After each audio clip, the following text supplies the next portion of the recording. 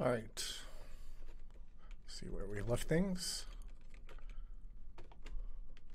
All right, I made this smooth jump up. It feels really weird to have it. Because it doesn't actually jump. It moves exactly to the height of the next thing instead of going up and then landing. It feels a little odd. So yeah, so here is our animated machines. Animating on two different axes faceted lighting versus non-faceted lighting. and the gears don't interlock correctly. Because they need to, what? They need to turn at different rates? No, we support that. Oh yeah, they just, I need to tweak the phase there. Oh no, okay, they're, I see they're going out of sync. They're not quite synchronized properly.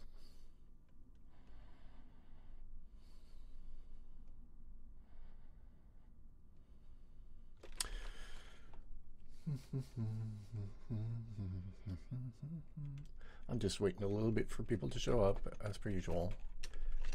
I can't omit that at the beginning because I can't count on people to show up until I actually start streaming, so.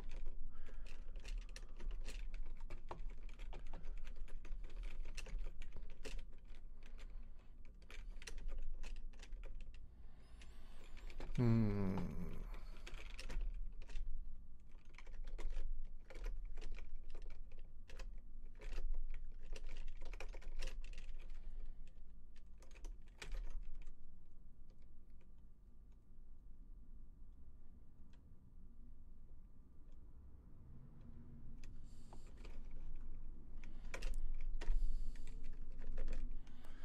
see it's not syncing to 60 frames a second. Let's put that back on. Where was that done?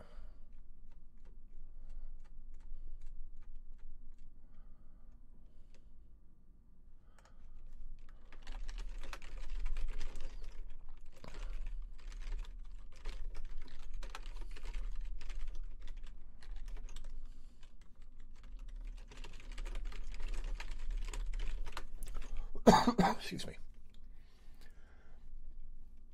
So,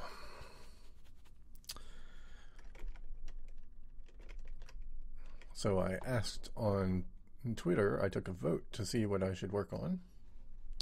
Uh, my intention was to finish up the machinery that we were doing, I think, last time, right, with the faceted lighting that we just saw. But that was the least, the least number of votes was finishing that up People want me to just swap on in the middle of something else, leave it unfinished. So one possibility was to go back to the gameplay of adding more types of things that the factory makes and expand that tree.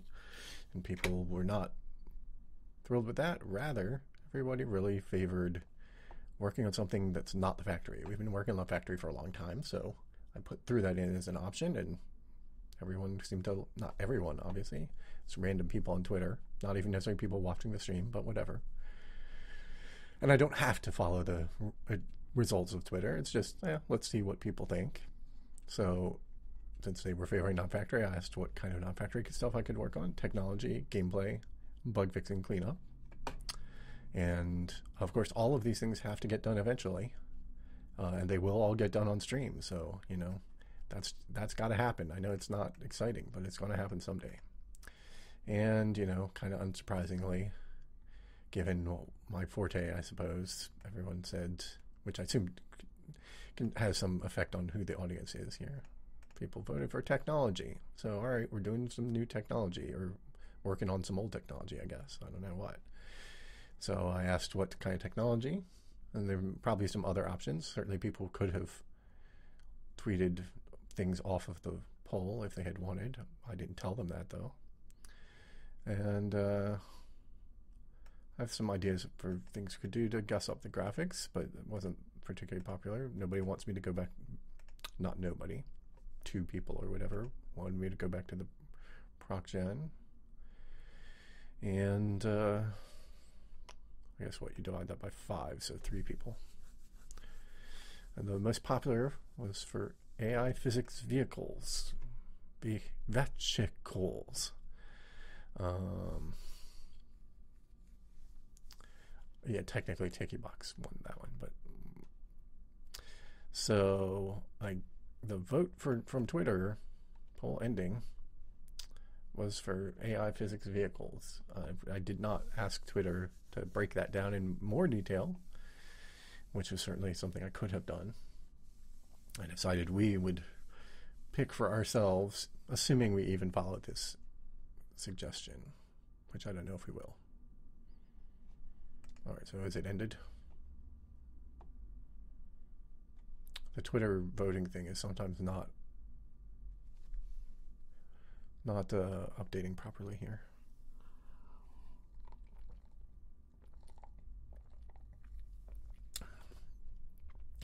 Don't know if it's related to other Twitter server outages or what.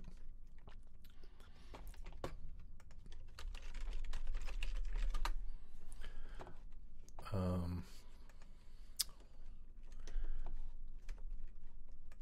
guess I should look at my notifications off screen just in case. No, okay.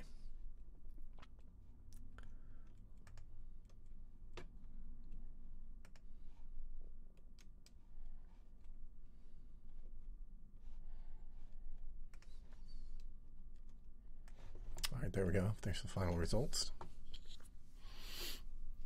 AI physics vehicles. All right. I have no idea what. I'm.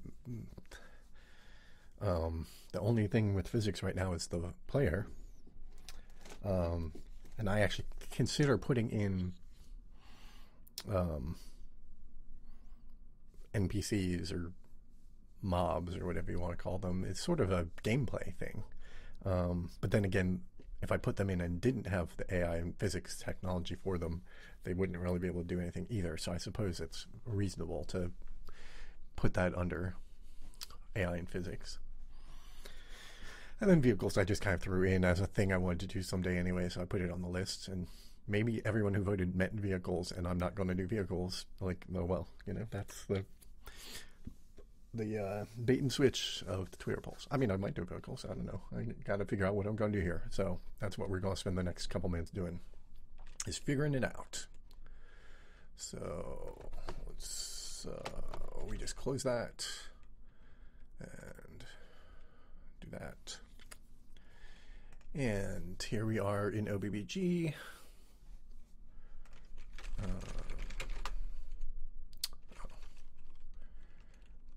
yeah, go ahead. Just uh, um,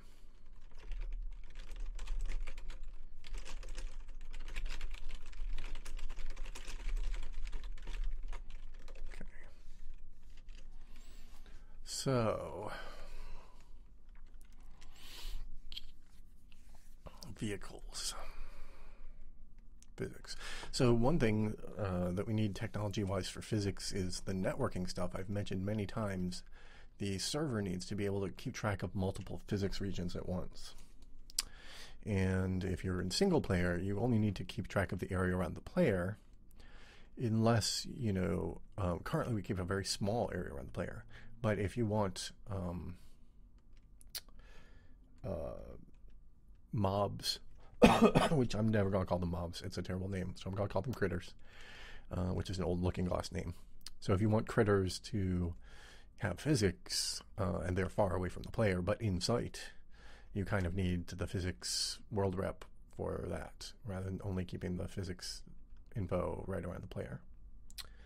Um, and so we could just keep the physics, uh, you know, out to a wider radius than we currently do to allow for the the critter physics, or um, could try to write a thing that keeps multiple physics regions and use that for um, for the make it so it can be used for the server multiplayer stuff and can be used for the the AIs, the critters.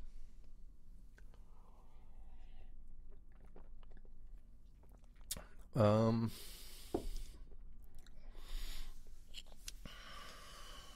but on the other hand, you could potentially have, um, in like the Arma style game, you could have hundreds of critters, well, and if if I want to scale this up to hundred players, then you could have you know 20 critters per player or whatever, so you could have 2,000. And do you want to keep 2,000 areas or do you just want to keep areas around each player?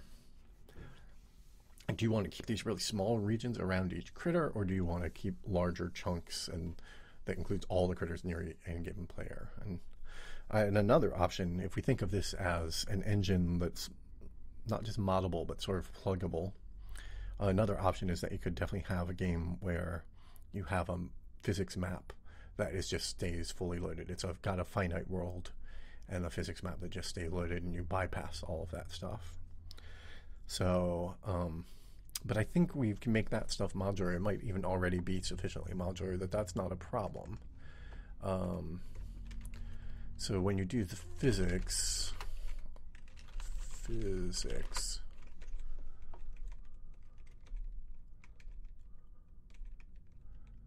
Get physics chunk for coord.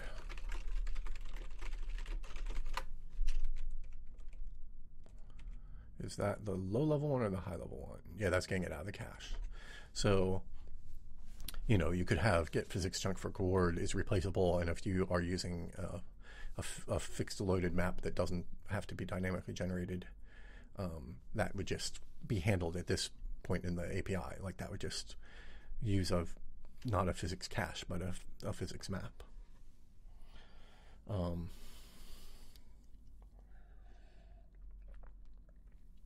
so it does mean that that part is modular. And so if we just, for example, did the let's make the physics cache bigger, um, which uh, is this, it just keeps a square around the player. Um,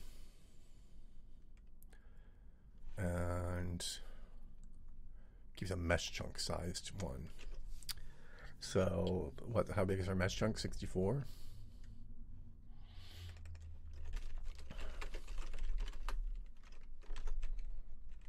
Yeah, a mesh chunk is 64. So, for now, maybe we go ahead and keep the existing code. Um, and just do a, a, bigger radius around the player and simulate with that and um, knowing that that stuff can get plugged in still rather than trying to solve that technology problem right now. Or, I mean, the job here is to do a technology problem, so it could tackle that problem.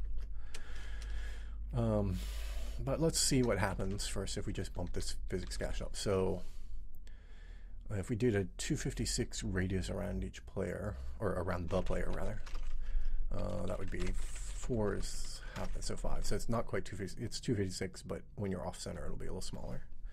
So it's about a 200, sort of a guaranteed 200 radius around the player, maybe.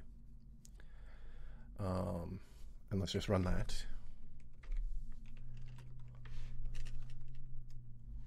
And it's broken. Okay. If it does it work with anything other than two? It's just slow to. It was just slow to load it.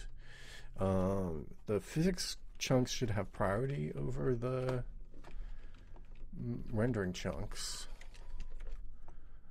Um, it does build them separately, even though they're totally redundant.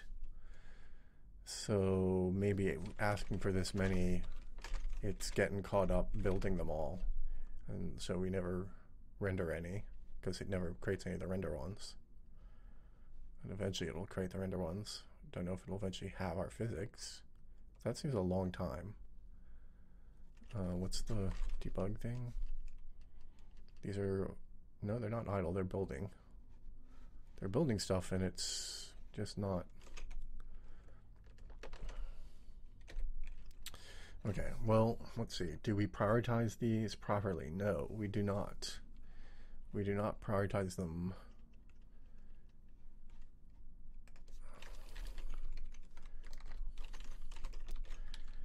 Um,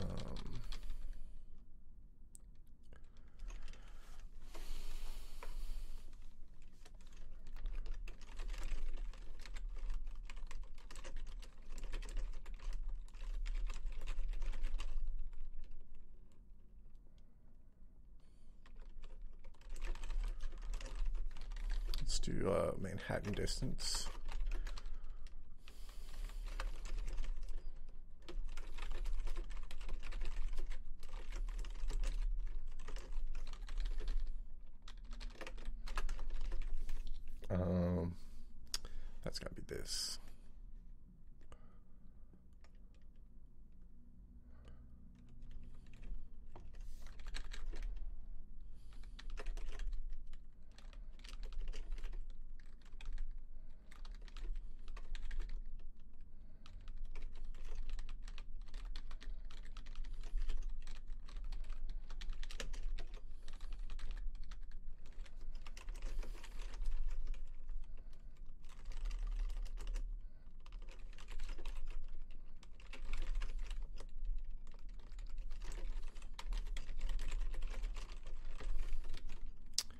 We'll loop over rings incre- of increasing size. And let's just stop after the first one to, for, to, to test. Now there should just be one right around us, which means if we step off it, it'll try to rebuild it, but we might fall off before it has time to rebuild it, maybe? Don't have any way to visualize this. Maybe I need to add a way to visualize it.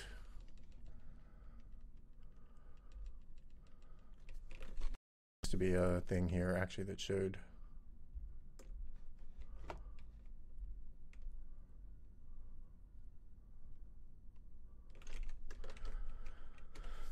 All right so now if I don't break it's still okay so now I hit the physics one. So the physics one exists it just hasn't built the rendering for it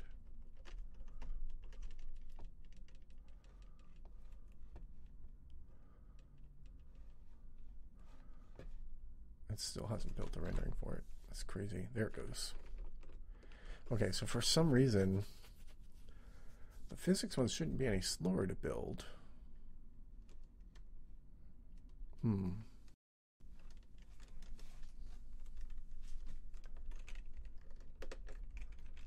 Um, question in uh, chat of why do I use names like IJK rather than giving them real names? And let's just, um, there's, um, you know, plenty of things have real names, like the global variables typically do. But local variables, sometimes you give them short names because it makes the code more readable, and the meaning of the uh, the variable is not um, that clear. Like i is on x coordinate, but it's counting in chunks, and so you could say, you know, chunk number, chunk offset x or something like that.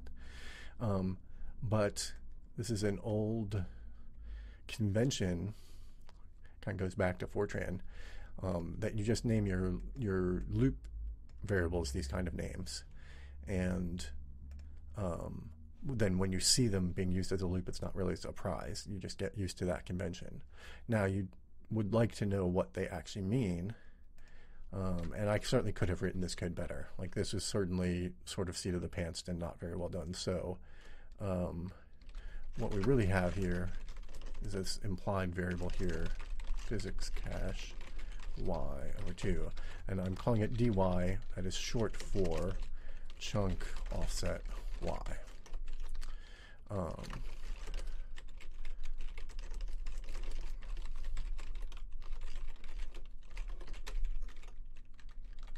And then we can make this code much clearer because now it just uses dx and dy. And again, dx and dy, the d is, you know, like the, um, the delta, it stands for delta and sort of a convention from mathematics of delta x and delta y. Um, and those kind of conventions just can make your code more readable if you're aware of the conventions. Obviously, they can make it um, less readable if you're not aware of conventions. So that would be that. And now the question is, what did Rx and Ry stand for? Well, they stand for chunk X and chunk Y. Uh, but since C is player CX and player CY, which are player chunk X and player chunk Y, already exist, I think I just wanted to use a different name so it would be more visibly different. I don't know why I picked R back in the day. So anyway, it's a convention, uh, and you get used to it. What makes this different to already largely built block building games? Well, let's see. It's the fact. No. Okay. So, um, so here in the overview, I have the list of the basic things that I want to put into the game, and obviously they are basically stuff that all exists in, for example, Minecraft. Um, and the main difference is that it's open source and um, not Minecraft. And I'm not trying to be like Minecraft. I happen to be putting that set of features in that are like Minecraft, but I'm not trying to make Minecraft.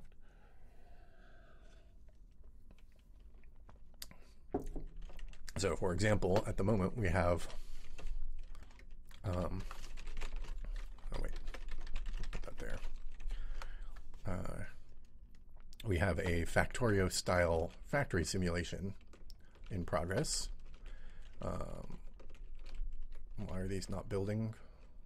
I broke something. The, I broke something in the factory sim.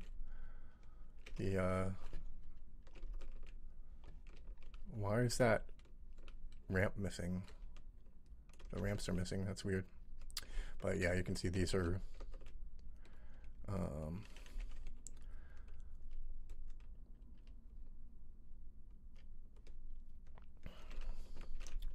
doing that stuff. So I mean, it's just you know, it's a a test bed on which multiple things could be implemented. Um, so, you know, that's enough on that topic, I think, for now.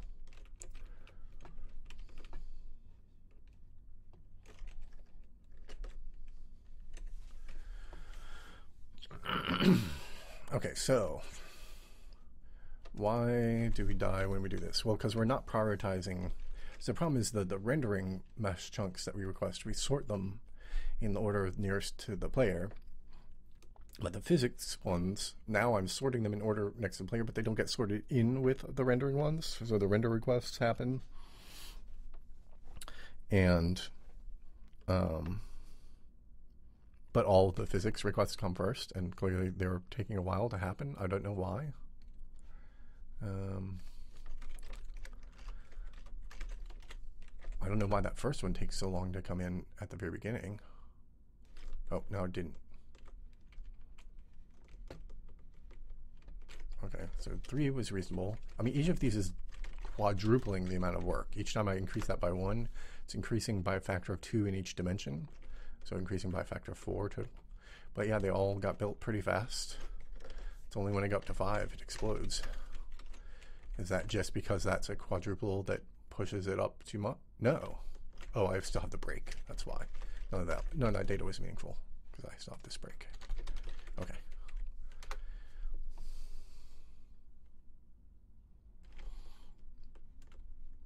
Um, let's get rid of that. The the test rendering of the machinery. That is in object renderer.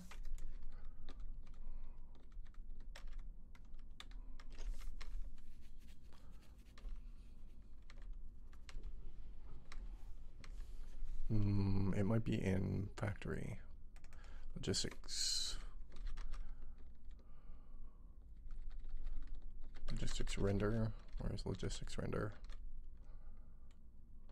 Render logic chunk. Must be after that.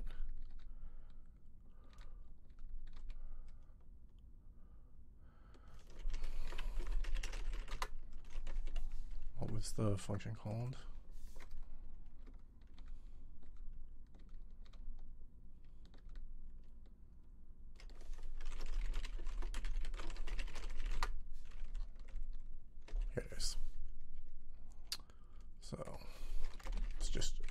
One.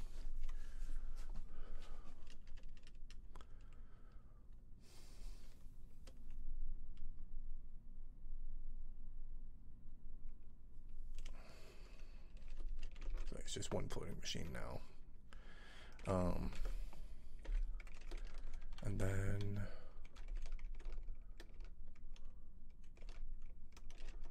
physics. Just increase it, quadruple it each time and see what the performance is.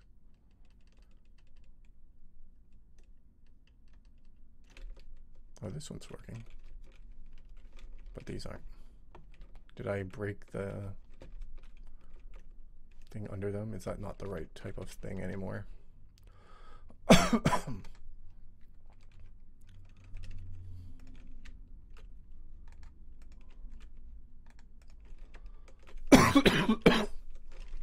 I don't know.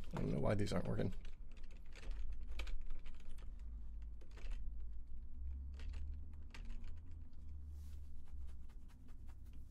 Oh, they need to be up higher. They're one too low.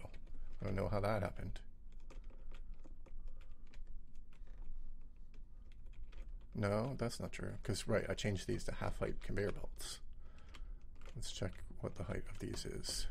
Yeah, they're the same height. Hmm, I don't know. Don't know why they're broken. All right. Um, so.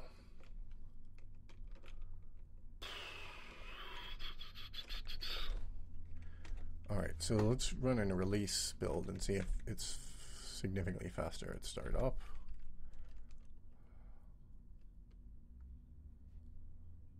Nope. No, it just has taken a while to build those initial chunks.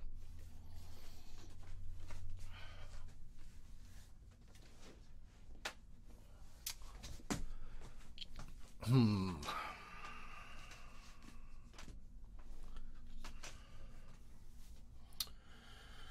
Why, why, why, why?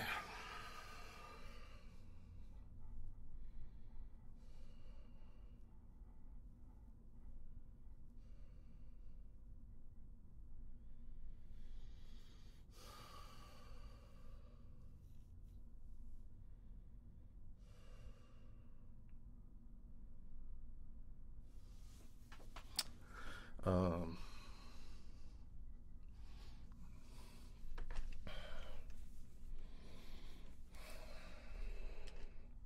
what is going on? I mean, maybe it's just that slow because it is slow to build things, but the speed at which they pop in when they get to rendering just seems weird. Um, let's debug.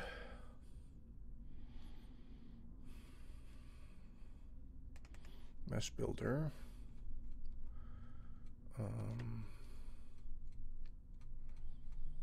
where's the job stuff?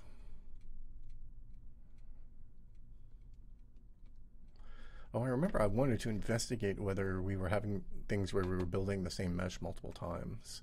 And I remember starting to write code to avoid some of that and then uh, backed it out when I realized there was already stuff. But I never actually, I don't think I ever actually went and collected the data.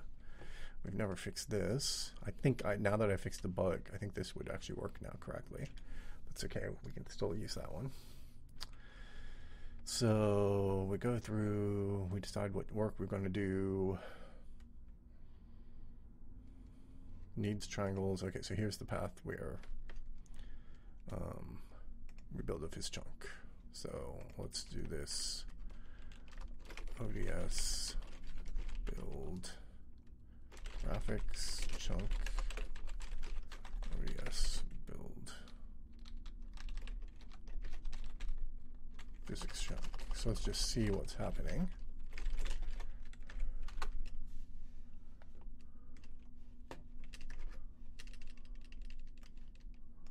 Oops, dang it. There we go.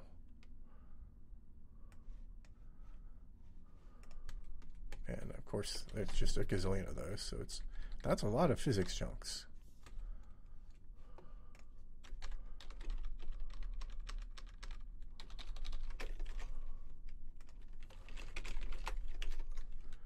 Build 256 physics chunks. I guess that's correct. That's a lot of physics chunks.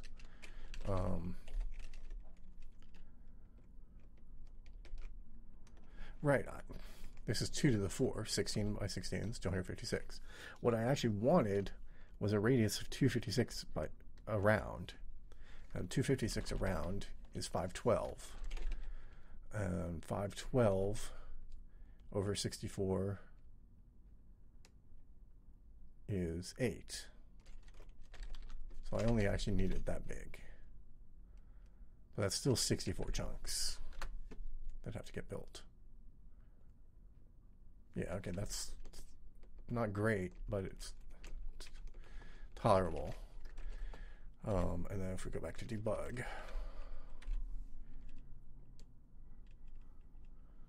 yeah, it's still fine. Okay. I don't know why our debug is not any slower than our opt, but whatever. So then all I want to do is do a little bit of interleaving of the physics chunks and the render chunks. That it doesn't bother building the physics, the farther out physics chunks uh, when there are close render chunks to do. And that physics set player coord is probably in the renderer, which is what voxel render.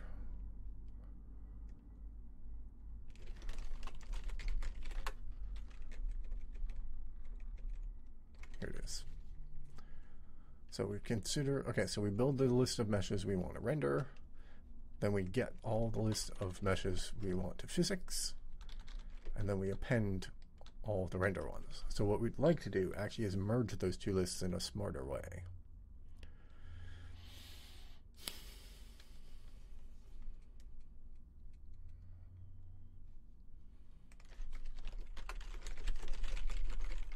And they have a priority field, so we can make use of that.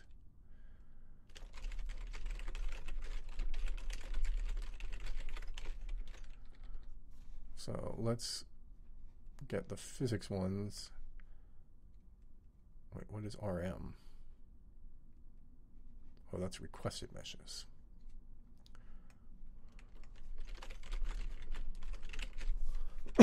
Hmm. So let's get the physics list into that. Physics mesh and um, phys rec. Oh, we don't need to initialize that. Okay. So now we have the list that we want for the physics, the play, uh, physics. Okay, so what is consider priority? Distance squared. Okay, so now we go back to physics. And we're going to set their distance squared.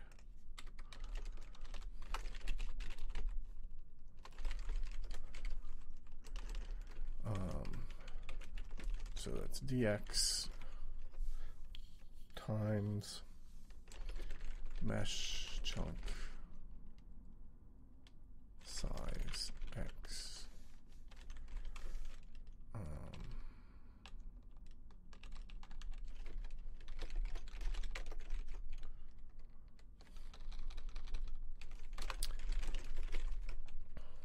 This is dx in world space.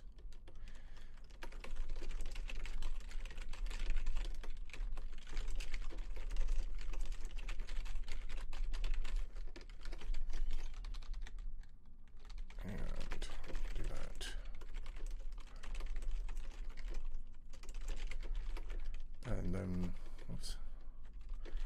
And then we want this to be higher priority than the rendering divide that by 2, and we'll subtract 100 so that the physics is the highest priority for this if it's exactly the same after that.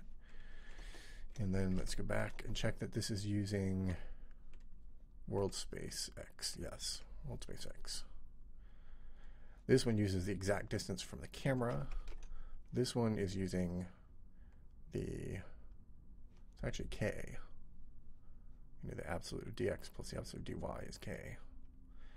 Um, the main issue is I'm not sorting these, and so I need to make sure they come out in sorted order. So I actually want to use k, not dx. Um,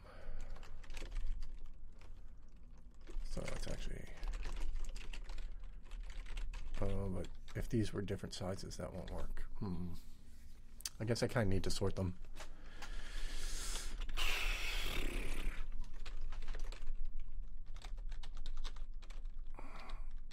Oops, monkey. So we have to key sort our render meshes. There are n of them.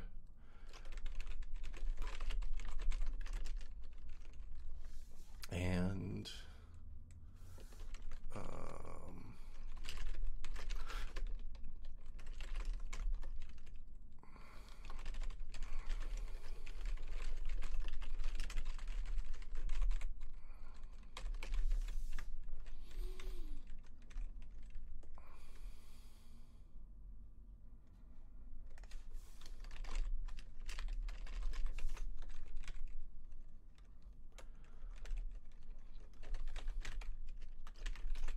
All right.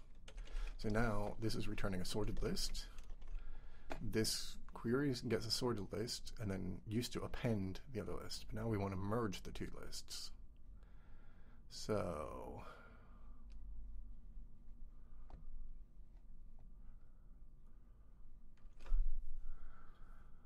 uh, what is this doing? It's aborting the list if the total size gets too large. But these meshes aren't part of the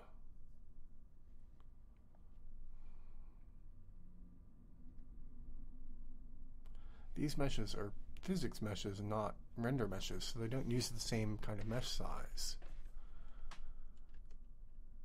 So I'm surprised we're including that in the calculation here. I think it's not necessarily a bug, but I think it's a bad idea. Um, so I think we're going to leave that out. But I might be wrong, so I'm just going to if def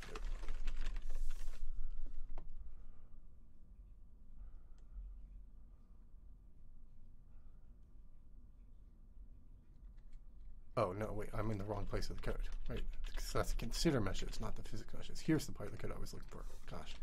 Okay, so ignore everything I just said because I was just confused about the code. Okay, so here we used to get the meshes and then we appended the sorted ones. Now we need to merge. So, how do you merge? Well, when you merge, you need two variables. i and j will do. So we say i equals 0, j equals 0 while i less than n and j less than why was this using n? The old n was this. I why is this going from 0 to n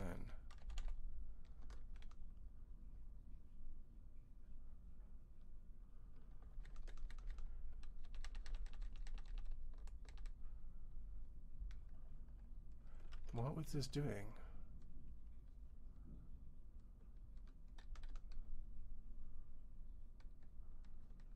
What? This doesn't seem right to me. If this was overwriting n, how would this... Oh, why is my stream gone away? Um, oh, I just scrolled it. Okay. Um, let's let's do this.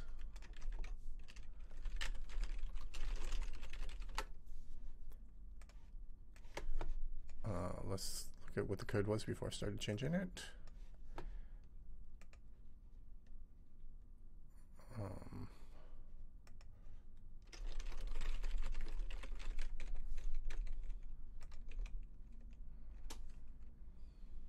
Oh, M. M equals physics set play coord. Okay. All right. So that's what M was. Okay. So let's let's keep that. So I less than N and J less than M because now becomes num phys rec. And we need an output variable, uh, which is what M was also being used, so we'll use M for that. All right. So, if both valid, so this should be or, both valid, then we want to pick from the list whichever one has higher priority. Um,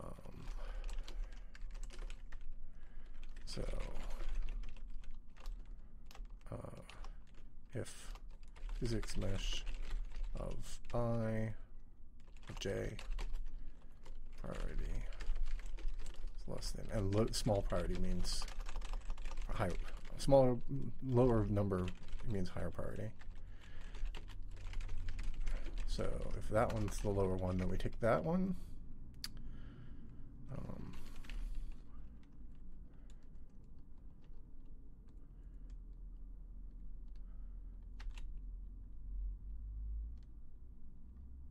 And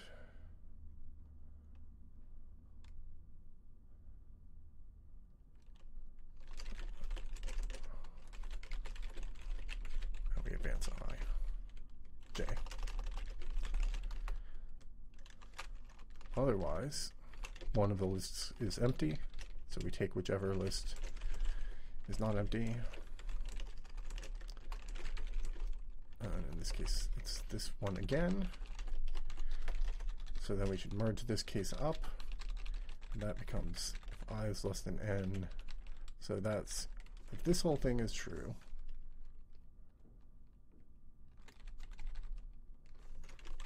or i is greater than equal to n, then this is has to be true. This case is gone. And is there a clearer way to write that? I don't know. Let's just comment that.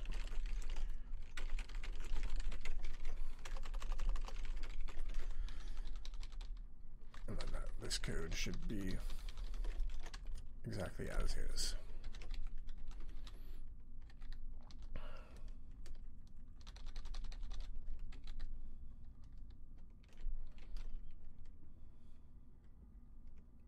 Maybe.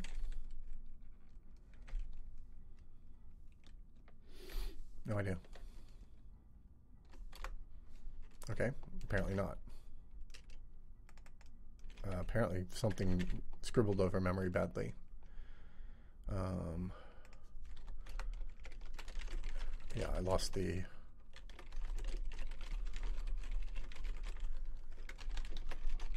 I lost this behavior.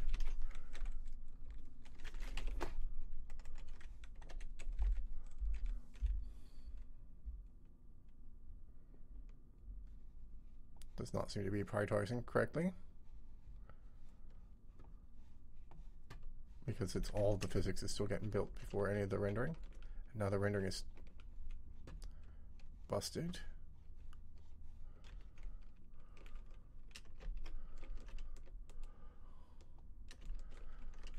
So I'm not sure what's happening here because I either increment J, oh I didn't increment I.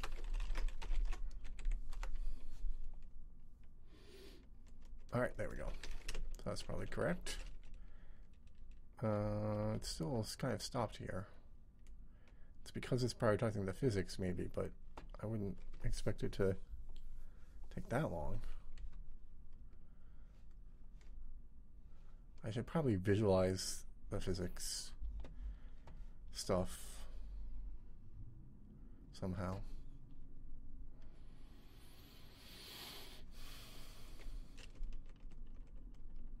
It seems stuck. I, I don't think that's right.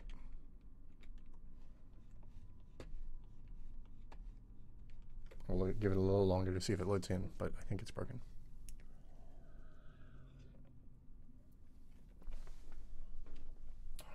Hmm. Okay. Oh, I could have looked at the debug info. Um, I, I, I, I, I, M, M, J, i is greater than equal to n, n, j num phys rec. Um.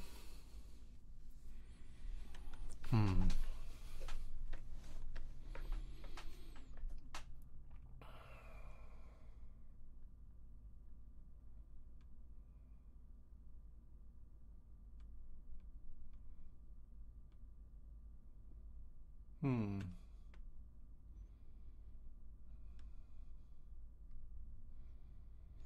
I guess I'll step through it and see if anything obvious is going wrong here. So we do a physics mesh, do a physics mesh, physics mesh, do a physics mesh. Now we do a graphics mesh. Okay, how far did we get? I of n. Not very many. J of M. Um,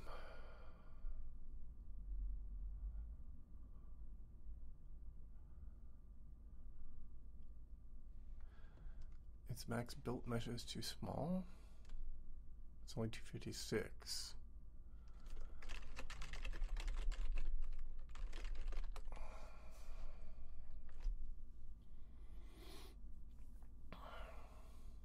What was 63 and not 64?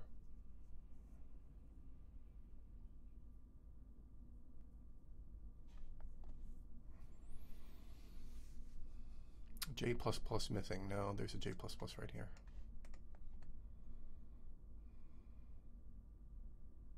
It's a it's a list merge. So you increment J on one case and you increment I in the other case, and you always increment the output.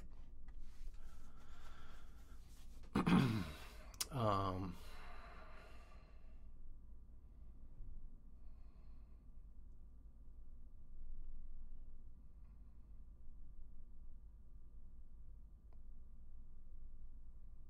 Now, in the other case, it would just always put the consider meshes at the front.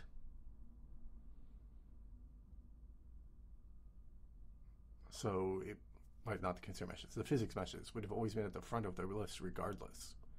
So it shouldn't be any fewer requests than before. I'm a little confused. Is this only requesting ones that don't exist, or is it requesting everything?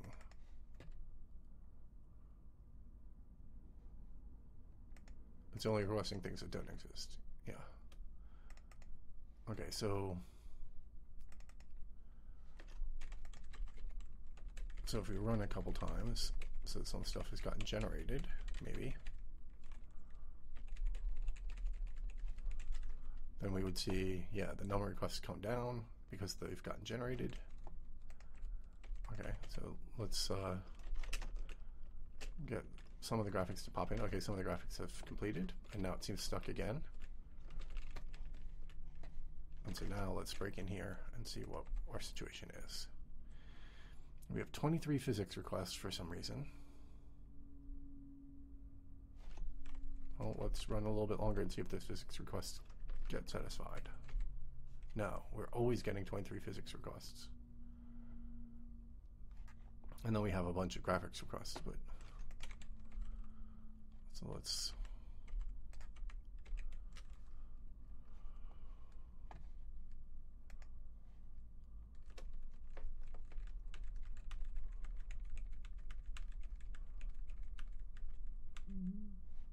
Hmm.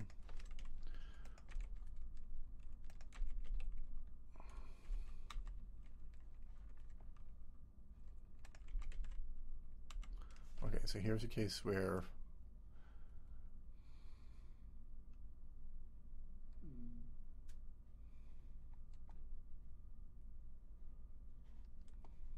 negative 1, negative 5. This is only 0 to 7, so it should never be negative 5. Oh, that's Rx, Ry, not Dx, Dy. Yeah, negative 4. Um...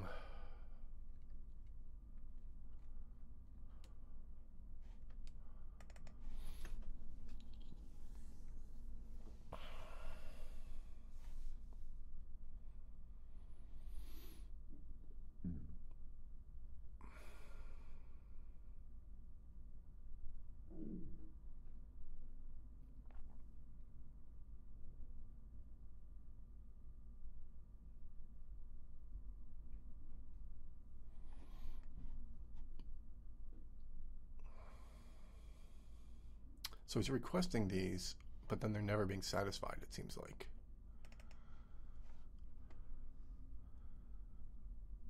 But somehow that causes a problem when I sort them and didn't cause a problem when they were just sorted to the front. I guess we should look at Mesh Builder.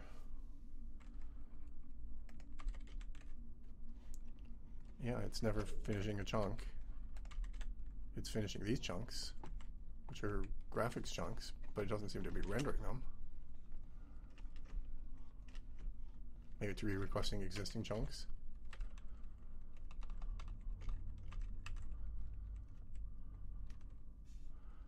Where do we swap the lists back?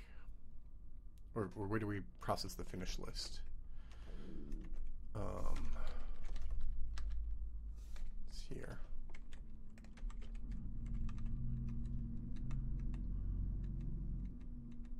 Okay, so the problem is we're not doing the rendering meshes because we're at the storage size limit. I think. Or no, okay, that was that was it's not at the limit. Then we upload the mesh and we set it. Um, okay, that seems reasonable. Set mesh chunk record. There's already one there. Is it the same one?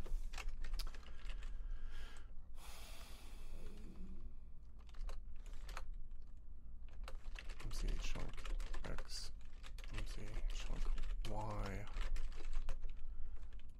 new chunk X, new M. Yep, look, it's gonna be the same, right? Yeah. All right, so for some reason we're just generating chunks that we already have.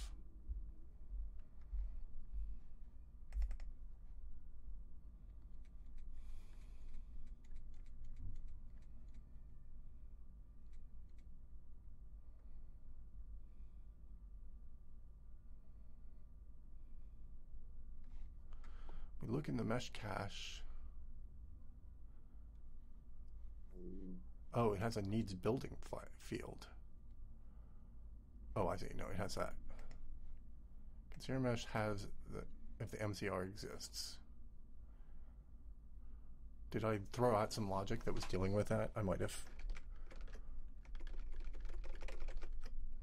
Nope, that's not what I want.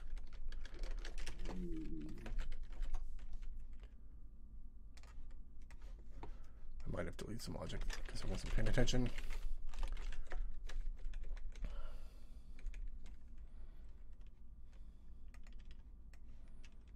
Right, I check these things. I only add them if this is true, and I lost that logic. So, in the list merge, you have to say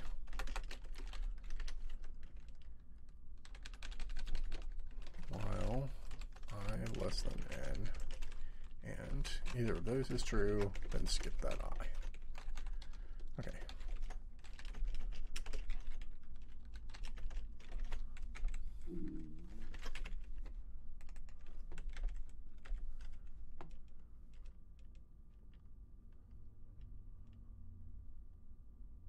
No, I reversed that test.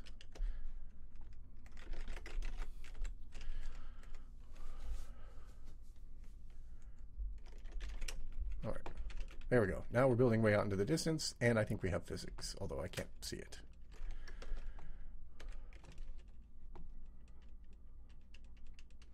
It's a mesh builder that I added these. All right.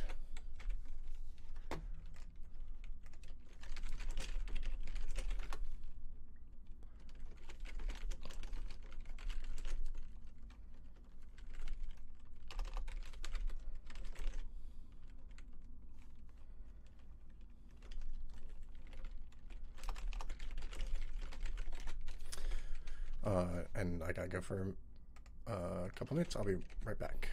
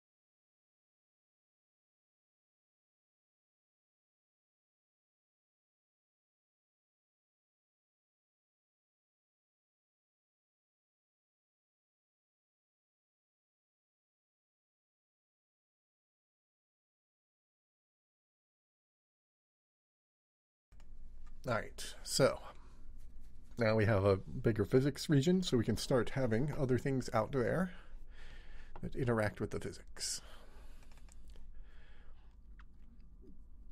Allocate object.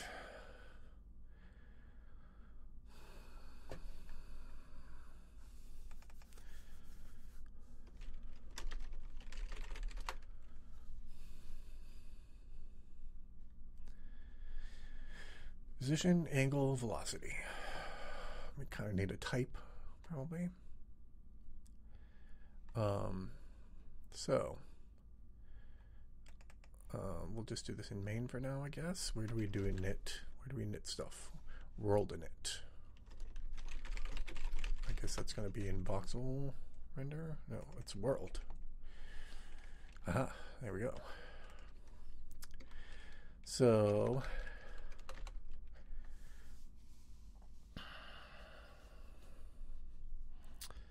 Um,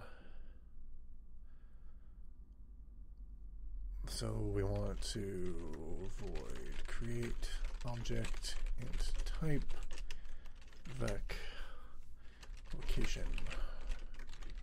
Int. And then we say allocate object. Object id dot position location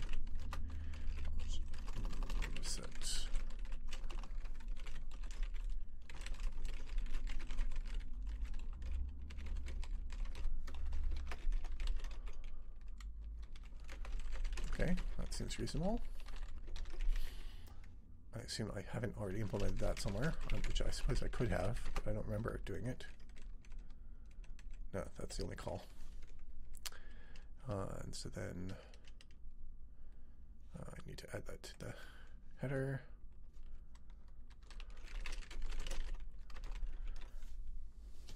And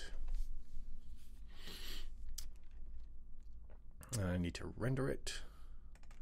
So where's the, um, there's a cube being rendered that's this light source that I can launch. I don't remember where that gets rendered. I don't remember how that gets launched. Where's the code for that? Oh, I moved that code. Maybe it's gone now.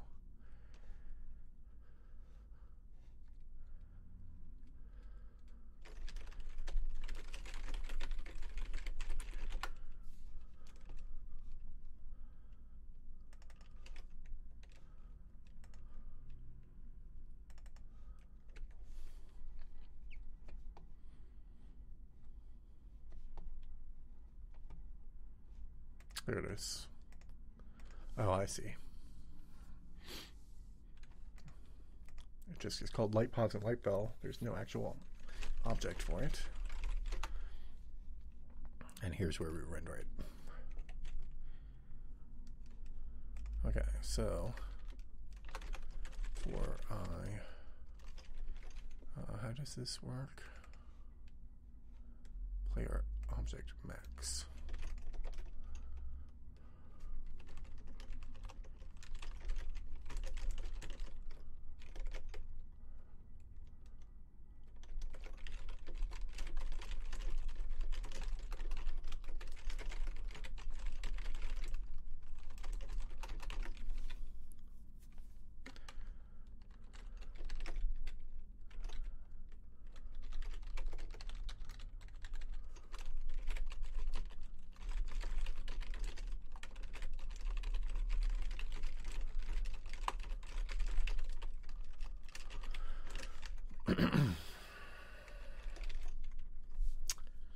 so I need to actually set that to valid.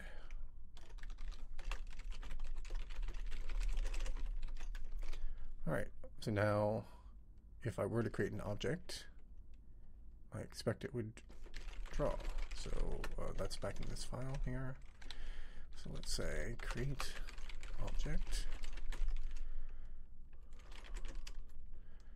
and let's just create it where the player is since that's the only vector I happen to have lying around so we'll be inside of it yeah and we fell out of it and there it is all right So now, let's make something where we can throw an object. As we said, we want to do physics. So the that'll be a keyboard command. So it was where those keyboard commands we were just looking at was, which I don't remember where it was.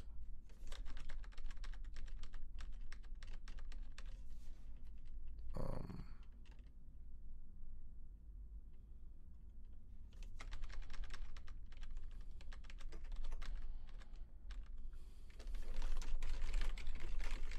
this is in the same file, isn't it?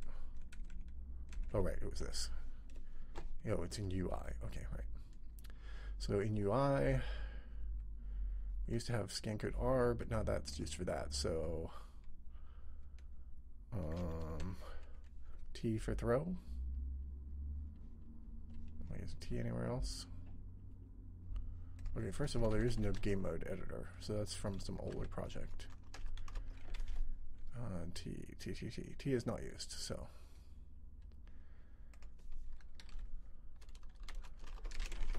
Let's do scan code T.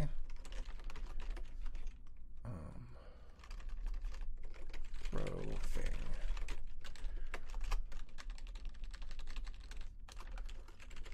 Throw thing.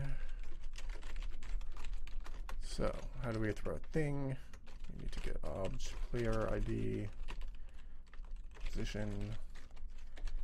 We say create object player position. We don't really care about the ID. Well, we care about the ID for initializing it. Then we want to give it a velocity. Then the direction the player is facing. So how do we get that? Um, that we get from this old code that I just deleted. Yeah, I just, oh no, here it is, okay. Uh, I'm space to world space light val. So it's odd space to world space still valid? Because that used to use the GL stuff to do it. Yeah, okay, it's still valid. Takes a player ID now.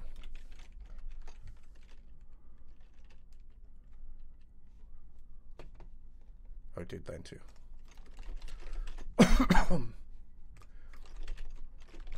so that we use to update object t dot velocity, and we don't care about anything else. Now, I don't think there's any actual physics running that will actually update that, but I could be wrong. So it could be that that will just actually do something. Forgot to take the address.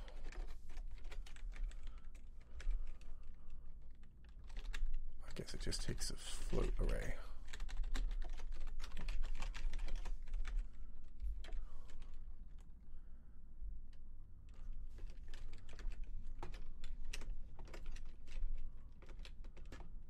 Yeah, okay, so first of all, let's make it smaller.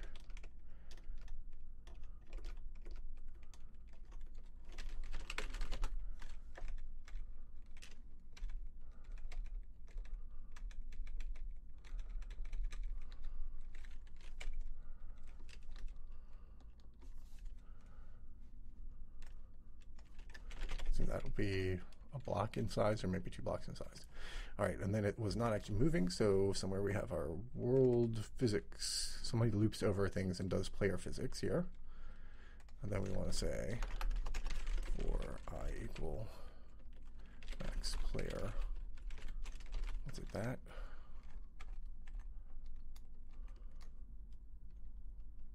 This does not have the loop, okay. Oh, the draw does. Player object max.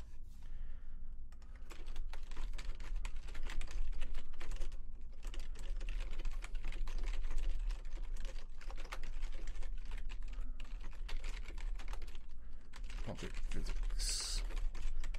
There's an object you type. I don't remember that. DT. Object physics.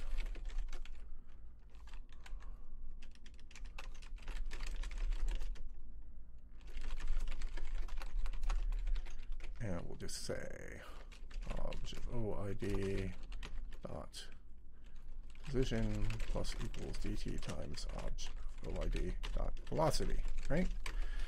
There's objects, except this is C, so I don't have this overloading, so I have to actually just call the function to do this. And what are our vector functions? Do we have vector functions?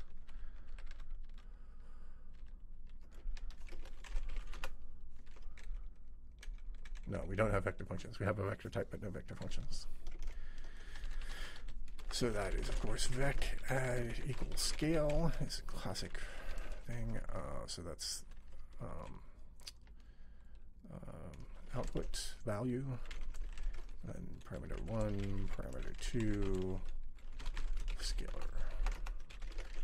x equals p1 x plus p2 x times s.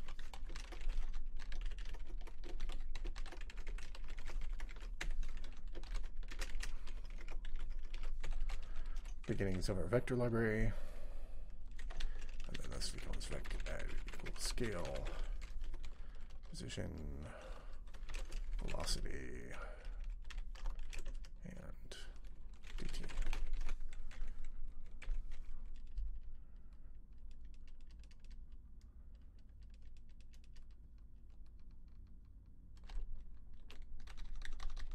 Oh, wait, I did this, I did vector add scale. Um, vector add equal scale.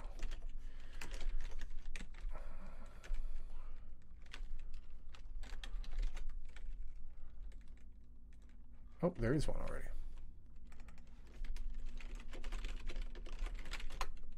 Oh, there is a little library here. I just didn't put it in the header file. Notice I had the exact same. Oh, that one's actually an add equal. No, it's not. Oh, it's. Yeah, yeah. It's returned by value. Okay. All right, so that goes into BBG funcs.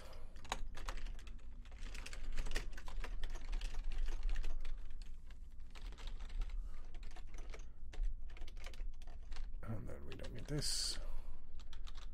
And we do this.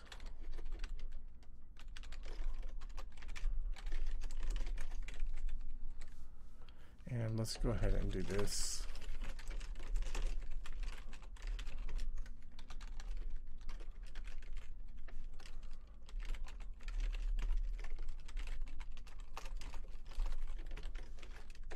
That should be more readable.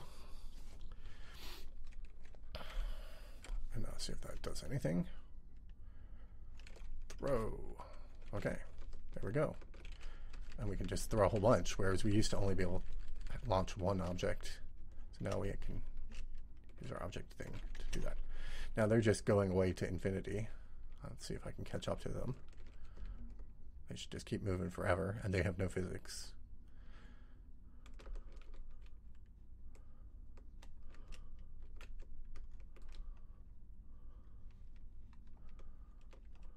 Don't know if you can see it that well.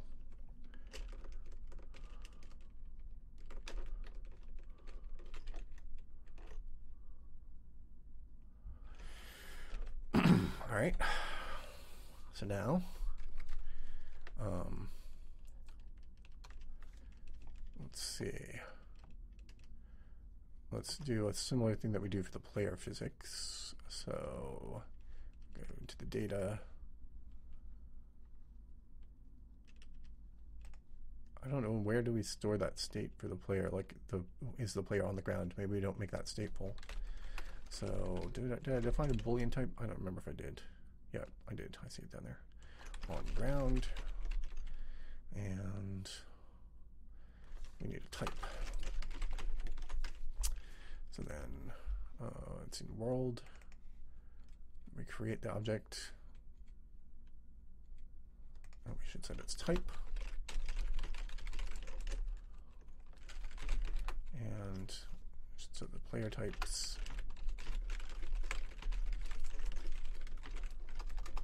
type player. We need enum.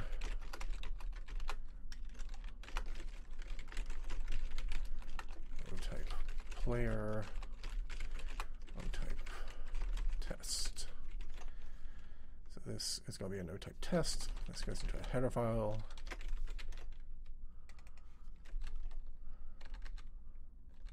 Um, right before this. And then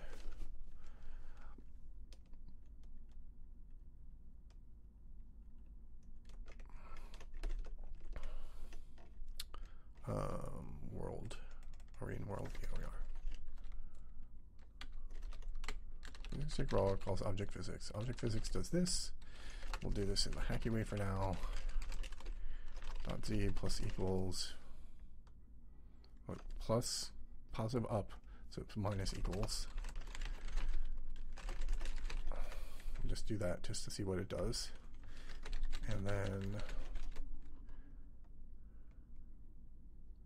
can VC6 actually inline the vector functions if they're declared that way? No, it's in uh, it's in a different file. It, it, this does not have cross. Uh, link time optimization. Uh, but I turned off link time optimization in all the things that I use. So you only get inline if it's actually in the header file.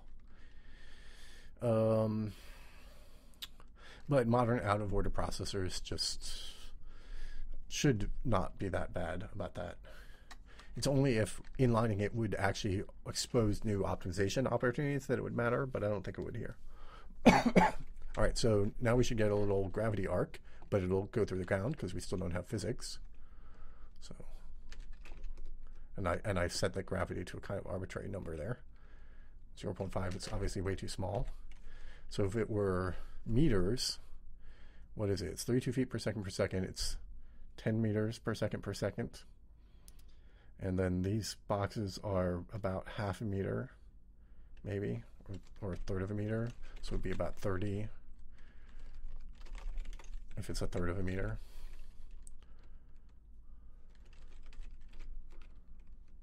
Oop. Except it fell through the ground. And it's still falling somewhere down there. I don't see it anymore, but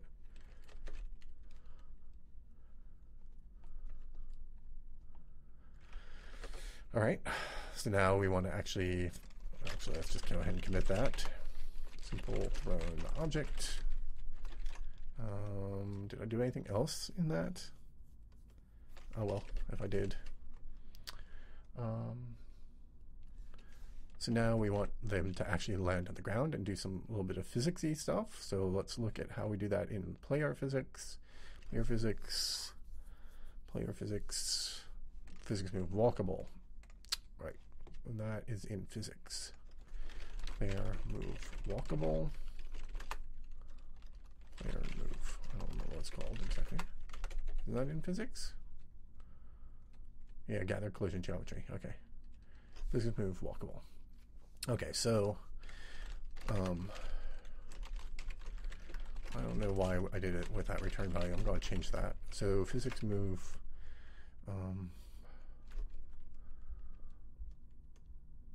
um, inanimate. And oh, I see, because it doesn't take the object; it just extracts the object. Hmm.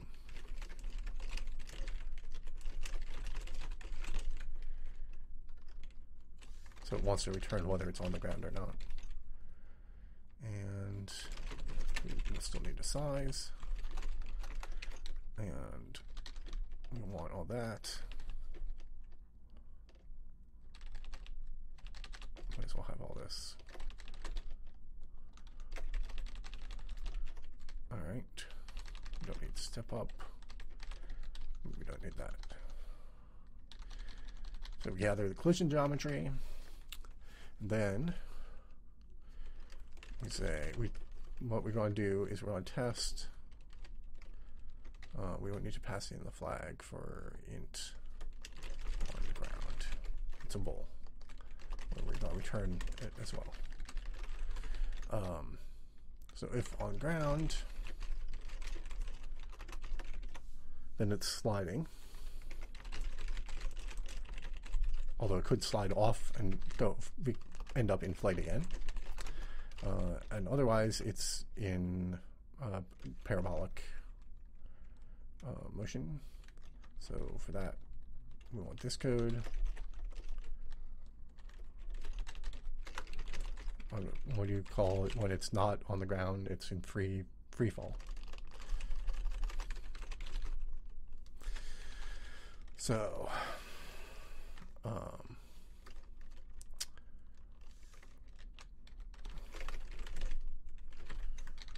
so v is pos vel dt. And then we want to check whether that collides. And I'm not worrying about tunneling right now. I'm just trying to get something. So we test if there's a collision.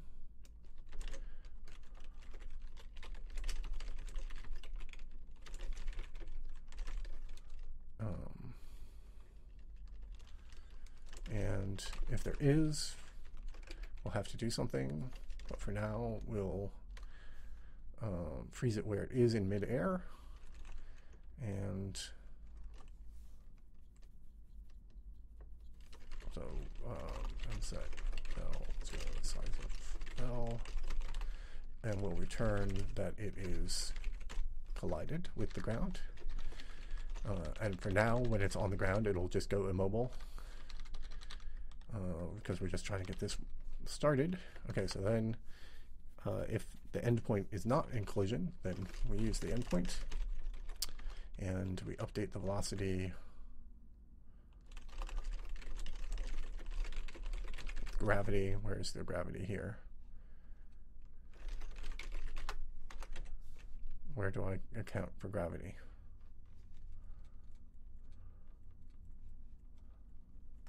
Oh, it might be in the other. one. Physics move walkable doesn't care about the gravity. It's done externally.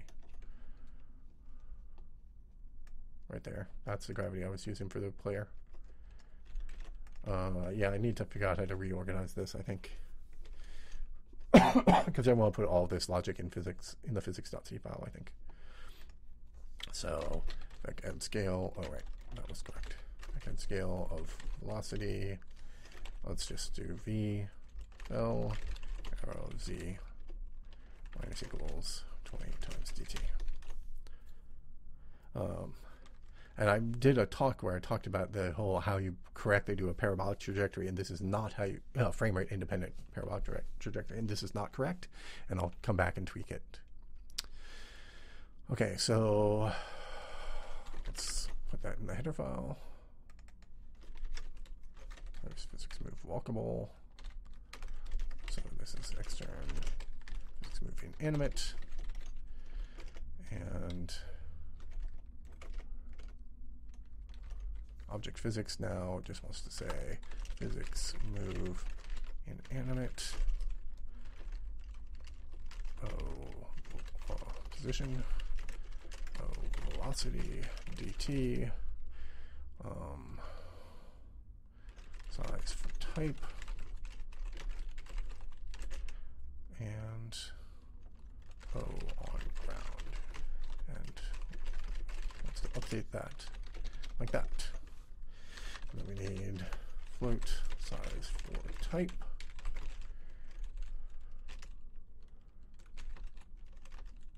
I'm trying to remember what the, what the shape of that is. Camera bounds. It's a bounds. It's not a size, it's a bounds. Um,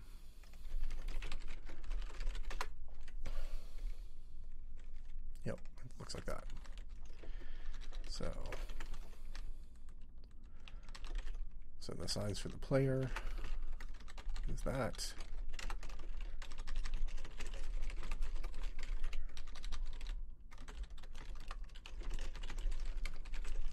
And the size for this thing is going to be negative 0.5, negative 0.5, and 0.5.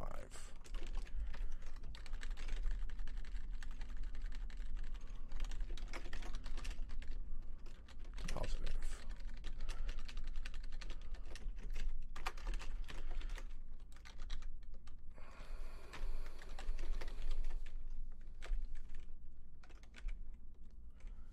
Uh, different array sounds good. It's float 3, 2. It should be 2, 3. Not all control paths return a value. Return false. This needs to return true. All right.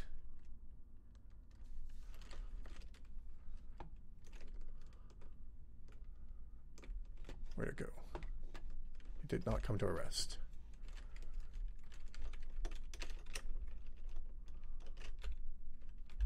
That one did. Don't know where the other one went. Oh, there it is. It's just further down the hill. All right. Now they aren't going to be flush with the ground. Yeah, yeah, this one is hovering above the ground because I didn't bring it flush to the ground. I just stopped if the next place would have been through the ground. So I need to change that to actually do stuff. And they won't bounce off walls and stuff. They'll just freeze like that. So I have to fix all those things using pretty similar logic to the physics move walkable. but, you know, it's start. It makes the world concrete. Stuff runs into the world. And all right. So now as an optimization, actually let's check that in. Simple collision thrown object. Okay, so now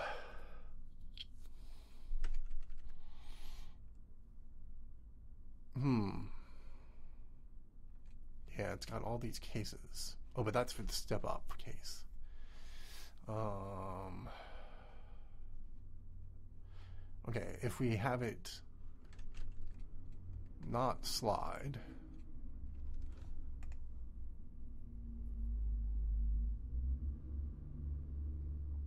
okay, so what we have to do is that in this case, now we have to determine whether it actually is falling or not. So what we do is we try moving it down one block.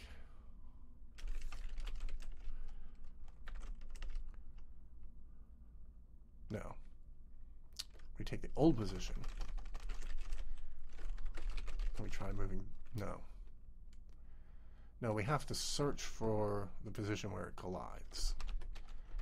Um, with the player, we do that in a hacky and clever way um, for performance reasons. But here, this will only happen when an object is moving and collides. So we can actually afford to do a search. So let's just do a search for now. Um, equals find collision of CG of the starting point and the ending. And the size. And it doesn't have to be super accurate. So void find collision point of vec A vec B collision geometry G.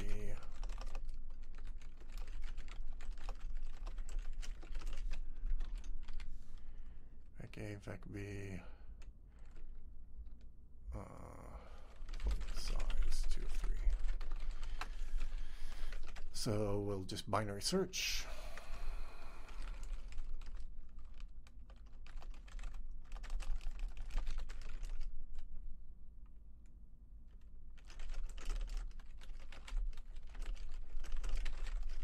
and um, we'll only search say eight times. So I would say t equals t0 plus t1 over 2 if collision test box cg of vec um,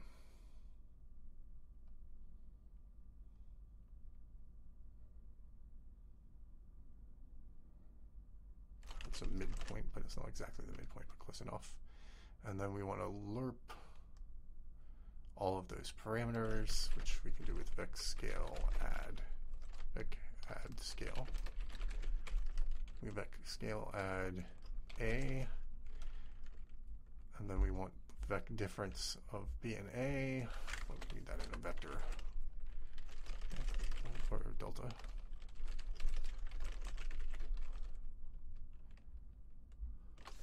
To be constant of this whole thing. Uh, vec sub, and we want b minus a. So it's a plus b minus a times t. And then we're going to do m dot x, m dot y, m dot z size. If that point is colliding, then we update t to be t, t1 to be that. Otherwise, we update t0 to be that. And then we return vec add scale a delta comma t 0.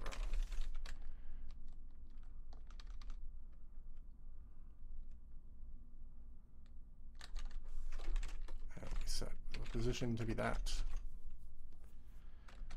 and otherwise freeze it. And now they should fall pretty close to being all, touching the ground. Okay, wait, gotta fix some bugs. Vec add scale, it's vec scale add. No, it's vec add scale. Vec, vec.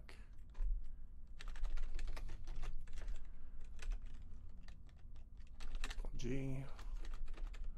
Let's not call G, let's call CG.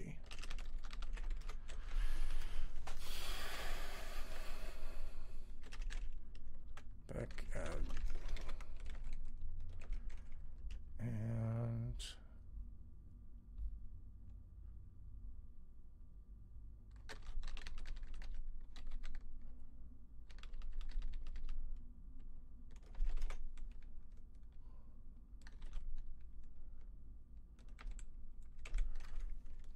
all right.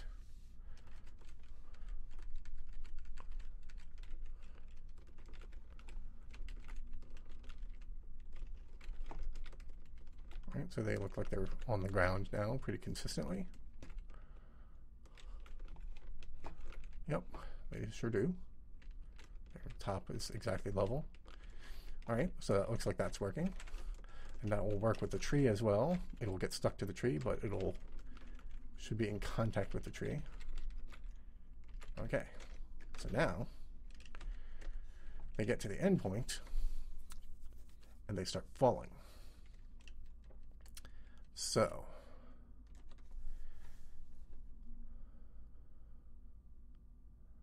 what we want to do is test if it's supported at this point. So we say if collision test box. So first of all, that should be true.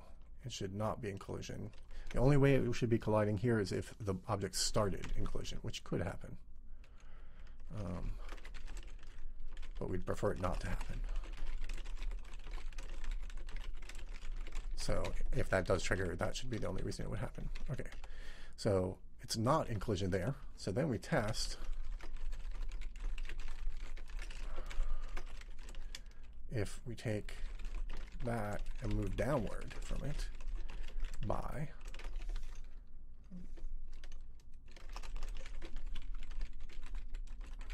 an epsilon value.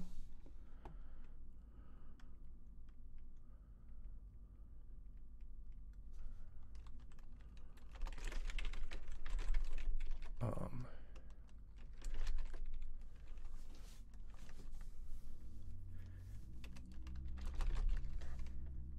if that collides, then it's on the ground.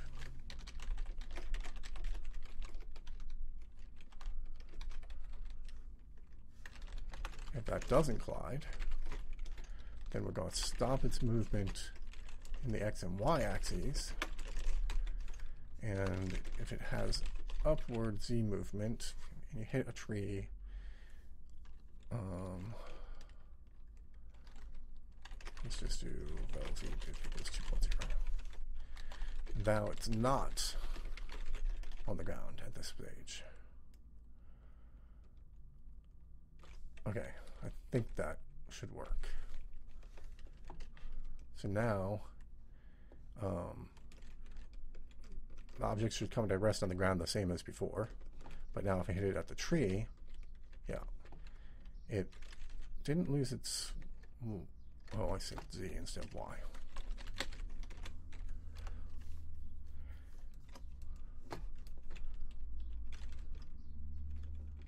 Yeah, see that it kept its upwards velocity, which is a little weird. I think it needs to I think it needs to lose the upwards velocity.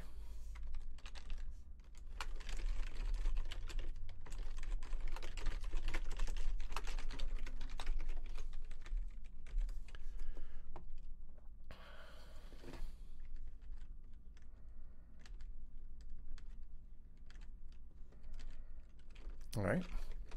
And then let's add one more thing. Let's add some debugging so we can tell when they're on the ground, which is in main is where we render. And then right here, so we want to say um, if on ground GL color 3F, what color should they go if they're on the ground? A little bluish maybe.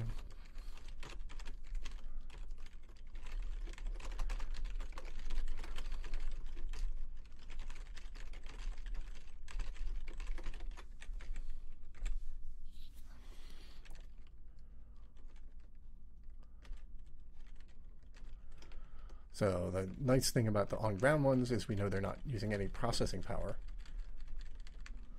for the physics. So as long as they all turn blue, we're not spending any physics on them. That's a little weird. It's too close to the sky color, so it looks like a hole.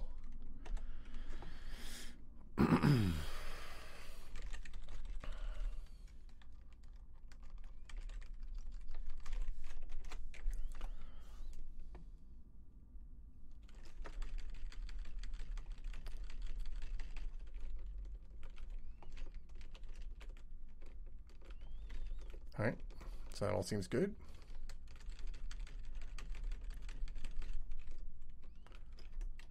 stuck on top of the trees. That's all correct. They're balanced precariously in some cases because we're doing sort of a blocks physics. Um, so it just is, yeah, like it's just barely touching that block, but that's enough to quote unquote support it. And that's fine for the level of fidelity we're trying for here. We could always try to do better if we wanted. So that gives us some basic physics now. And then, of course, if I threw them far enough away, I don't have a physics representation out there, and they should fall through the, the world. But I don't know how far away that needs to be. Yeah, I may not be able to throw them hard enough. Uh, let's go to UI. That's where we create them. So let's throw them harder.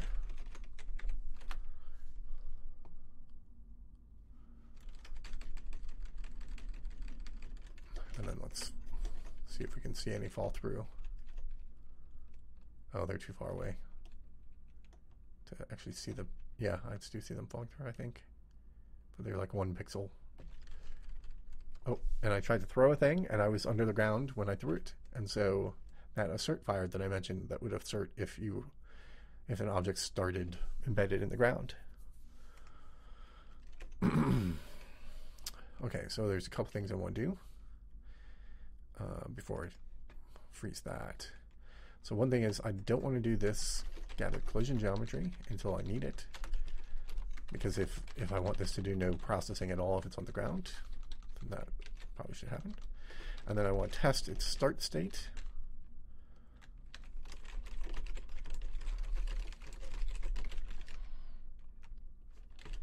And see if it starts colliding.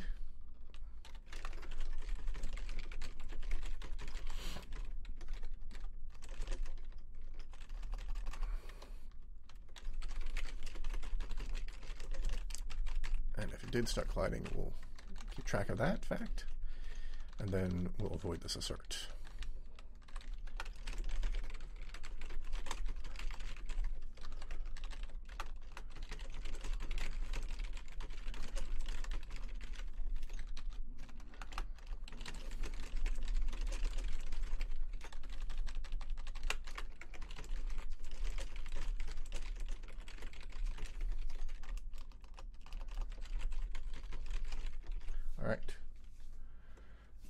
Motion, red equals stop. Well, it was.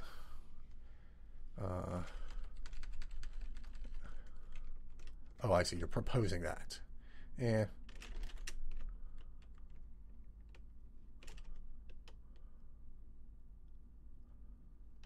Alright, now if I go over there, some of them should be on the ground. Some will have fallen through, but will freeze when I get there.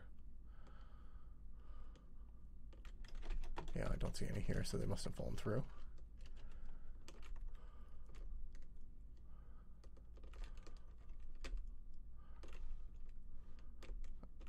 Oh, and then I went too far out of the world. um,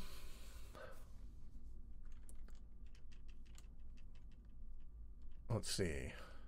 Anything else I need to do to get this basically working? Sliding. Um,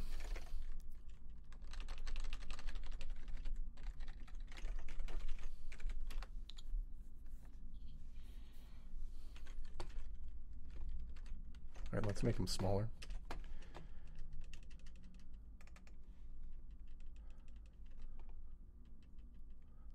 Uh, that's in Oh, right. Their physics is. Ugh.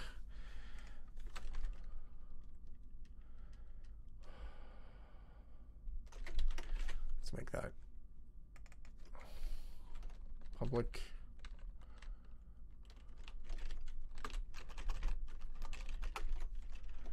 And then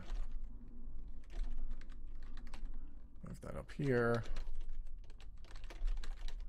And get rid of camera bounds and then we'll compile and find where camera bounds was used, which is here. And we'll do size for type.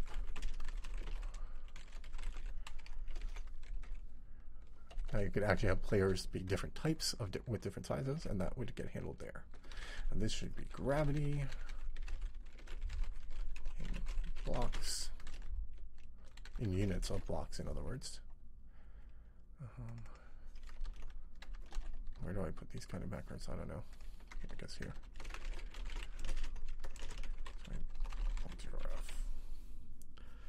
And then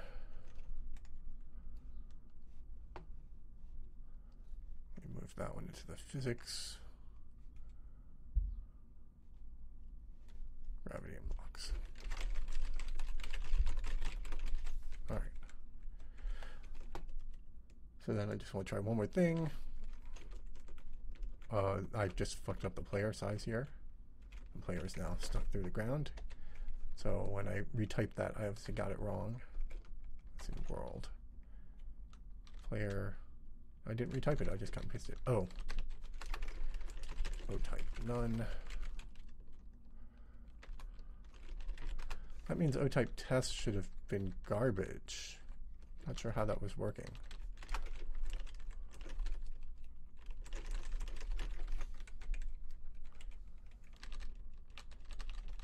Wonder how that was working.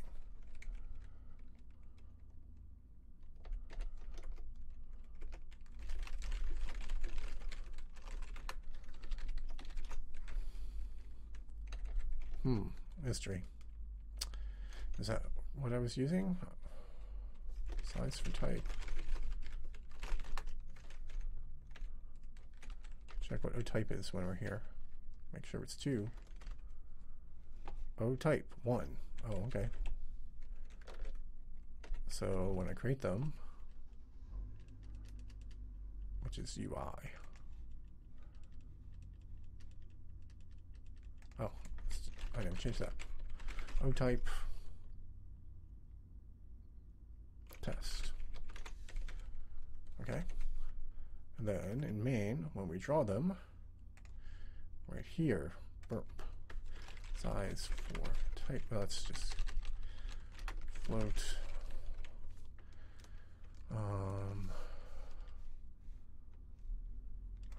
draw a box. We actually want a box that's not centered. Because that other thing handles can be off-centered. It does not have a way to do it. So we'll have to do this explicitly. Vec. Um,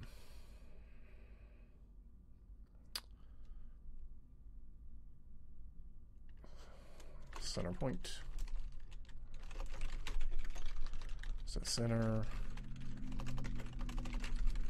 x equals obj dot position dot x plus size or let's float size size for type obj dot type object let's go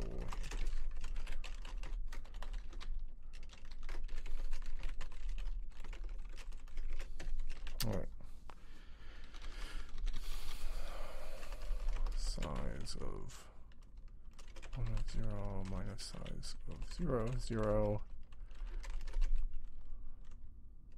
right how do you center it if you have an off-center size pair um, you compute the small side, you compute the large side, and you take the average of that, and that factors that way. That is correct. All right.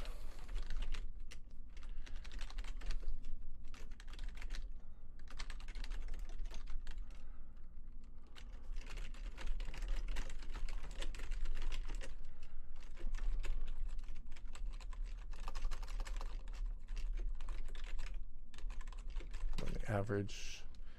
No, just the difference. It's just the plain difference. Is that right?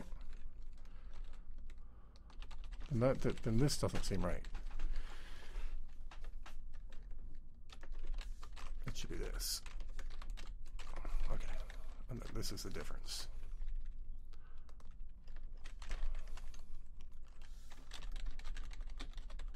I should just define all this very differently so I don't have to do this confusing stuff.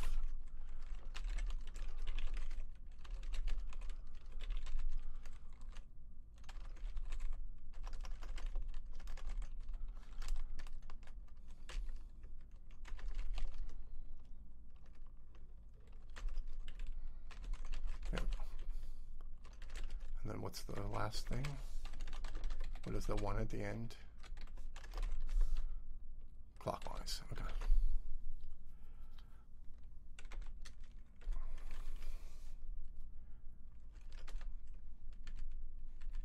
Alright, so now if I make it smaller, I can actually do make it smaller now just by going into here and changing this. Hooray.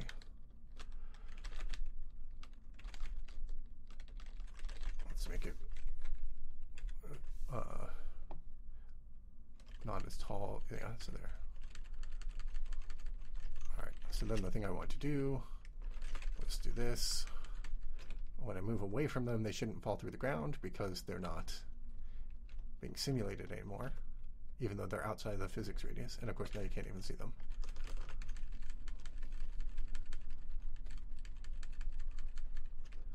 Some of those may fall through the ground, or probably not. Yeah, they didn't get far enough away. Alright, so that all looks reasonable. It might be nice if they slid on the ground instead of freezing on the ground. Is that worth doing? I don't know. Or they could bounce as well.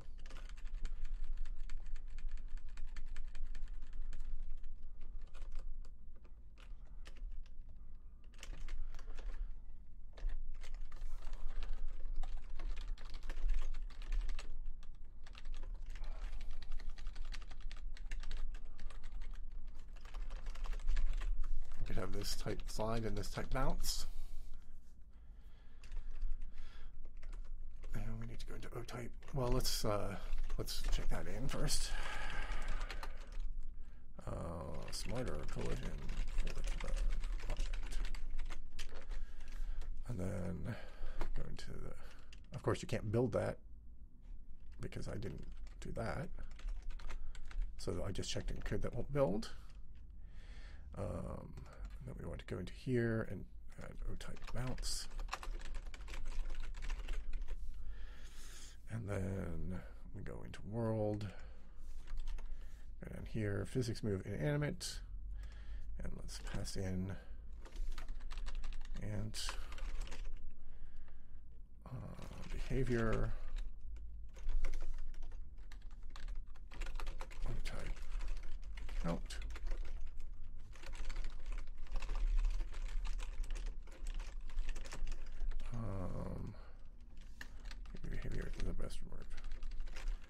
Bouncy. So that's false, false, true. Bouncy.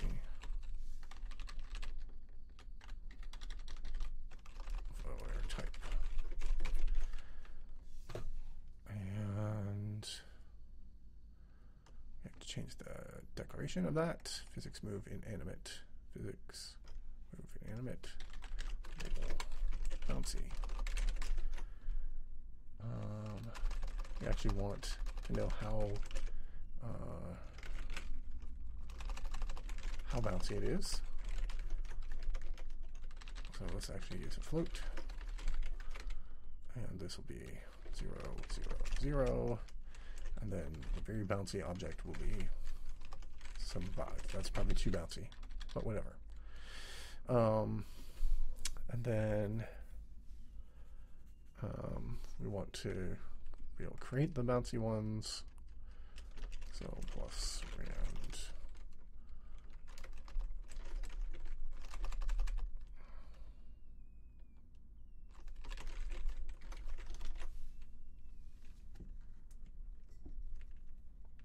And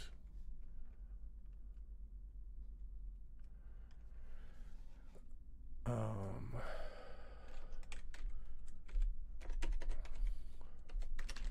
float bounce. Now nothing has changed, so that won't actually do anything except it'll be smaller objects I'm throwing now because I. Nope, it's not. Oh, it's randomized, right? Right, it's randomized, which kind it is. All right. So now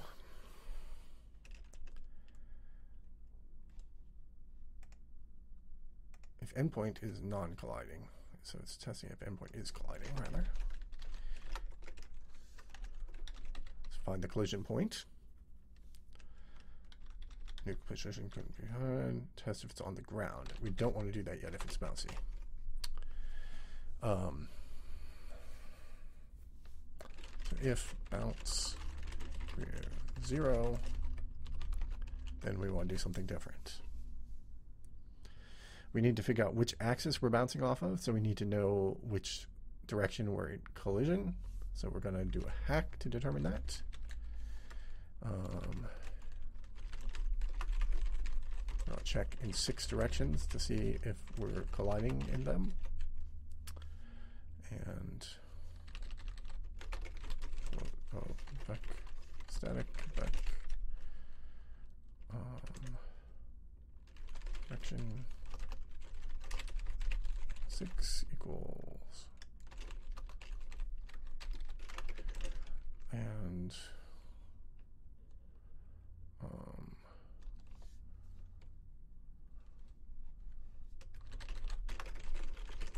bounce epsilon let's just call it epsilon so I have to type it a bunch of times what's a z epsilon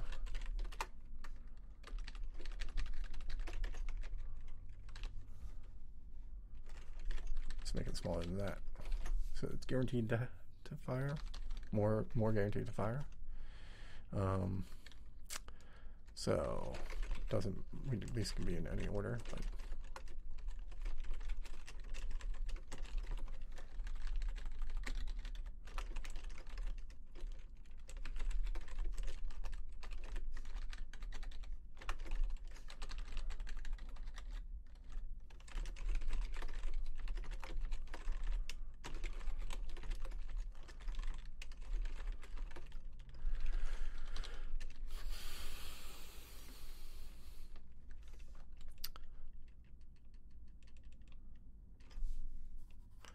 So if collision test box pos x plus direction y dot x pos y direction y dot y pos z plus direction of y dot z size. Collide in that direction, we need to bounce in that direction. Um,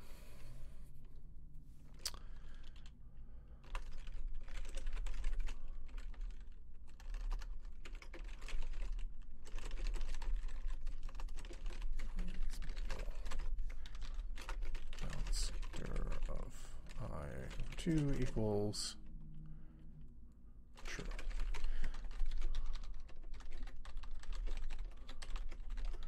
All right. So at this point, we know in each direction whether we should bounce in that direction. So then we do the following. If uh,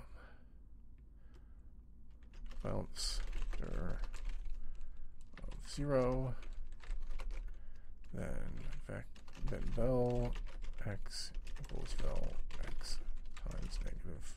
Well, let's make it more clear. We, we bounce it, we reverse the direction, and then we decay it by the co coefficient of restitution, which is called bounce. And then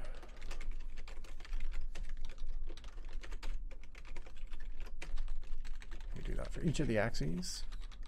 And if we don't do it, let's decay its speed in that direction by some amount.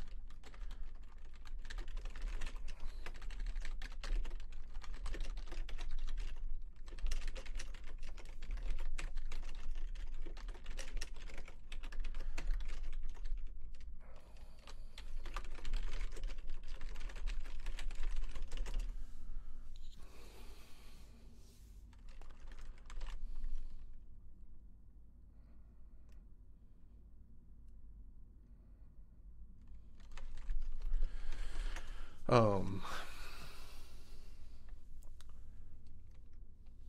then what? So now we've reversed its direction.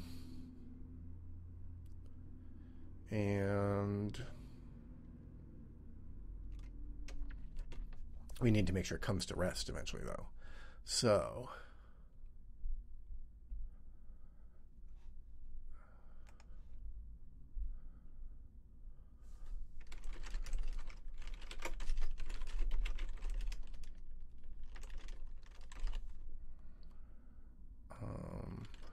what the good minimum speed is. That's probably too large, but that will let me see it in action.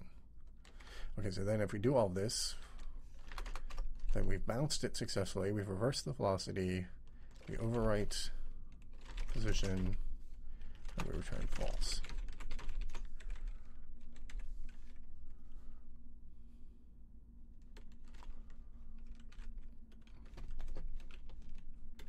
It's a little too energetic, probably but it's basically bouncing.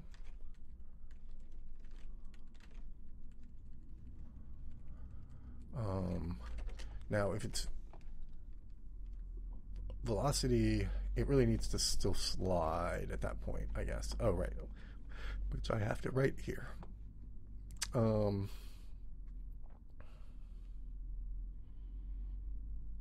I guess it would roll. We, we imagine the bouncy object like that would typically roll at that point.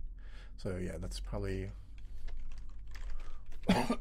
needs to be smaller, and we need to make it less bouncy. Um, not UI, world. There we go.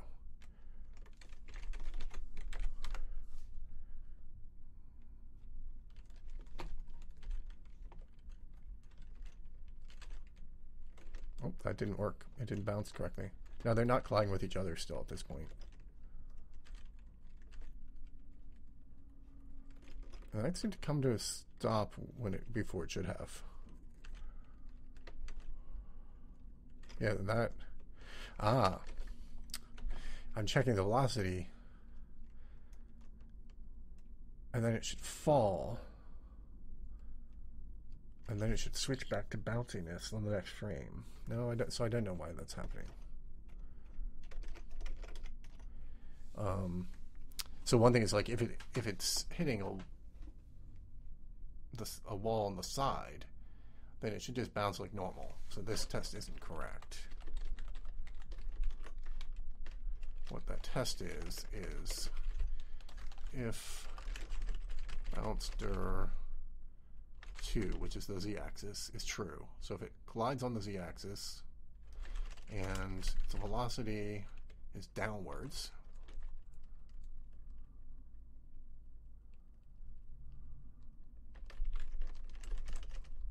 and its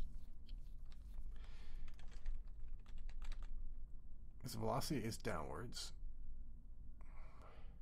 Okay, now now I'm determining the conditions when it should stop. Actually, so if it's going downwards, it hits an object downwards, and its velocity is small, then it should stop bouncing. Otherwise, it should bounce. Okay. I don't think that's going to fix some of those cases, though, but that'll fix at least one of the cases that I saw.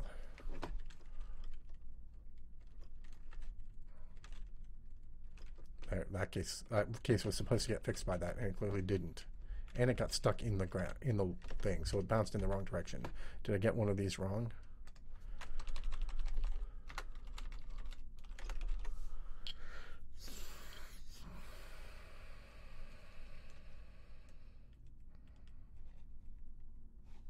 We already overwrote pos. Wait, why did we write that into pos? Test if endpoint is colliding. It is colliding, so find the earliest point that's safe. Okay, we did find the earliest point that's safe. So we that's a bug. We had already updated pos.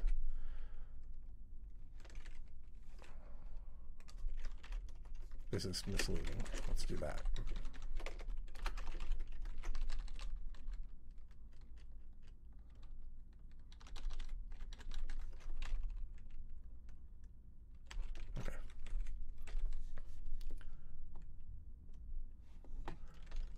There's no bounce state, so there's nothing really to show.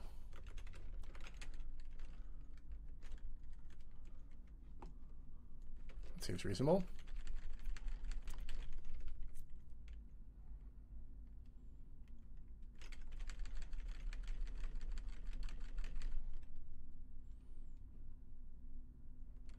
Now, are they ever turning blue? Are they not turning blue? They're not turning blue. So that case isn't being handled correctly.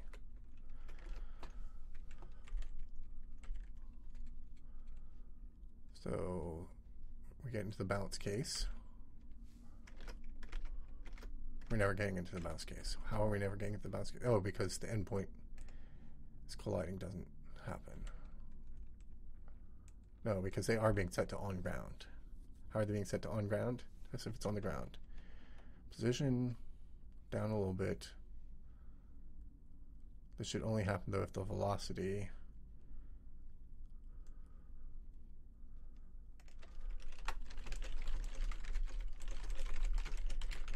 Okay. Should only happen if the velocity was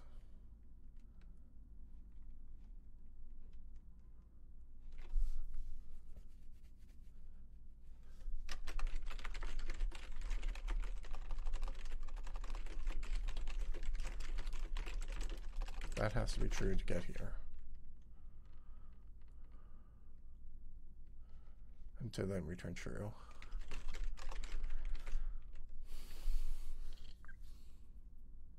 Wait, but they're not showing us on ground, so they're not in that case. Oh, I didn't continue on. That's weird. Um, so they're not in that case. So wait, why do they not show up? Okay.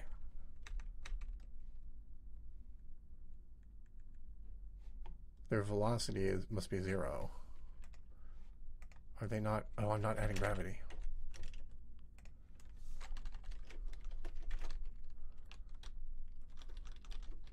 Add gravity at the beginning.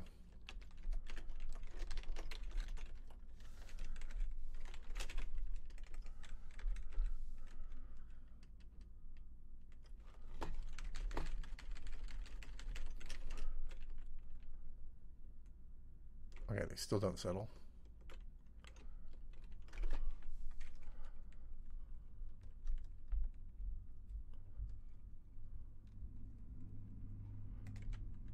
Still getting here.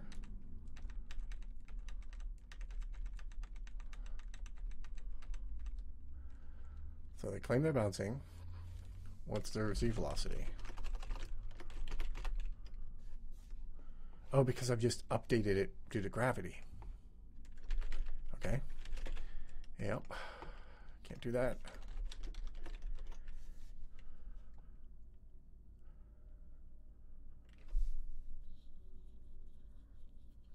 Yeah, okay, I actually have to do this the right way.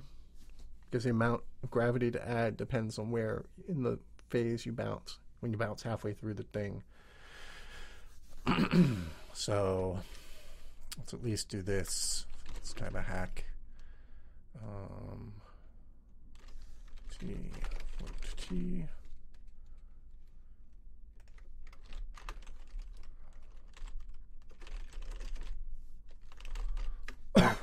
Excuse me. All right, so now we know how far through we collided, and we only do that much.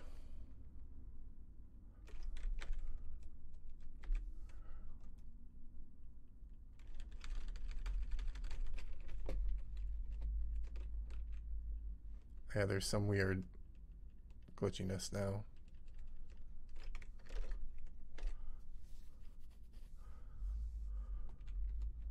Now they never do this if that's not.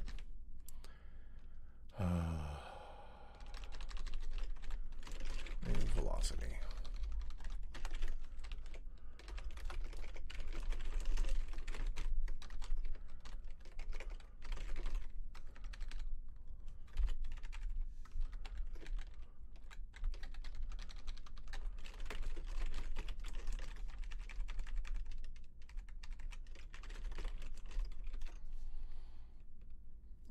to store it everywhere. but not there. So here.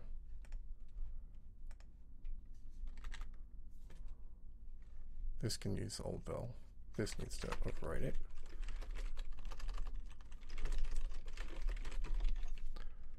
And then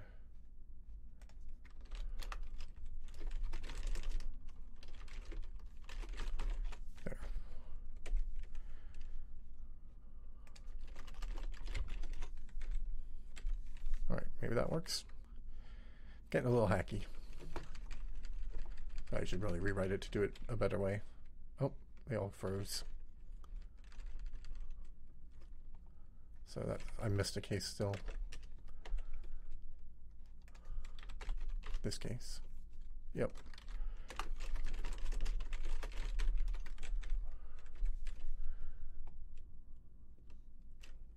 Uh, it is not Minecraft. It is open block building game. I will put that thing open that thing back up. Where's my? There's my thing.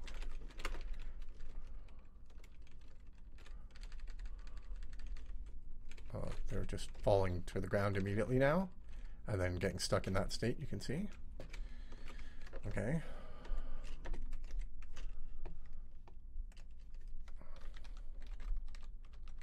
So is that not getting computed? new val equals val times dt. Left that out.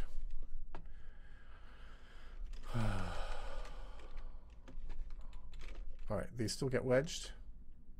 They're still oscillating probably really finely. Yep.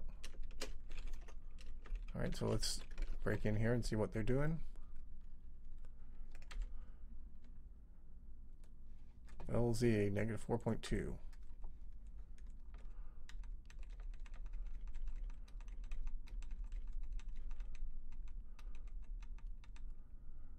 Balance stir is true. Balance is for 0.45, so it reduces to that. But then when we update, when we subtract it the next time around, yeah, that's just not working.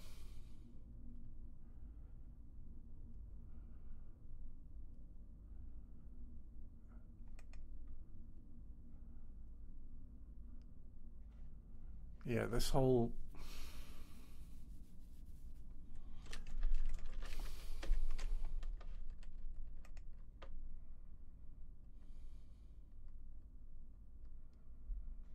Need to... No, but it never even gets that small.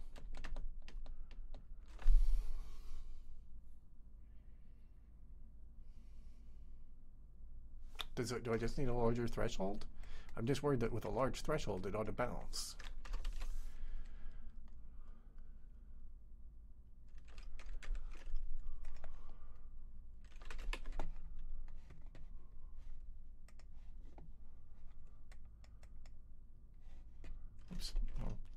Bad thing.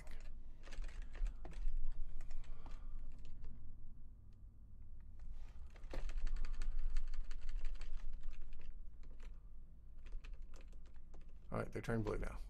But it's all very hacked. I really should do it in a better way.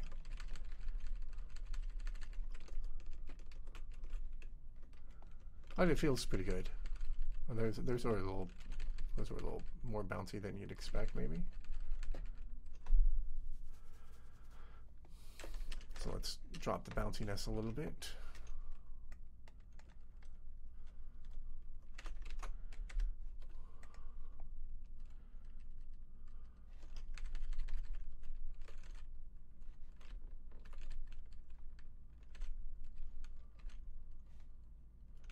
Yeah, I mean, it's coming to rest a little wrong.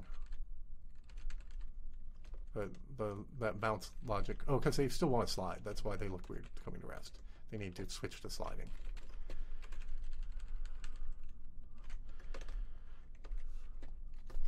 So we'll compromise for that for now.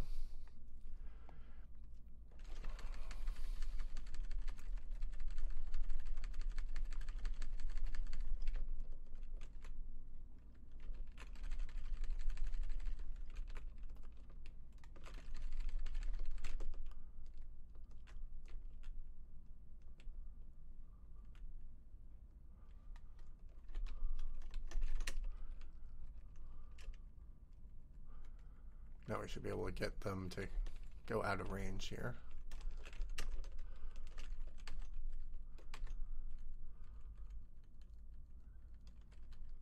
Alright, so like that. No, it's not going to bounce far enough.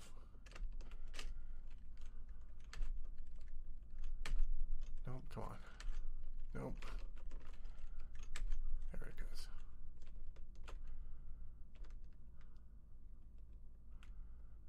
Except if I chase it, then I'll be moving the physics system into range, so that won't really work. All right, there we go. So move back. And now we go up and see if it's still there, or if it fell through. Oh, didn't fall through. All right, so that's good enough, I think, for some basic things. Like I said, it really still needs to slide, but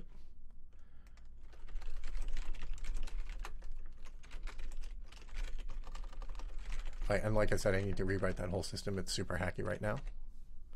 Need to figure out how to do that right. Need to do the parabolic trajectory correctly.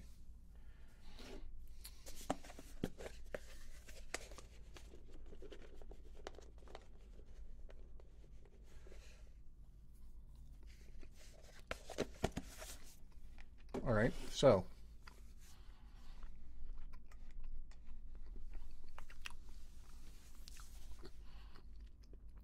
Now what? Um, I was supposed to be working on AI slash physics slash vehicles. That was the high high concept. So we did a little physics.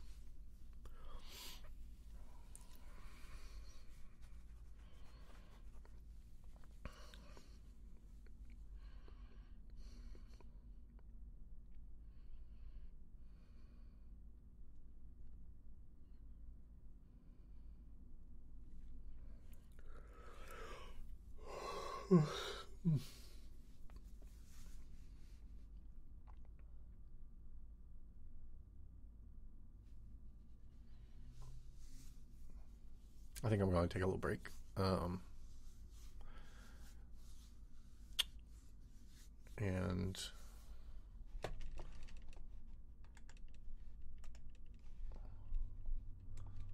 um, when I come back, I'll have to figure out what I'm going to do. So I'm going to leave the stream up. It'll be a five minute break.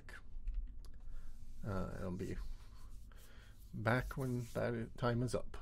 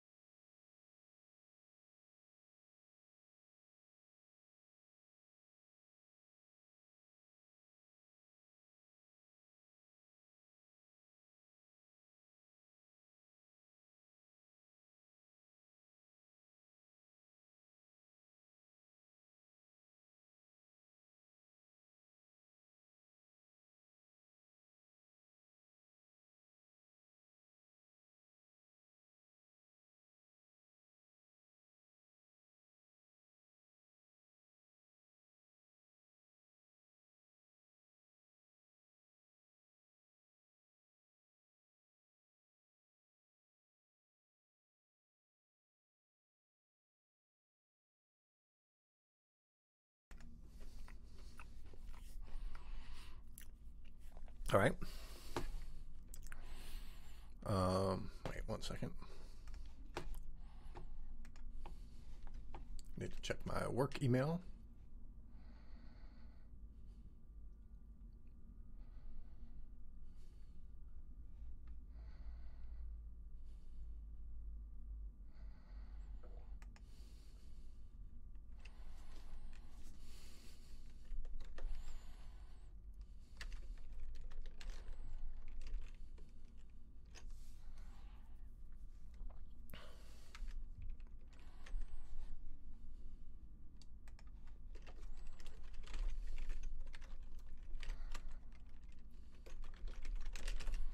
Um, let me do this. Okay, now I don't have to have that off.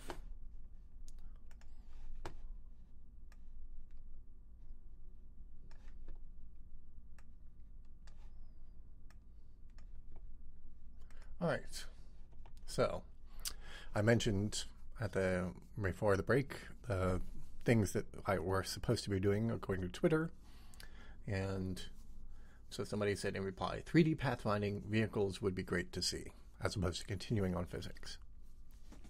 Well, 3D pathfinding, pathfinding is going to be a little tricky because of this physics database sparseness, and because we're going to use the physics database, I guess, to do the AI pathfinding. And vehicles, I don't think ground vehicles make sense until I put sloped blocks in properly. Of course, when I do slope blocks, the bouncing is going to be totally wrong. So I'm going to have to actually rewrite that stuff to look at the triangles um, in some form. And uh, because the you know like driving a car over Minecraft terrain, that's part of why I have the support for the slope blocks. Is the idea that that looks so dumb in Minecraft that it would be more interesting to actually have the sloped blocks. Um, could do so. I could do flying vehicles, but they're not very interesting, right? I have a flying mode, so I'm not sure that a flying vehicle is really um, that interesting. And I'm thinking here, the initial vehicles would be player controlled vehicles. Like doing AI controlled vehicles is even more work because then you have sort of pathfinding ish problems as well. So it would start with player controlled vehicles. Um, so I don't know that either of those are that exciting. Then again, I'm kind of I got to a good point in this physics thing. Like they all they, physics kind of needs a rewrite, but um, there's several rewrites, several axes of several different dimensions of it need rewriting, but um, but it's usable for the moment as a hey, there's another functional technology in the game that can be used now when doing non-technology programming. Um, so I could start doing the slope stuff maybe because I that's I don't want to do drivable vehicles until I have slopes. So maybe I should start doing slopes. But then I have to get the ProcGen stuff to start using the slopes to before that's interesting as well. Um,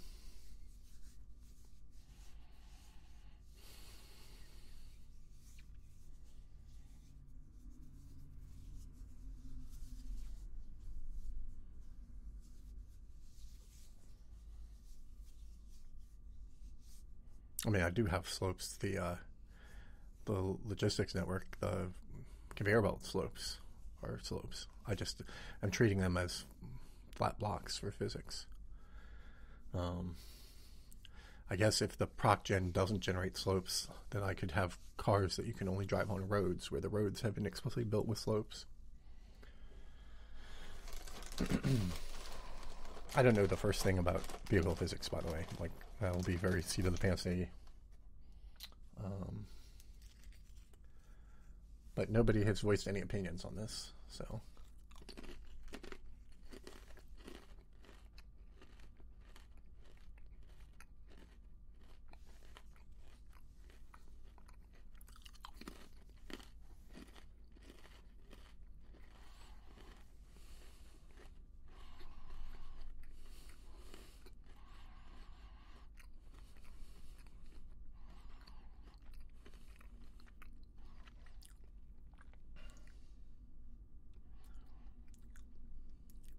Boats, submarines, and tunnel boring machines to consider. Yeah, well, tunnel boring machines, eh. Um, uh, boats, I don't have water. Like, I'd have to add water first. Mm. And um, yeah, and I know it's a smiley anyway, but it's a valid point. I mean, I could do flying machines. I just don't think they'd be that interesting. I may, maybe I'm wrong. Um, certainly, like in multiplayer, that kind of stuff would be interesting. I mean, the other thing is the view distance isn't that big, so as much as like I try to do a big view distance, obviously that's one of the selling points here, but it's just nothing like I'm drawing so many triangles out in the distance compared to what a a game that has like airplanes in it you know what battlefields or whatever that have flyable airplanes have levels of detail and stuff and can actually draw really far out. So you know here's flying because I do have a hotkey called flying. So here's what it's like to fly in hotkey flying mode. It's not physical at all. So I could try to make flying phys- more physical um, but it can't get up to really high speeds. I mean I could it just wouldn't look good. Um, I don't even know how fast this is.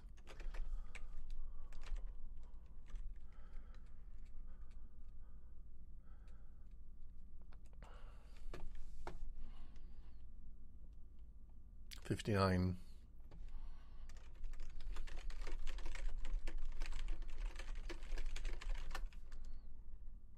Oh, you jerks It's a library function, isn't it? Oh, maybe it's a specially compiled one. That's annoying. Um, well, it's not going to be. It's going to be 1.4 times one of those ish. So 77 divided by 3, so 25 meters per second. Um, call that yards. Call a meter a yard. And then that's 75 feet per second. Um, and then you have um, you have uh, 5280 feet per mile. I could have just gone straight to. If some of you may know what meters per second means, I don't know. So that puts it into uh, miles per second. Let me multiply by 3600. 50 miles an hour. How fast does a plane fly?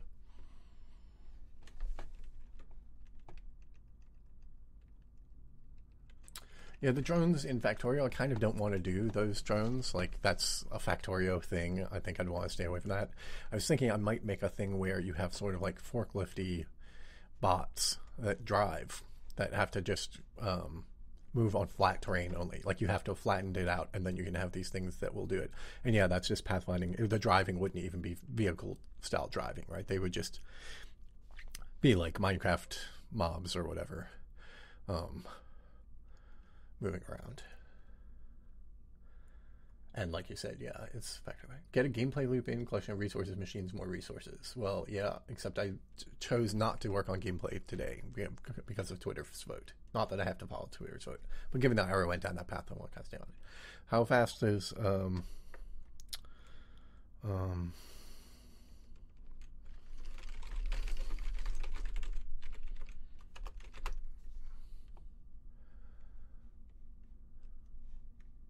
Five hundred miles per hour. So for uh, commercial passenger flights, it's ten times faster.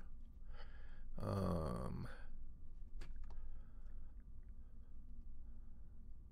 and then you would be it's more like you would be flying a fighter jet right yeah which is then three times faster than that that's max for some specific thing what's a common fighter jet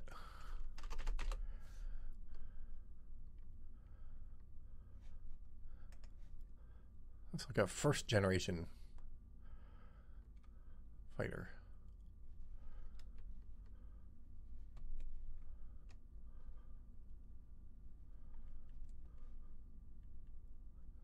410 miles per hour. So yeah. So you're talking pretty high, pretty high speed.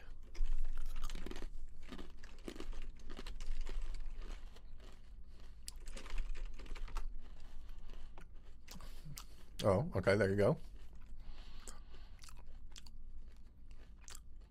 So twice as fast as I was going for these this thing. Now, of course, one thing in games is you can slow them down. Obviously, um, the speeds don't have to be realistic. Um,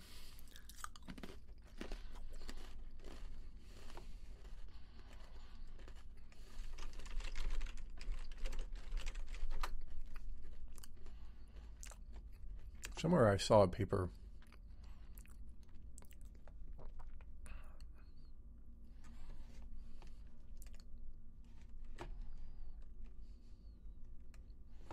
Um,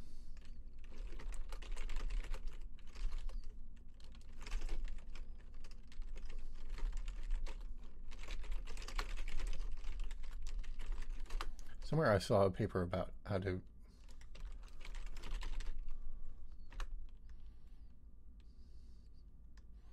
to simulate a helicopter in Unity.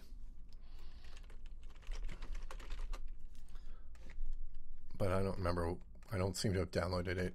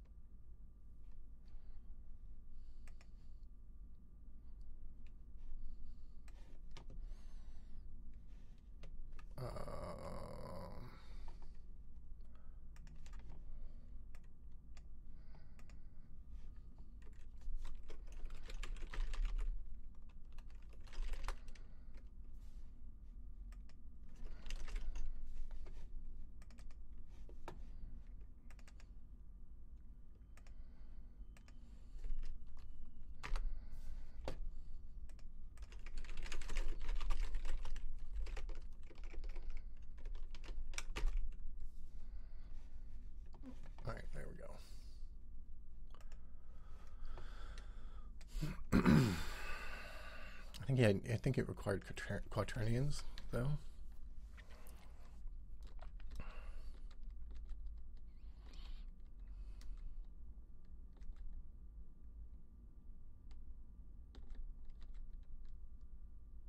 This is assuming this is the, the right one. I don't even remember if this is the right one. Yeah. Yep. Okay. Right. At relative force, quaternion, etc. Because you have to simulate the torques, etc. correctly. So this could be interesting to do. Uh, it's not very important. I don't need helicopters in my game.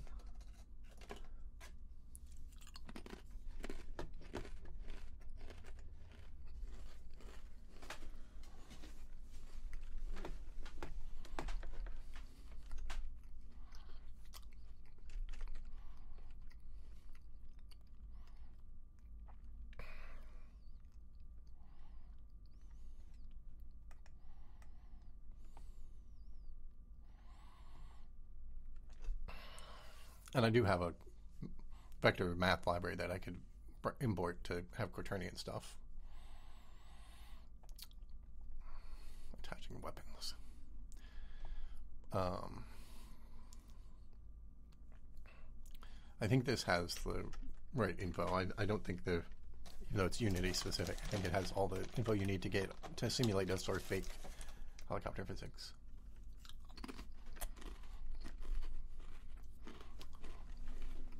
I guess we'll try pathfinding.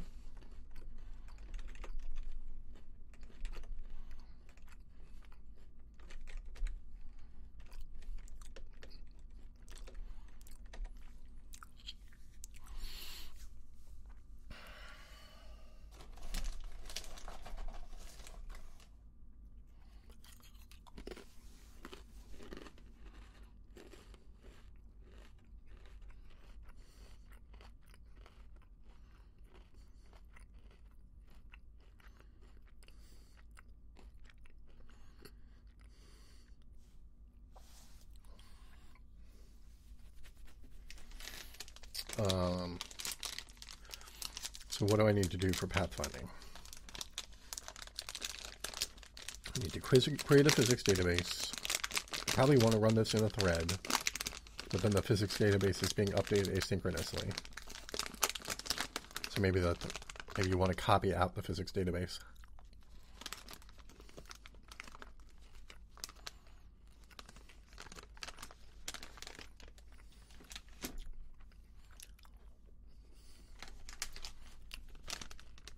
You can do it on the main thread to start with.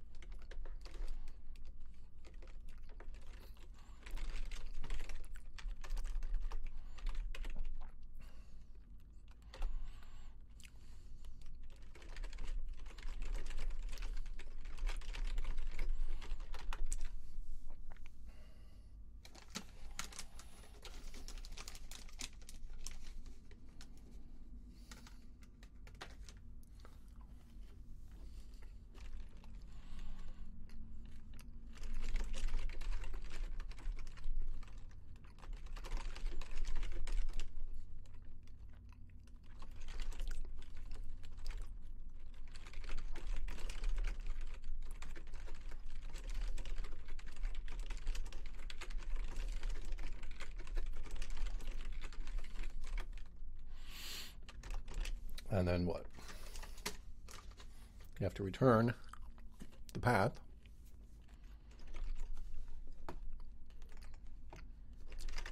We have a vec3i. Let's use that.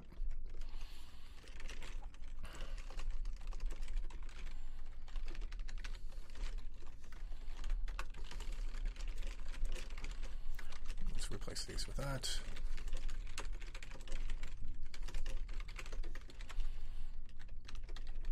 Okay. Then we need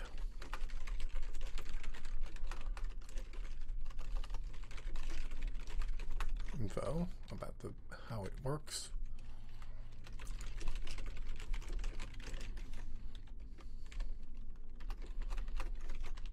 And so this is int vec3i size because it can be larger than a single block.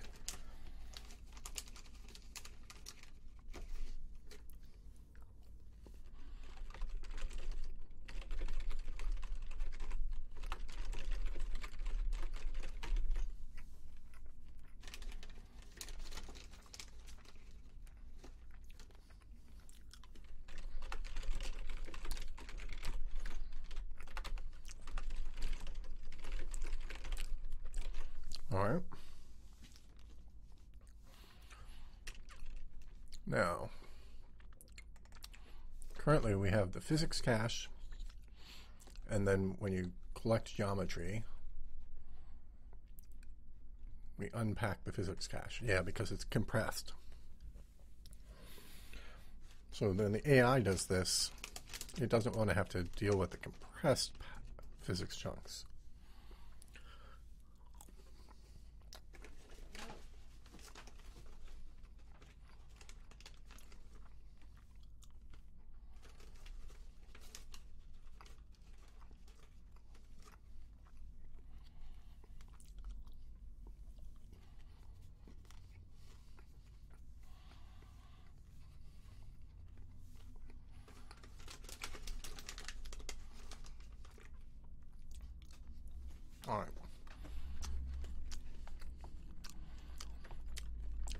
Decompressing on the fly is going to be a pain in the ass as well.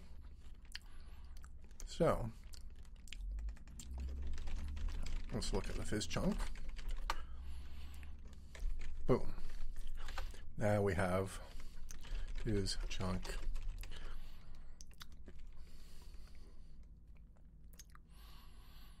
Um, so this is storing this compressed thing, which lets it encode a type. But for pathfinding, we're just going to have passable and impassable. Although actually eventually you'll need water and fire, you don't want to stand on those. But you can't mark them impassable necessarily. But um, so we want phys chunk passable. Um, let's just path passable path data mesh chunk size y. It's the same. Just cut and paste it. All right. So now we have to define that, but that is much more straightforward. What's our max z? We have a max z somewhere. Max z power to seal is what we want. And then what we do is we define one bit per thing.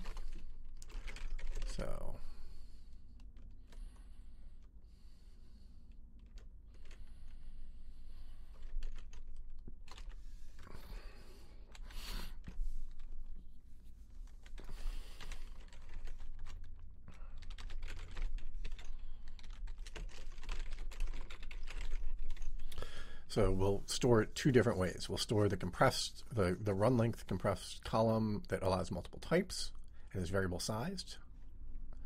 Um, I guess it's an STB array.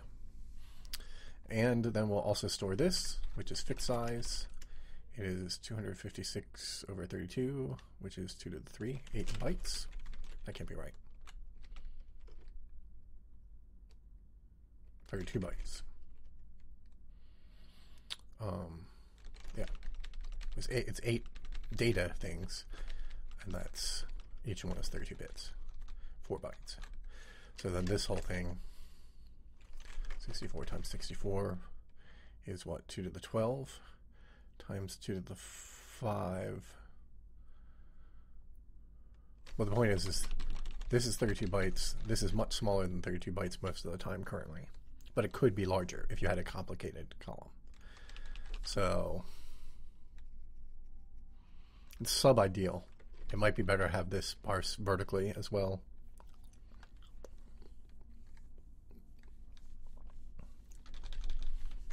Um, so that's 2 to the 5, 12, 17. Uh, so it's 2 times 64. So this is 120 kilobytes per chunk. And how many chunks do we have? Physics. 8 by 8 chunks. So that's times 8 by 8. So it's another 2 to the 6 times, or we have 2 to the 17, which is 2 to the 23, which is 8 megabytes. So we're spending 8 megabytes on, on pathing data. Uh, that's not too bad, although it's going to cache very poorly, because that's a lot of data. Um,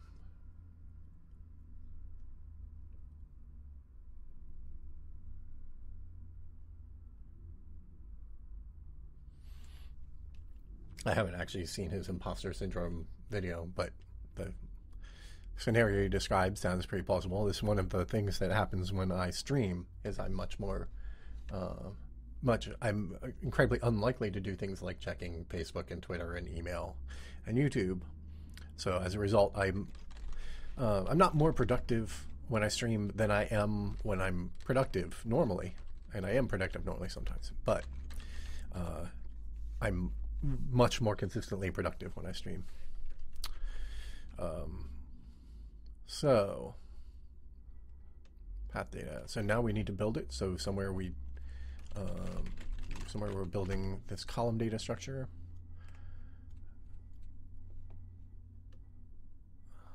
That's a different build column, but it's somewhere in this function. Here it is. This chunk build this column.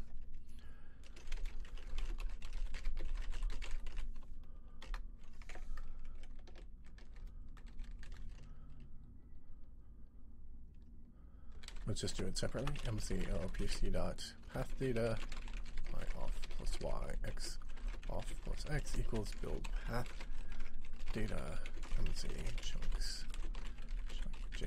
I don't know what any of these variables mean. I'm just copying because I assume I need them all. Build phys column. So then, uh, and I need to pass in this one, that one allocates it. This one is pre-allocated, so I need to actually pass it in.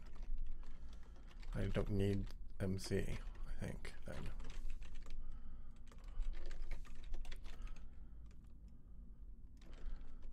Okay, so build phys column. We want build path data. Oh, it's right there.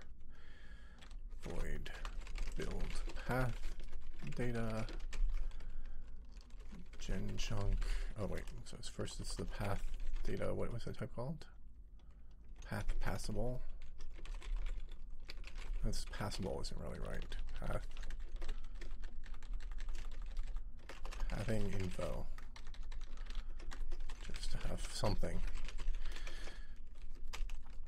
Pathing info PI. And then it takes gen chunk gc int x int y. All right.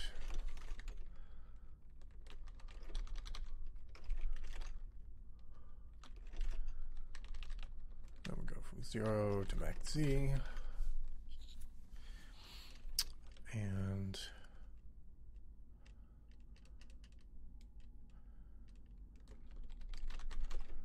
type not empty.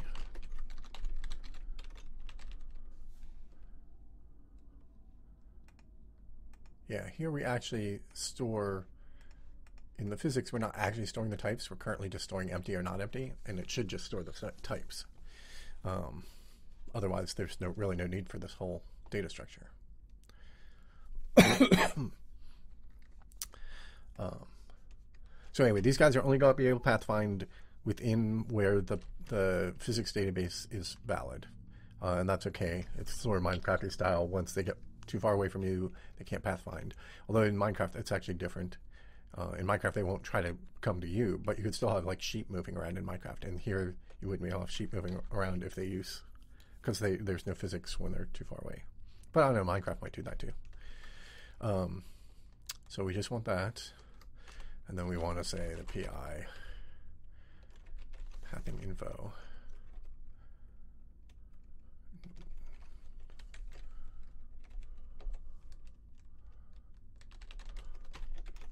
It didn't autocomplete. So we tried, there was a bug there. Okay. Let's see, shift right five or equals. So we'll set pi zero size of star pi, and then that or equals type shift left and 31. Um, that's not very efficient because we're writing it that into memory. We could just be assembling it in a register. So let's go ahead and optimize that. Um, and of course, this already has some of that going on as well, which means if I change this to uint 16, that will actually be matched to this thing. Nobody else cares about the size, so that will be actually good for this because now these are the same. So we want to loop z, delta z, that's it. z plus equals 16. Um,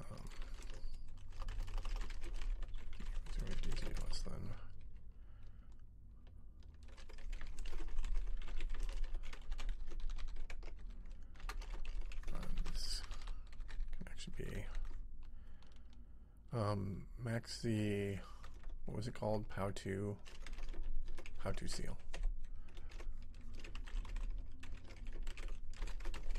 I can actually go like that, and then this just becomes this. DZ DZ Z. I probably should have gotten it working with the slow code and then come back and fix this. Um,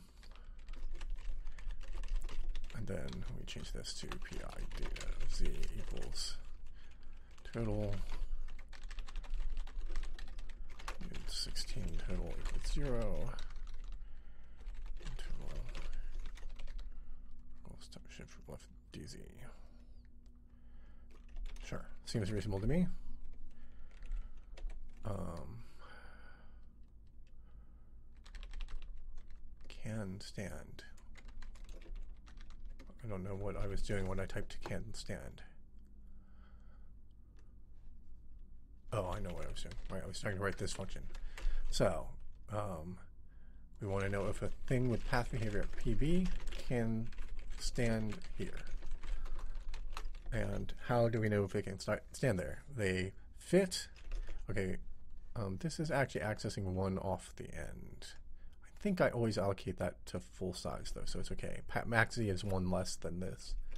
I think that's okay. Um, so, um, does the object fit and is it allowed to stand on the object below? So,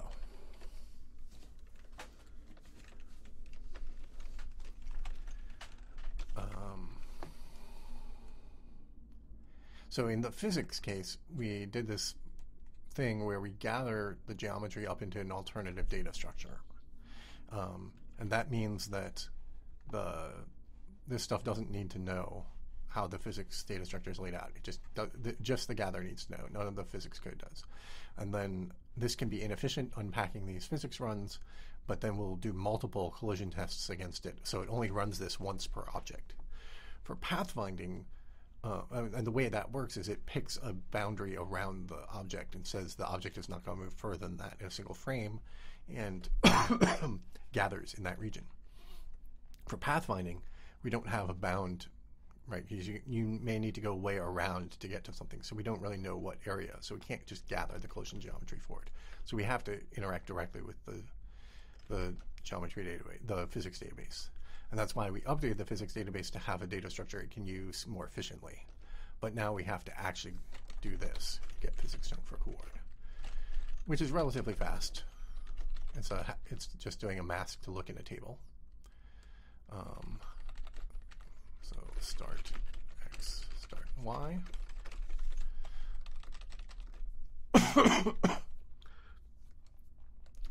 and then we're to do that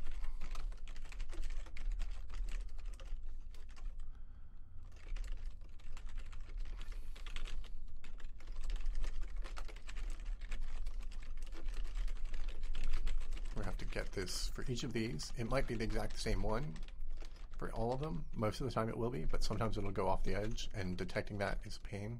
So we'll just do it like this. Okay, so now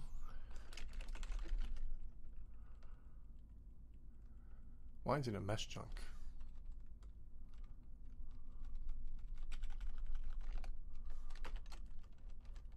Okay.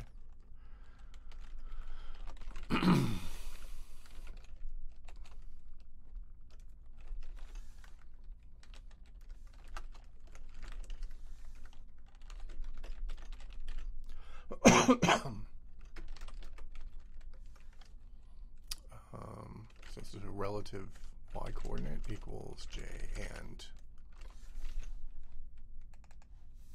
mesh chunk uh, mesh chunk size y minus 1 the relative x is i and mesh chunk size x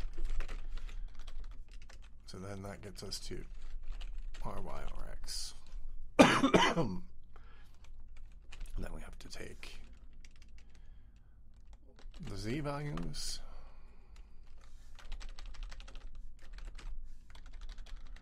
Let's just loop over them and we can optimize this later. Okay, p size z. That's absolute z is um, start.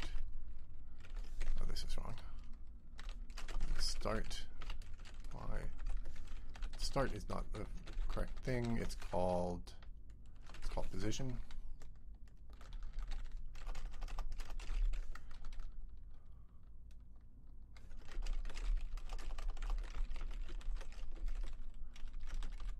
plus j z equals pos z plus k. And then we have z, shift right 4, and 1 shift left, z and 15. That's how we tell if that thing is full. Okay, so if it's full, you can't stand there.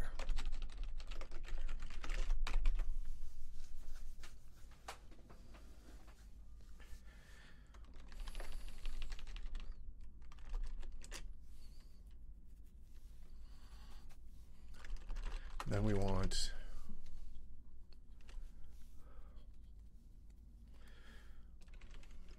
min z. If you can stand on it, I mean, if you can fit in it, then we want to see if you can stand on it. So we go to the next thing. we say for k equal negative 1. Okay, so this is if z less than max z and this. Then we say for k equals negative 1, k greater than negative 4, negative max spread, I guess.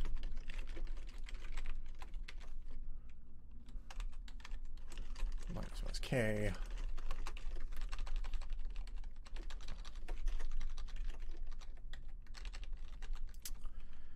Um, and we want to find the first block. We stop when we get to a block.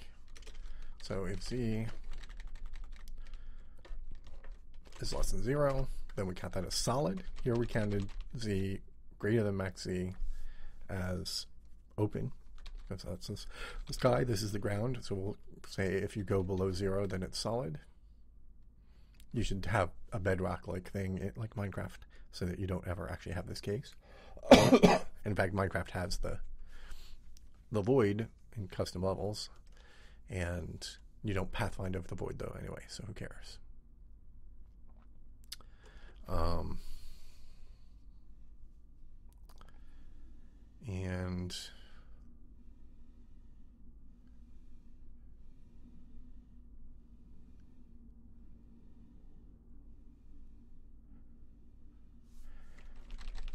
actually, how do we want this to work? Uh, the max spread doesn't actually make any sense. So we just want at least one. We just want to see if at least one is there. So, it's just, um, yeah, if z is greater than zero.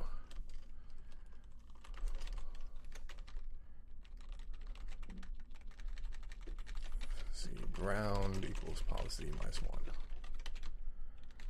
z ground is greater than equal to zero. And we test if you're standing on it, any stand equals zero. So if, let's see, it's just this. If that with z ground is solid, then we found one that is solid.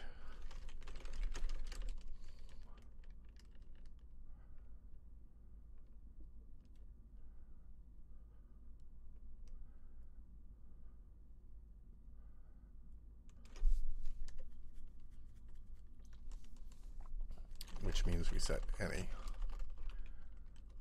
stand to true.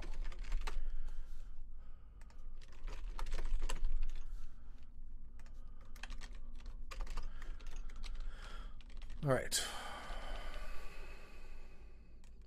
So we fit and we're standing on something. So then we return, as long as we were standing on something, then you can stand there.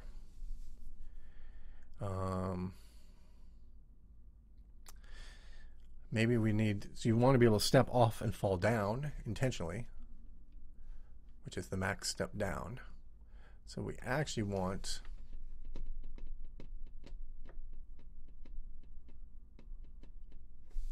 and we we don't want to compute those independently so we do want to scan down and find the the min z min the max z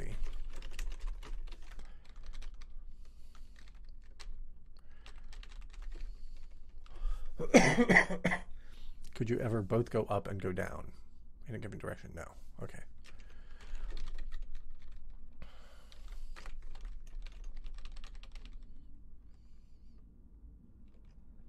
Okay, so this should actually measure both. This should actually fit both stepping up and stepping down because doing that separately is too slow. So, what we actually want to do um, min z is pos dot z minus max step down max z equals pos dot z plus pb arrow max step up plus um, size dot z. All right, so this is the range in which you're actually allowed to go.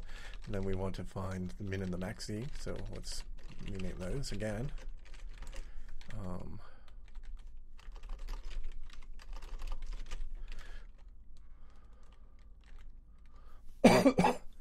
so in each column, we want to find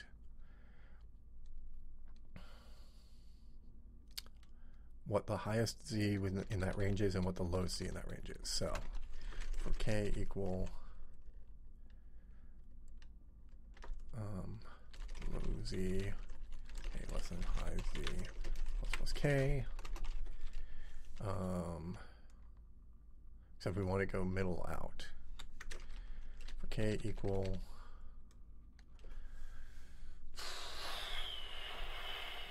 I, do, I don't know if you guys have any idea what I'm even doing here, but um, how do I do this?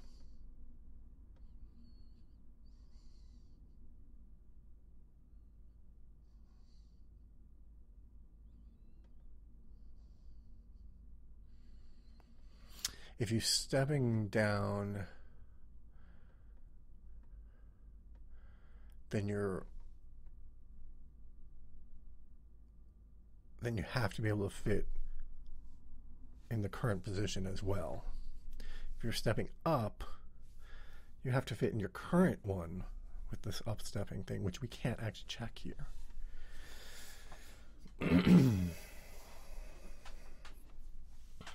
So maybe the step up should be handled separately because th- that depends on the source position. I've never done this kind of 3D thing. It's complicated. And trying to handle the object being multiple tile, multiple blocks big.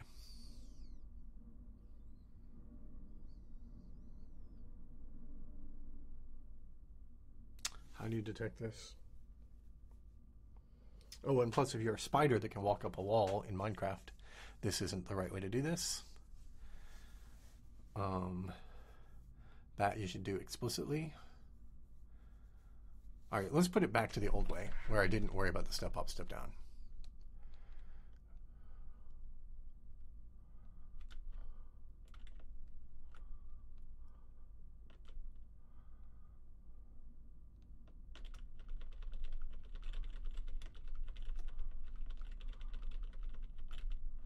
I think this is as much as I want to keep.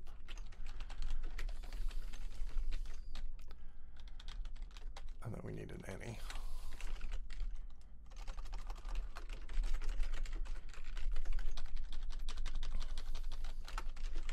If, then we need the ground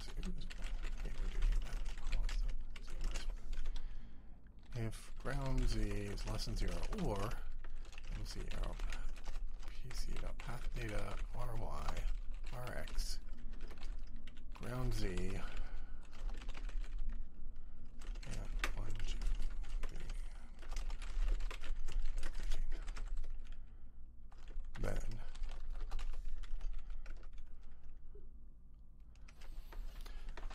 so this will be very slow because I'm going to have to do this thing in an inefficient way, the handling this, stepping up and stepping down, but it's okay.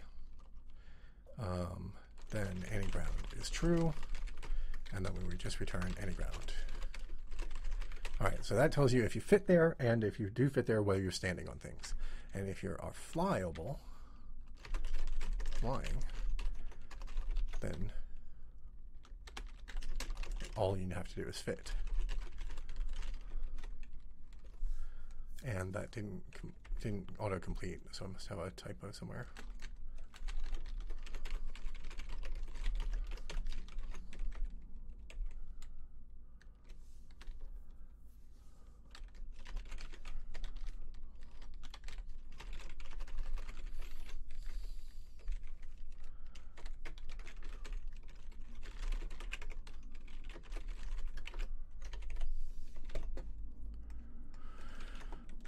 All right. Any stand. Sure, we'll call it any ground. All right.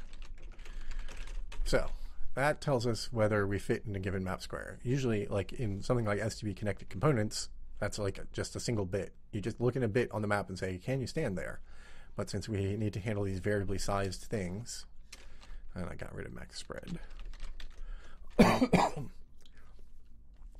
now, this won't really work in, if you have a really big object and the ground looks like this.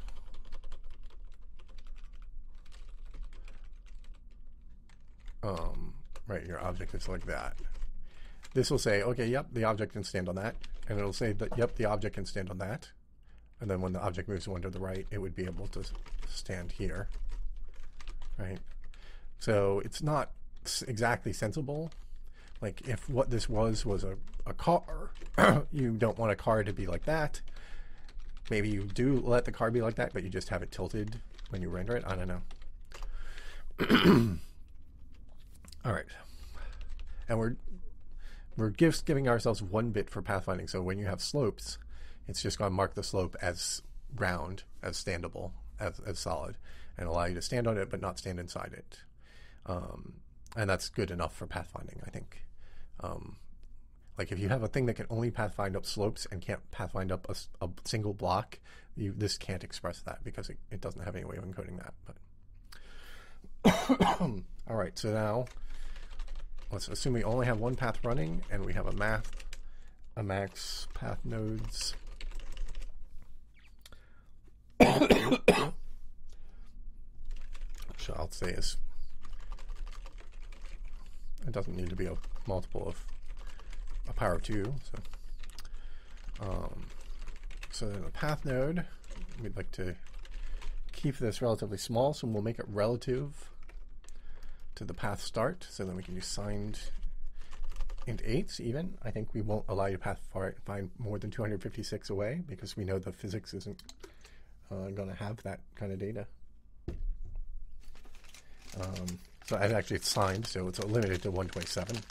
That's probably fine. So a node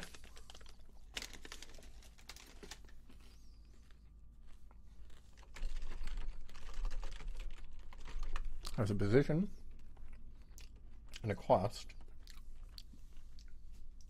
the number of moves it took you to get there. And if we want to handle diagonals, it's not exactly number of moves, it's the distance.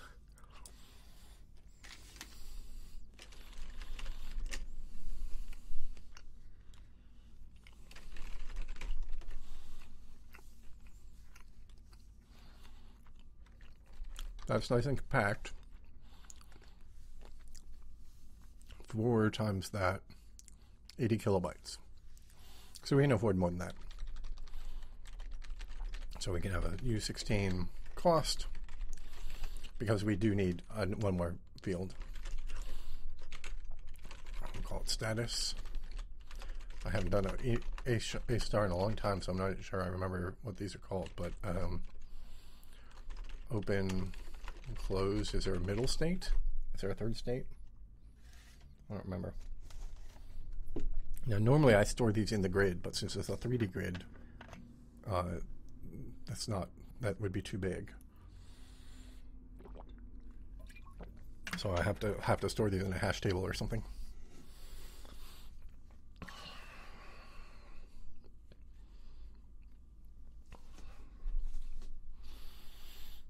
Um, so there's something called a pointer dict.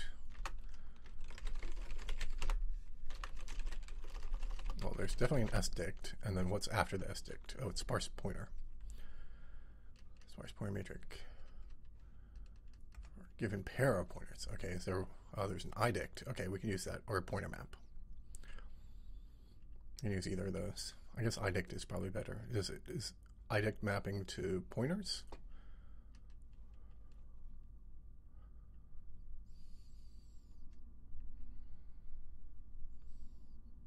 Short GC. Is this something that was for a specific? This might have been something for something special.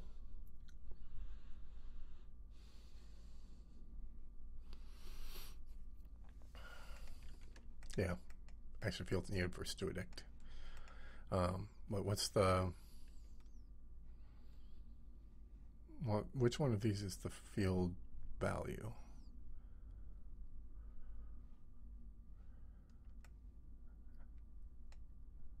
This might be mapping ints to ints. Yeah, int through two. So I'll use a pointer dict, even though the inputs aren't going to be pointers. Pointer map.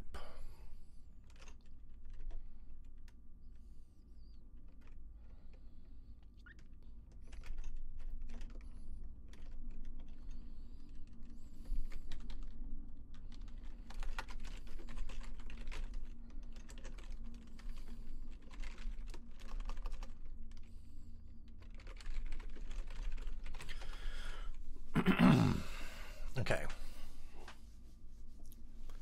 So, what is we what do we do for a star?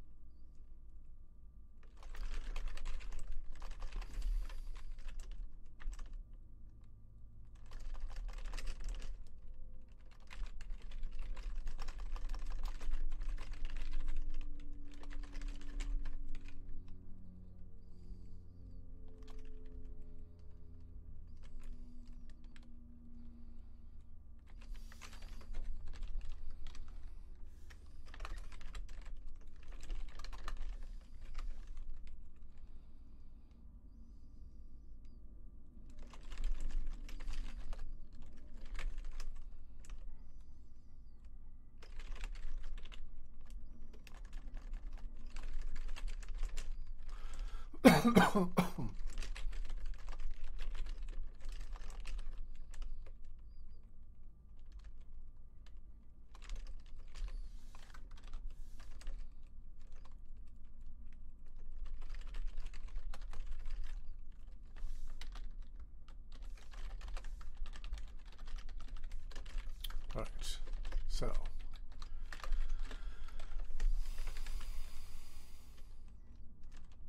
sure why that ain't working.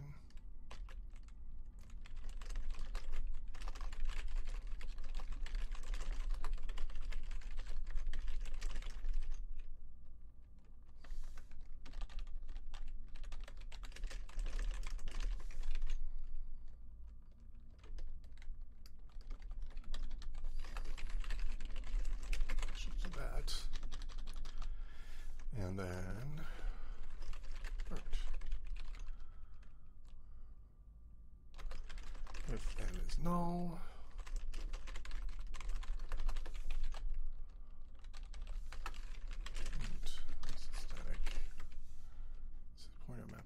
Star nodes.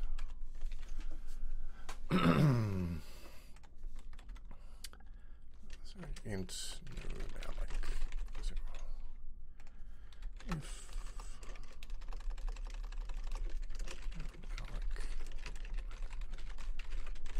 then we alloc a node.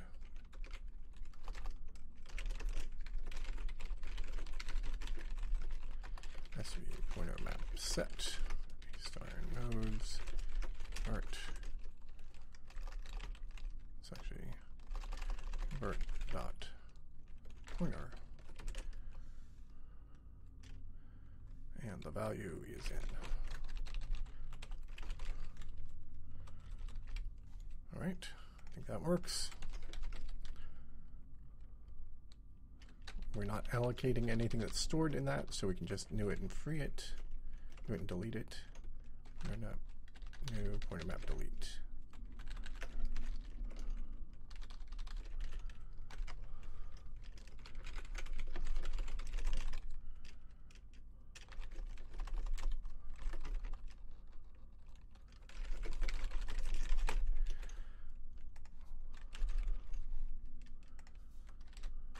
Node equals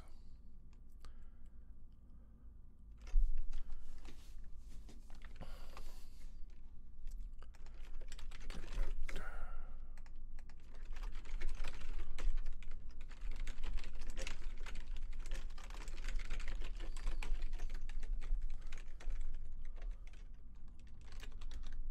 struct no name Oh, this has a semicolon missing. That's why that didn't autocomplete.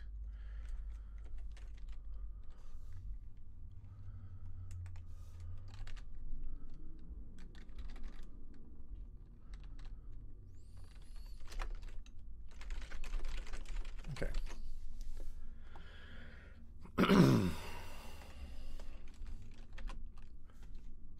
Need to test I can't stand. That actually wants to take an explicit XYZ. So we don't have to keep constructing that.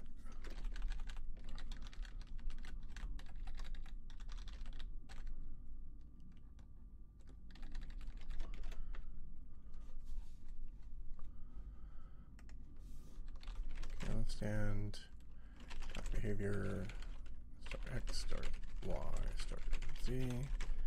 So if you can't fit in your starting location, then your pathfind just fails. Otherwise,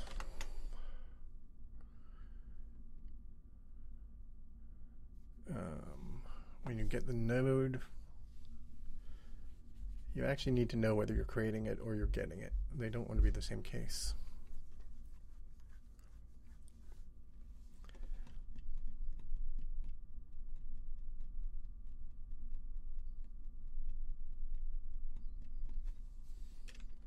Can work.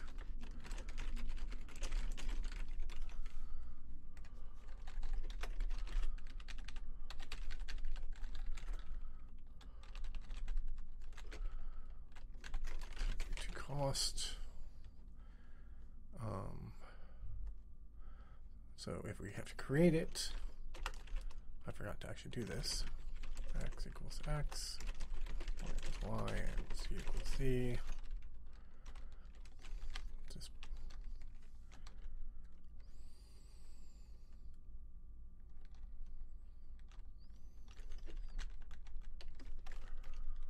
um, can stand. Let's just actually pass in the vectory i start. So now we do have to do this.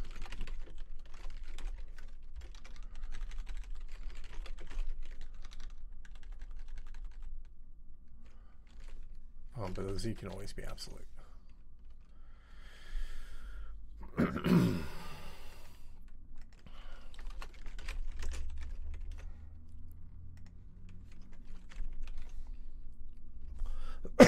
um,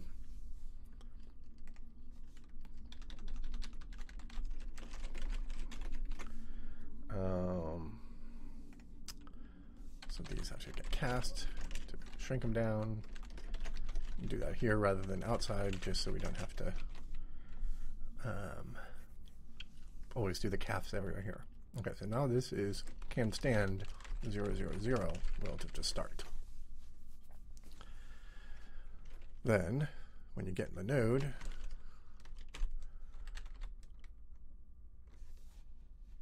that is also relative to start.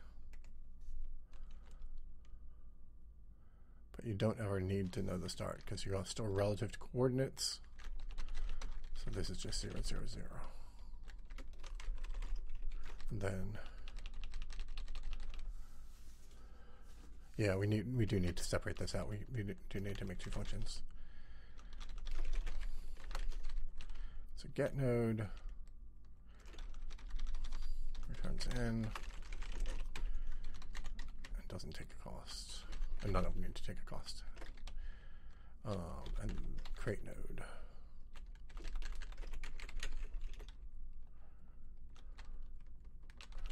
Assert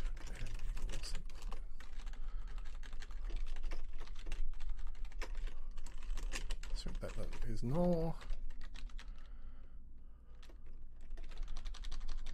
Return in. Okay, so then this is create node. Let me say n cost is zero. So that's the cost to reach the starting spot. All right. Does this all make sense so far? Probably not.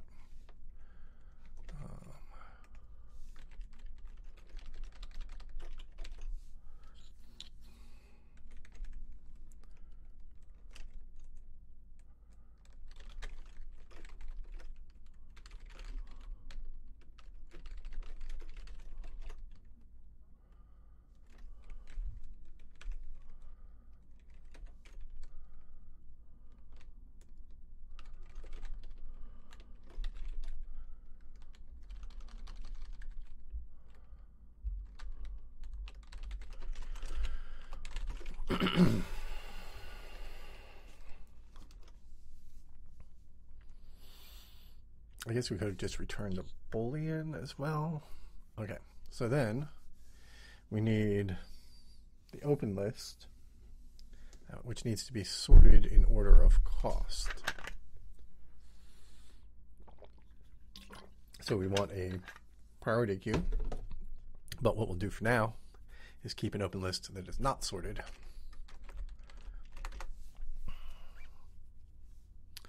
And be slow.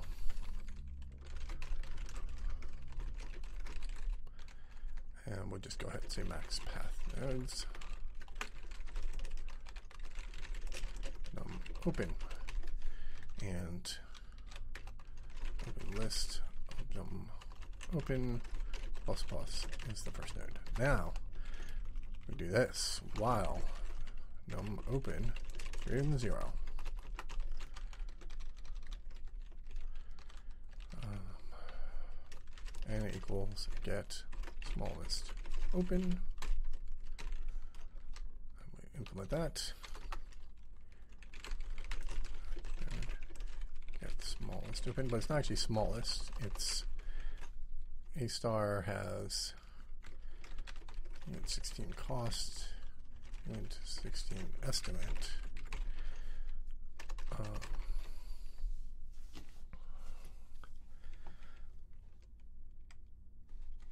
estimated remaining. And get smallest open.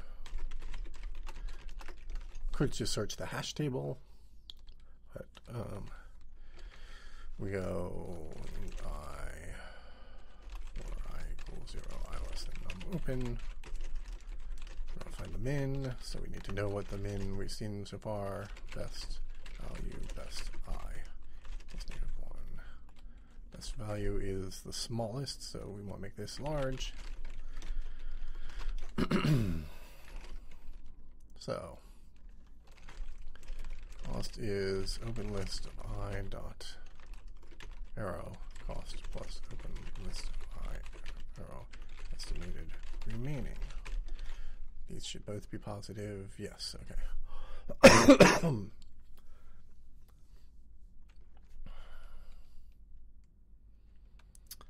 Um,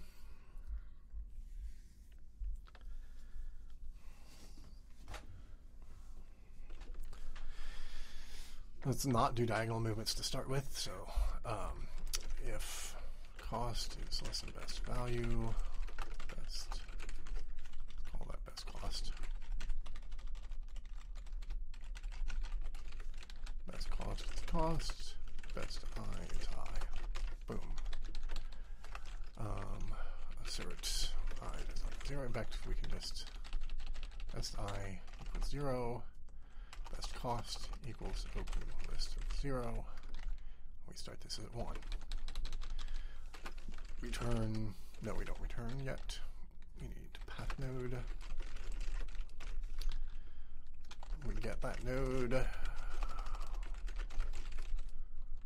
Best i and we replace that with the last one on the list because we're not keeping it sorted currently, which is minus minus num open.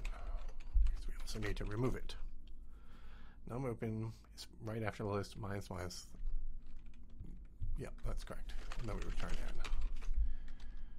Okay, so at this point we've got the smallest open and we check its neighbors. So Um,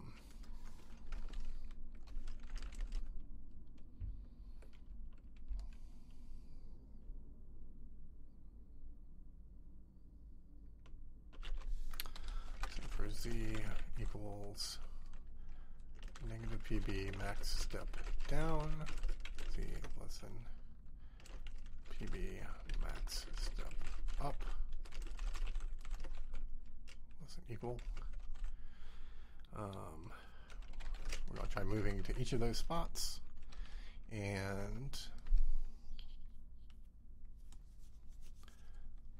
if z does not equal 0, no, even if it's 0, right, that's all fine. Um, for d equals 0, d less than 4, let's call that dz.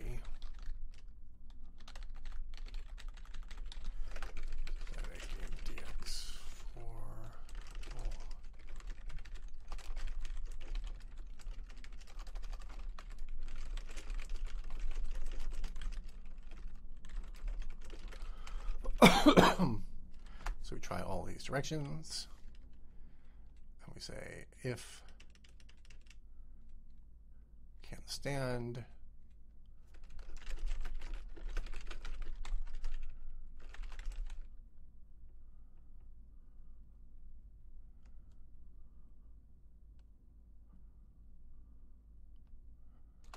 and arrow x plus dx of d and y plus dy of d and z dz um, can stand. If z less than zero return false. You can never stand under the ground. Okay, so then we don't have to worry about range checking that stuff. We check whether you can stand, if you go in that direction, and we have to pass in start, right? If you can stand there, then if dz does not equal zero, if, no, let's see, if dz is less than zero, then you're stepping down. So we have to check that you also fit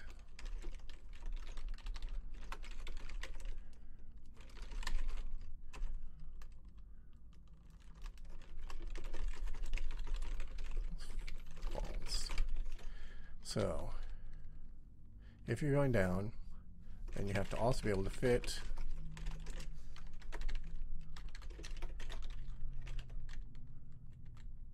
at your current height. And then you fall. So you, you move. You're here and you're trying to get to here, so you have to move and then move. That's how you're allowed to do that. You only actually go down. You only move sideways by one anyway. Um, so I exaggerated for that thing. So if that happens, then allowed is true.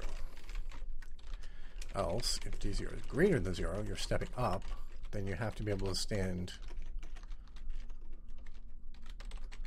at the new height in your current square. So these go to 0. Let's make them line up, actually.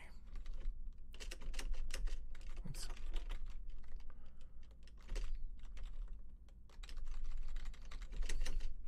And I should have written all that down as comments instead of saying it out loud. Oops. Then, then you're allowed.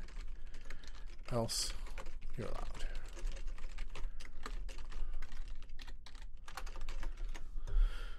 allowed. so that allows you to move up, move down, etc. But it does it by searching all of those places explicitly and retesting the same test. That was why I was trying to write a can stand that checked in the, those various directions automatically. But um, so, and this, of course, we could check here and early out instead of testing it every time for each direction. We could just test it once up here. but we'll come back to optimize it. Okay, so when we get to here, now if allowed is true, wait, this is, should be inside the loop. There we go. If allowed is true, then we can move in that direction. Um, so we get the node in that direction.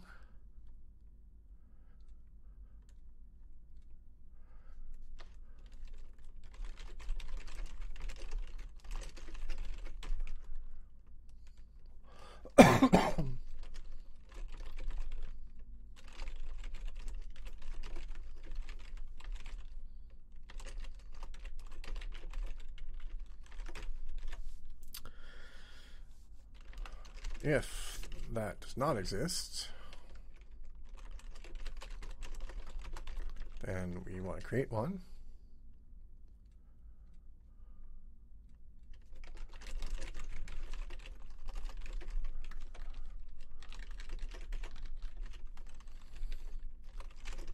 And if we ran out, uh, if we hit the limit, that could still be null. So if m is null at this point, we just break. And we need to fill it out. The other thing we'll have already filled out x, y, and z, so we need to say its cost. So if it's allowed in all paths, we need to know the cost. And the cost is the current cost plus the cost of moving in this direction. They're all the same cost plus one, except stepping up and stepping down, we wanted to kind of penalize. So let's make the cost of moving in a direction be um,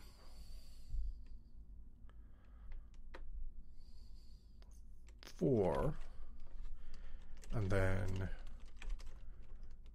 uh, if z if you're stepping down would penalize you two, and if you're step stepping up will penalize you how the amount you're stepping up. So it's more expensive to step up.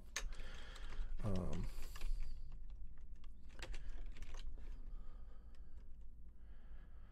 so you want to avoid stepping down just because it looks bad. Like if you you shouldn't step down if you can get the same way without stepping down. Like you don't want to cut off corners, so you maybe want to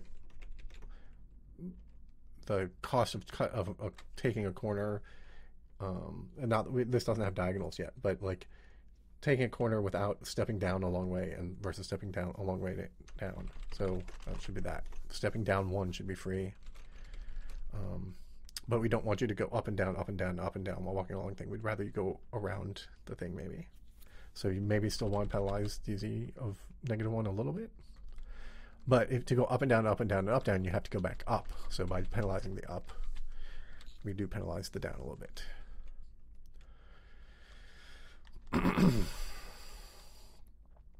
But maybe if you're running, if you're hurrying at someone, you do want to jump down. And so this needs to be part of the PB, the path behavior. It needs to say what's the penalty for stepping down. Long down penalty.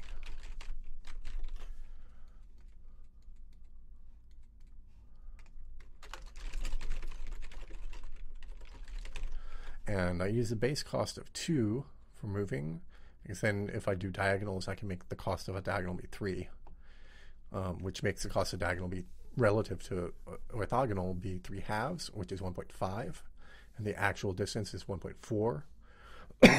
so 1.5 is close. Um, so the cost is cost, and m of estimated remaining equals estimate uh, distance lower bound um, of it's relative to start.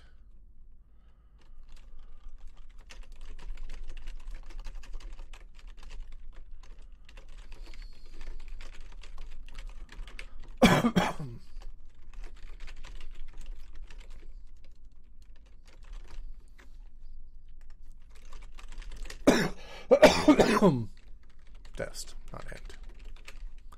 Okay, so we need to write that. Estimate distance lower bound. X int Y int Z vector I dest path behavior PB. Um, let's just go ahead and put this in.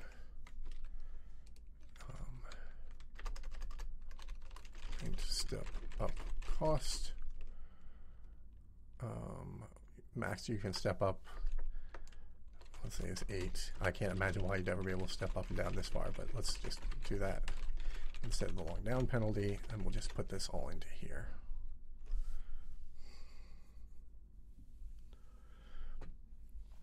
So that was this plus dz less than 0 step down cost negative dz uh, where zero here for both of them is stepping by zero just to keep things simple. So it actually is only stepping up seven at most, and seven stepping up and down seven at most. um,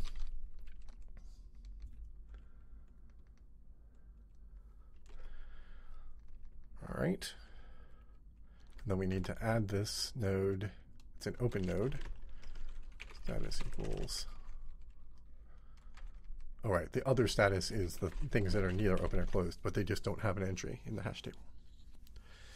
Um, so we want to add to open list m.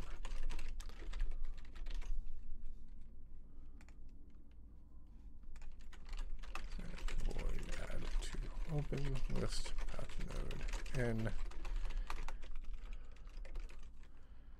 And that is just open list. Num open design. And this should never be able to overflow.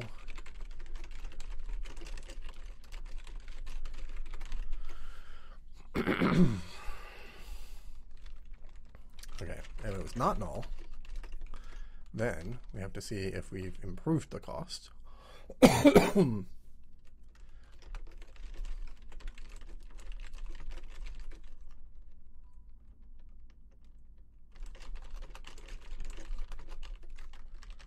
if we have not improved the cost, we do nothing.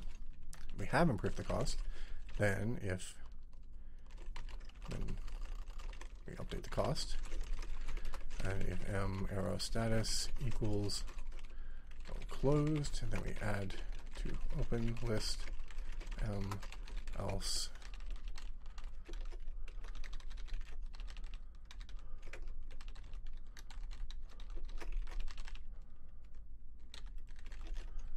let's do this. Because the open list um, could become a priority queue that is queued on the cost. So you don't want to just assign it. You want to, when you're putting it in the priority queue, uh, have that cost at hand. I mean, it could read it out of the data structure, but for this case, I don't want to have overwritten the old value. So static void uh, update open list path node n and cost Um, and arrow cost cost. And in this case, is all we have to do, but eventually when it's a priority queue, we'll have to move it around the priority queue. Um, so,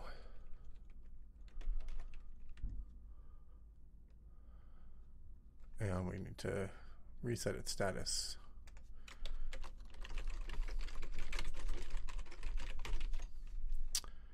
And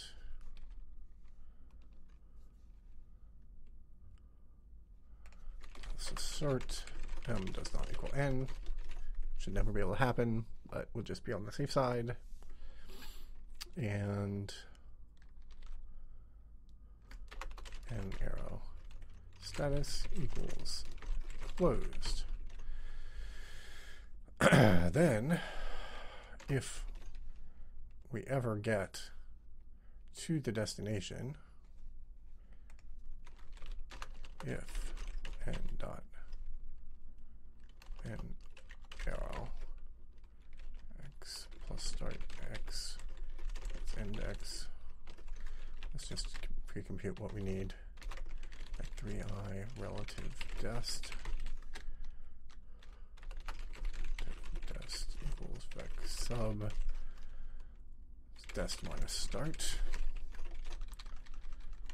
If n of x equals and y equals relative dest y and n of z equals relative to dest dot z.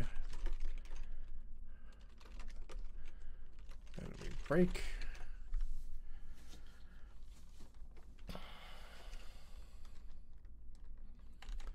And we want to store which way we came from so we don't have to reconstruct that. This is already at its limit, but status is only a couple bits. So um, we need to know DZ as well. We said the max was 7 up and 7 down, so that's 4 bits. And but I need to have room for diagonals. I need dir to go up to 3 bits, so this doesn't quite fit.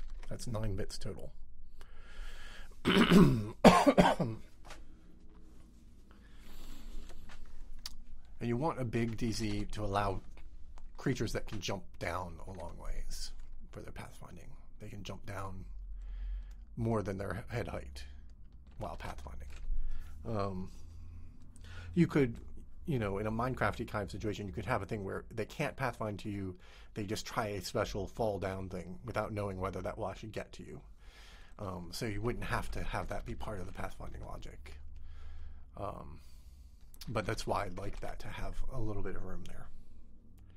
Um, on the other hand, the costs should never be that big, right? We've said the path, the number of nodes is 20k. So if that were just in a straight line, that could be 20,000 long. Times two is 40k. But we can bound to that in a different way. We could say you can never go more than 256 steps or whatever.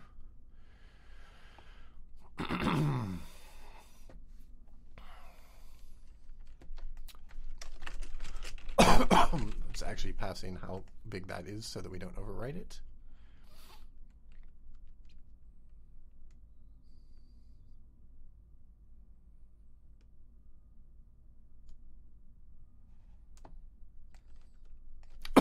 oh, yeah, returns path. Path length. Path array is reversed. Um, so how, what can I do here? Um, oh, status is only one bit. Okay, so that works out. A open, A closed. You can always reconstruct S for a given block, but yeah, it's expensive enough to compute. I haven't finished writing it. Uh, that I don't want to have to reconstruct it all the time. Um, although you only have to reconstruct it. Um, when you update the open list or, or add to open list. I don't know. I think I'd rather keep it, but anyway. Um, so I mean, you probably wrote that before I found the bit there. Um, and I mean, I don't know. Maybe this thing doesn't need to be eight bytes. Maybe I can go up to twelve or sixteen. It wouldn't be a big deal. It's hard to know. Um, I mean, heck, the hash table is going to be using more than that in a 64-bit. Well, no, because it's only no. It would be, yeah. In in 64-bit, it'll be eight bytes per hash entry plus the fact it's a hash table, so it's probably like double that size already. Um. So then we need to say. Um, m dir equals d, m arrow dz equals dz. We have to do this in all of these paths. Those I can write without the open list having to know about them. That's fine.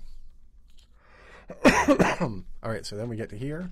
We say if num open equals 0, then we didn't find a path. We return 0. Else then we want to walk back the path. So we take our current node, which is n, which we created here, and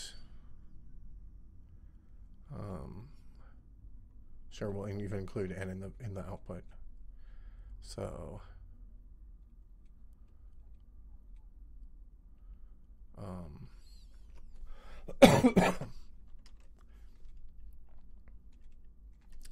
So int i equals zero. Um,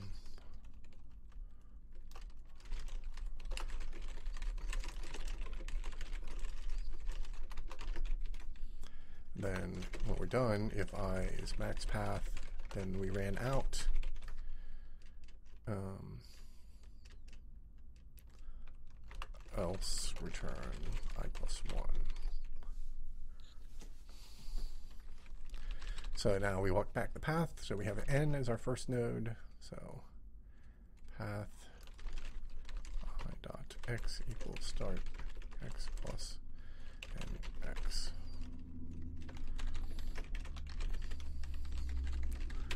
yz. Okay, and then path by dot. There's nothing else to do. We just have to step now. So we need these dx dy.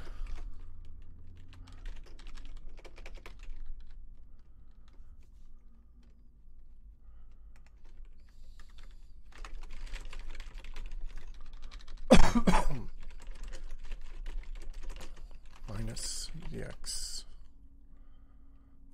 of dir equals ny minus dy dir z equals nz minus n arrow dz. And then we can find the new node. Get node. n equals null. This should never happen. And they should be closed.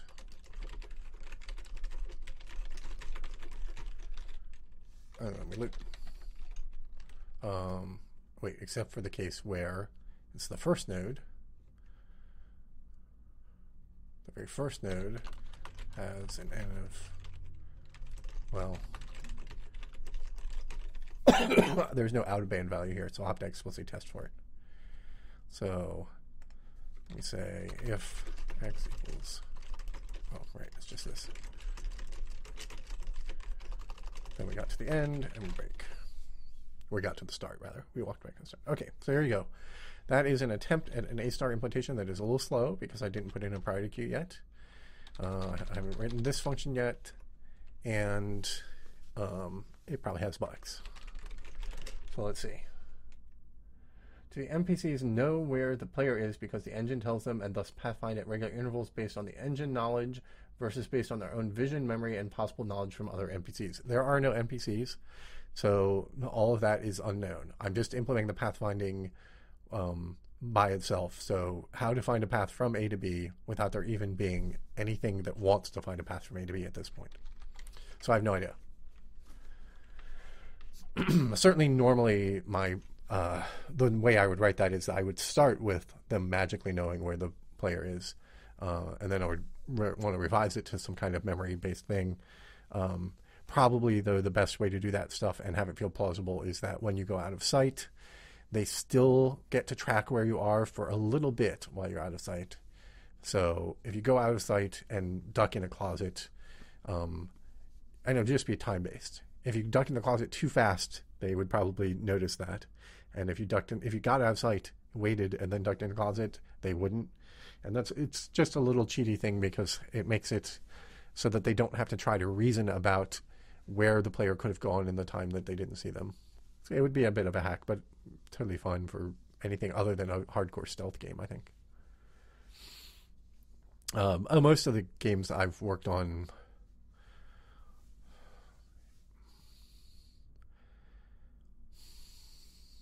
I think in Terra Nova, uh, once they detected you, they you stayed detected, and I kind of bitched about that. I th- thought it didn't feel right for the because there was sort of a stealthy mission where you could see where their radar ranges were and stay out of their radar ranges. And it was seemed like once you got in their radar range, and then if you could manage to get back out, it would be nice that they didn't know where you were. But that in Terra Nova that didn't happen. But in, obviously in Thief, it was a bug. Anytime that you the AI just magically knew where you were, uh, well, that was a bug that we, we well during development if we spotted that happening we report that as a bug. I don't know that it's perfect in the shipped game that they never cheat. I don't know because i didn't have anything to do with the gameplay part of that code. All right so the lower bound distance. Um, so that's got the start offset array. Okay so dx is i probably should could have just computed this instead of computing it here well, it's, it's always going to be direction independent.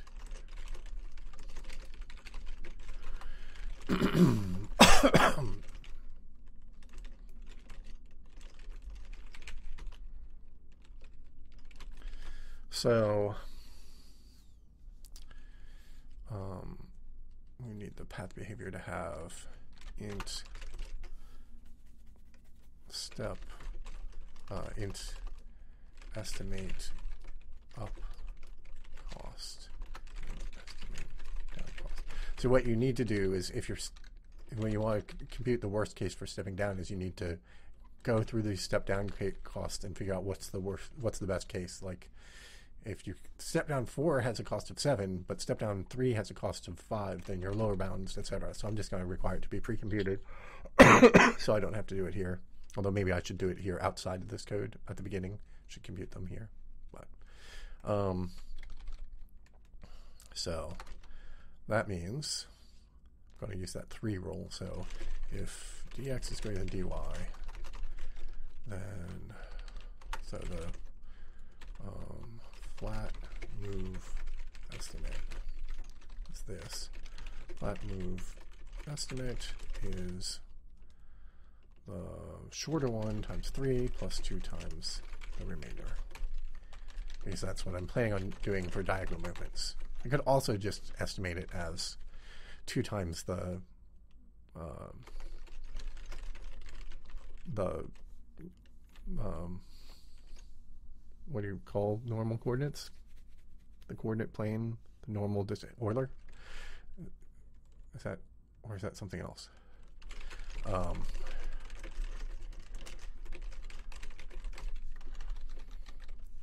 And then, then it's if uh, dz greater than zero, move estimate plus pb estimate up cost times dz else.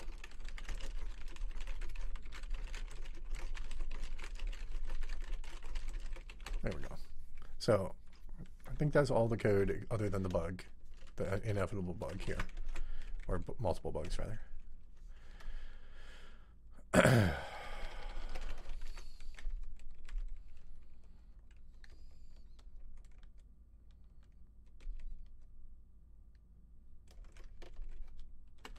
A open. Cartesian. Thank you. It's not Euler, it's Cartesian. Um, so it's a Cartesian distance, the square which requires computing with square root. So I'd rather not do it. Um, oh, let's do that cost. Arrow cost. Vec sub. These have to be address of.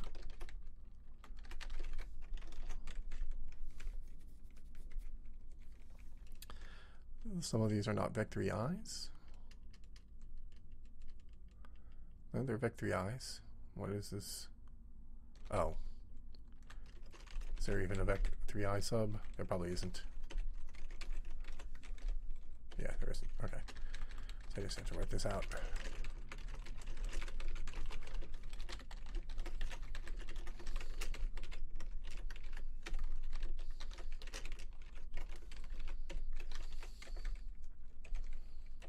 Dow cost.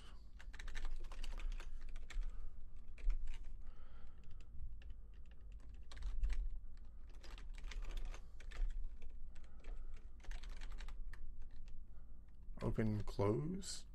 Oh, A again.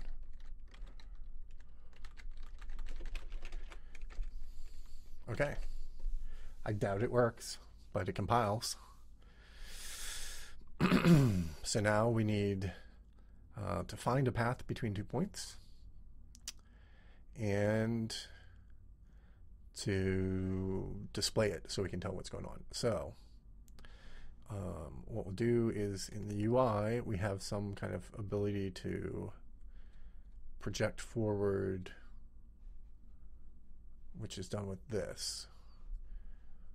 Object world space, a vector, then we raycast along that vector.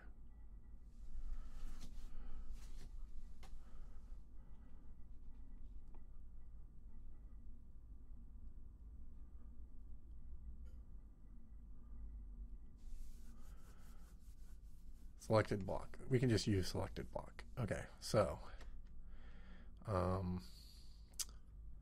so let's have a key trigger pathfinding. We already have P. Um,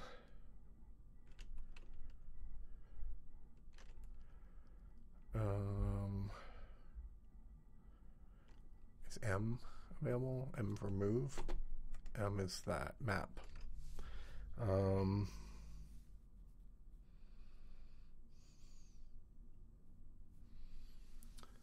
O. Looks like O is free. All right.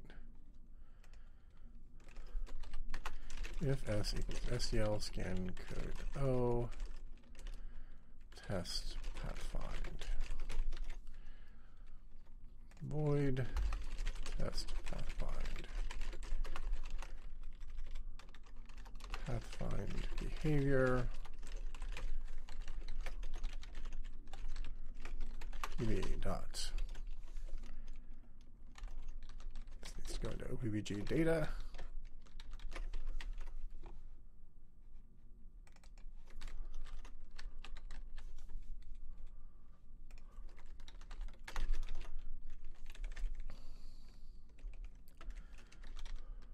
Why is that going to compile? Pathline behavior. Type abstract path behavior.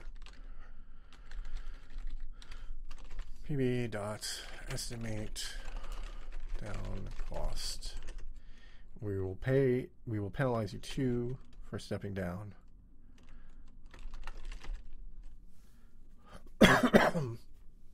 uh, but what will we penalize you for stepping down? Yeah, okay. So step down cost of one is zero this whole thing. Step down cost of one is 2. Step down cost 2 is 7. So we'll discourage, we'll, we'll test how this works. We'll discourage that, and max step down is 2. And PB step up cost, uh, we only let you step up by one. We won't let you step up more than that.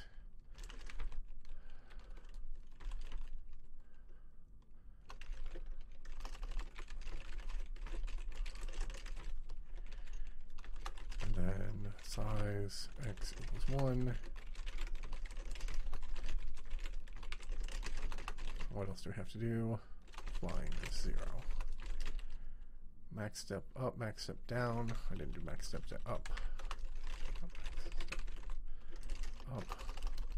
It's 1.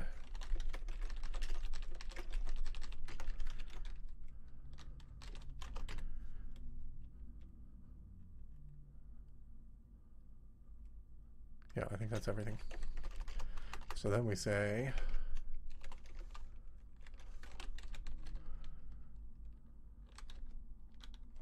we need to free this.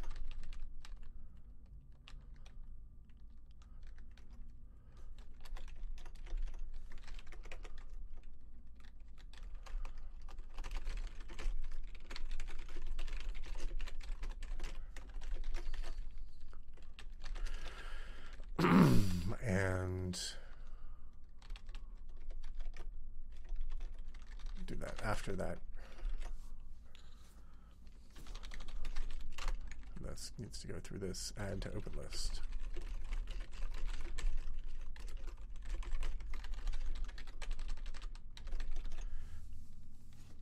Okay, so this goes into the header file.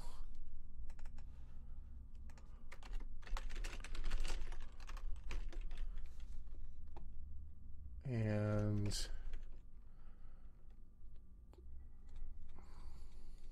again, also, I haven't done, I, I didn't bother referring to a description of A star there, and I last time I did A star was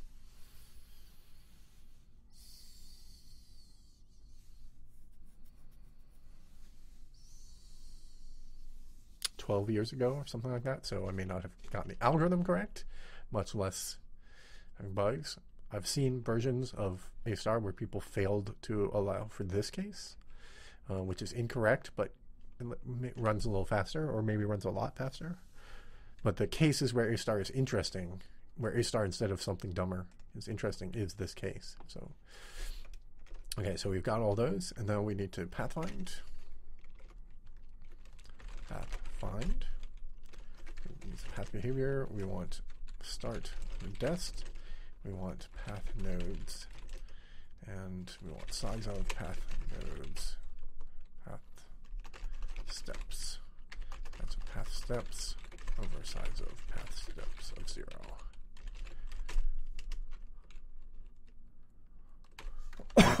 path length. These are going to be globals so that we can view them. Um, length and then vec3i path steps. Um, and how long a path do we want to allow? Say 256 long. now, you have to fill out start and dest. So start, you need to declare them. Start and dest is not very symmetric names, but whatever. So start is going to be object player ID position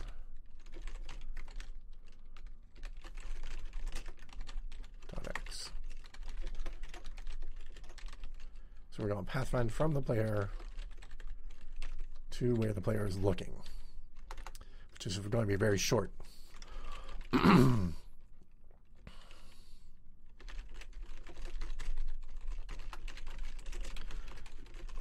because we don't allow you to select blocks very far away, but it's just to get us started.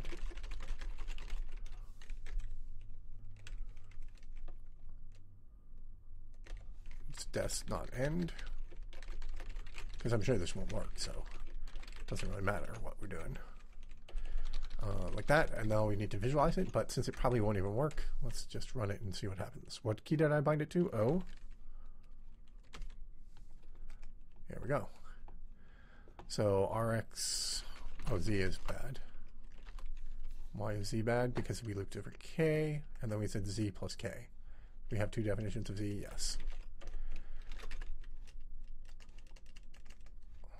So, new Z, new Z, new Z. Now let's try again. Okay, it didn't crash. So now we need to visualize the data or look at the data, I guess. We can just look at it. Um,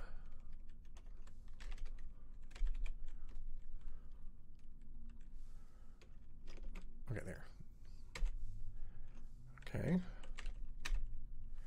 Path length, zero. Okay, it failed. So we don't even have anything to visualize. so let's do it again. Um, there. And step in and watch what happens. Oh, it failed at this early can stand failed. Okay.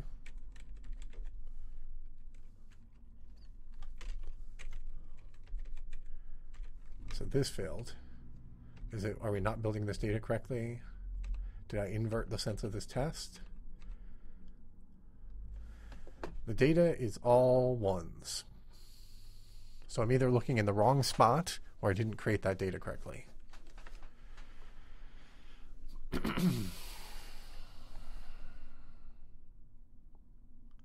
I'm not looking at the right altitude though. That's way too low. I'm not offsetting by start Z.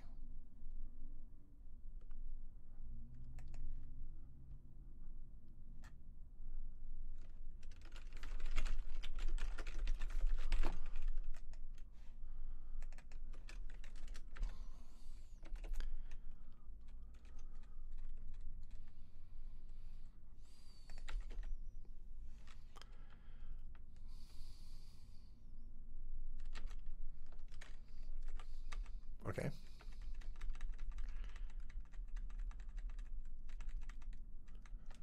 Let's just see if this, see to here and see whether we, how much we add things to the open list. Okay, we're adding stuff to the open list. We got here, we got data. Uh, so we can do this and look at how x and y and z evolve. Negative 6, negative 7, negative 6, negative 6, negative 5, negative 6, negative 5, negative 4, negative, it moves right to us. That looks like a pathfind to me. so let's simultaneously do two things. Let's add visualization and let's add longer pathfinds so we can actually see meaningful stuff. So how do we do that? We are going to say that when you test the pathfind, you pathfind from that 3i last pos. Okay, so what we do here is we say that, and then we say if last pos dot x does not equal 0 or last pos dot y does not equal 0 or last pos dot z does not equal 0, then we pathfind to last pos. And we reset last pos to the player's position. Always. We do that outside of the if. So what will happen is I'll press O once, that will set the starting point, and then I'll press again and it'll pathfind to there, and then I can keep pathfinding in a series. Okay, and then we want to visualize it, and the UI has 3D rendering, so we can visualize in here. And what we'll do is we'll say for i equals 0, i less than path length. We will say GL color 3F 5 F 5F 5F. We're going to call draw a box. We're going to draw a little box.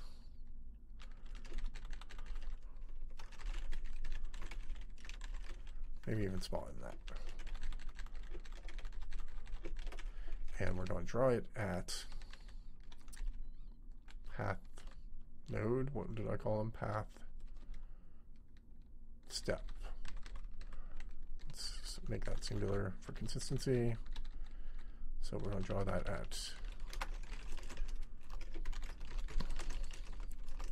path step of i dot x plus 0.5 because these are cor- the center of the block is at 0.5.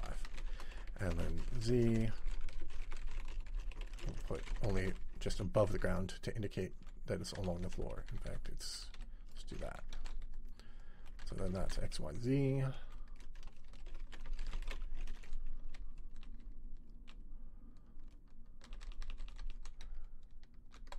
Seems reasonable. And then this we have to check, fix the path step because I just changed that. And then we have one more. This variable is not used. All right, let's see how this goes. So we're going to start from here, and we're going to path find over behind this tree. And nothing is being displayed. So is it rendering bad, or is it in the wrong coordinates, or that one, that pathfind didn't find anything. Okay, now we found a pathfind that found things. Nope, it's still not drawing. Oh, there. There they are. So it seemed to ignore the z-plane. It seemed to go right through this object.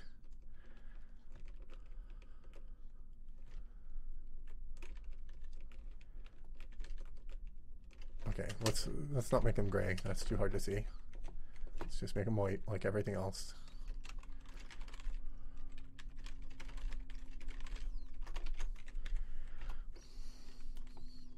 Start with a short path instead of getting so ambitious at the start. Okay, so I don't see them. Are they under the ground? No, I just don't see them.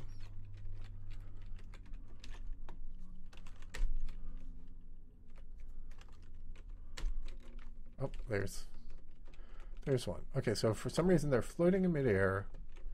They step down in the wrong direction, it seems like. Don't know why they're floating in air. That doesn't make any sense. Because they have to be on the ground at the start points. Or it, or doesn't pass. Oh, it does allow it. It allows it to step down. So the player uh, position that I'm passing in um, is maybe not the ground position it was supposed to be, but maybe it's not. Let's check that. That's in world. Okay, the player.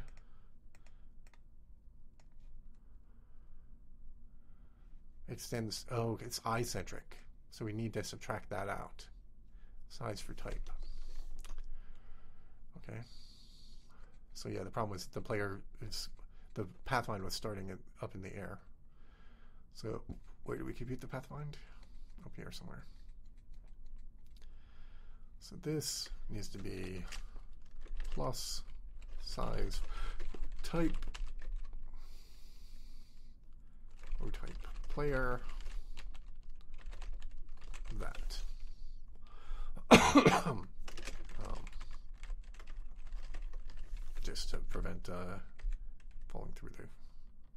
and that won't work if it's oh it's never negative. Okay so O we go over here and we press O and there's nothing and we press O. That time it worked. Okay it's still too high in the air. It's still one it's still up a block which shouldn't be possible because it should be required to be standing on the ground. Um,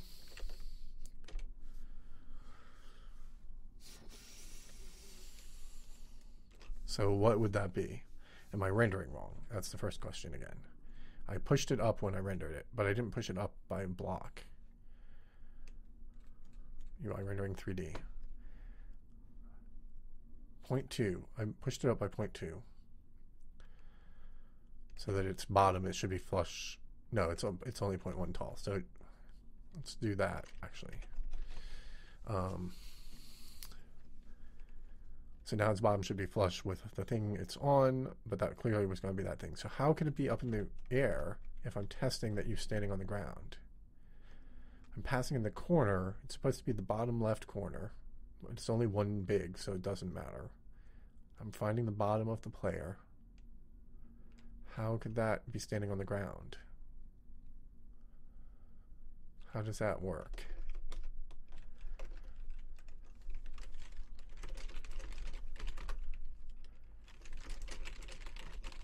so I don't forget to do that later. Um, let me check my mail. Nothing. And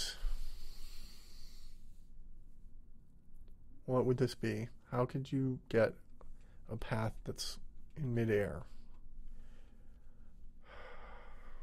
Okay, what happens if I actually am in midair and I pathfind?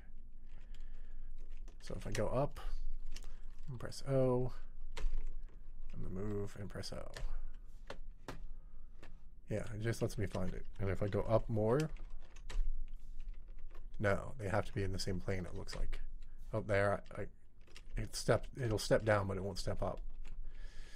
Um,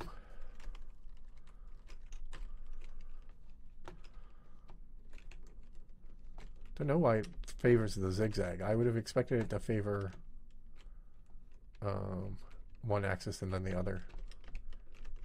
Usually you have to do extra work to get it to zigzag. it's interesting.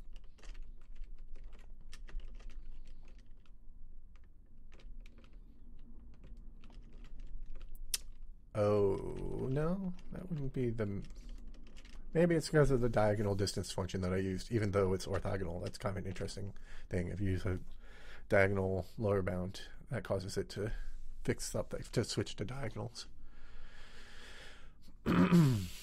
um, how could that happen? How, why does it not care about the can stand? Why is that any ground or flying? So first of all, let's make sure it's not flying. Right, we turned off flying. We explicitly said pb dot flying is zero. pb dot flying is zero. Um, and we initialize any ground to false. No, we don't. Okay. So maybe that was why. So now if I'm in midair, I set the marker and I try to pathfind. Oops, I changed my height. Let's try again. Set the marker. Oh, well, that's still working. Yeah, it's still working in midair. Okay. Um,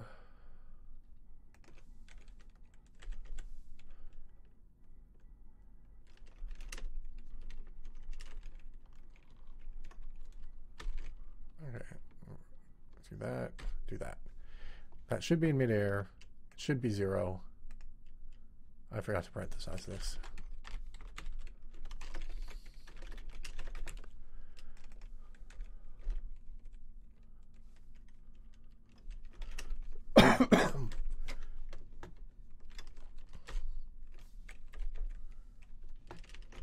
okay.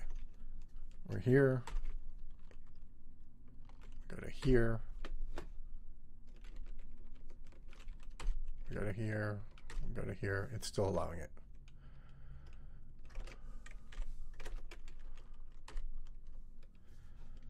It's zero.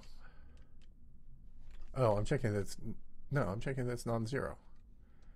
Z ground is less than zero. Why is Z ground less than zero? Because Z is zero. Because this needs to be start.z. What's that? Okay. Hopefully that fixes it.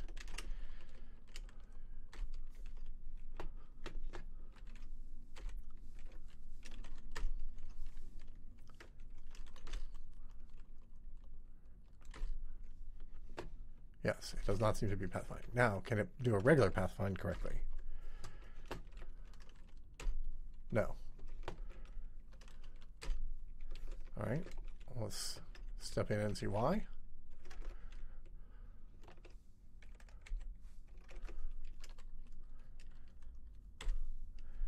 Any ground zero. That was the first one. Is the can is this back to the can stand failing? The initial can stand failing? Where's the initial can stand? There it is.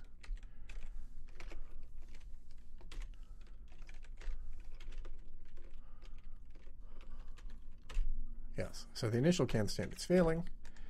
So let's step in and find out why.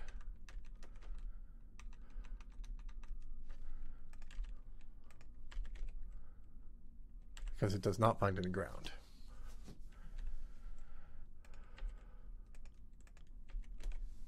All right, so now let's stand unambiguously on the ground.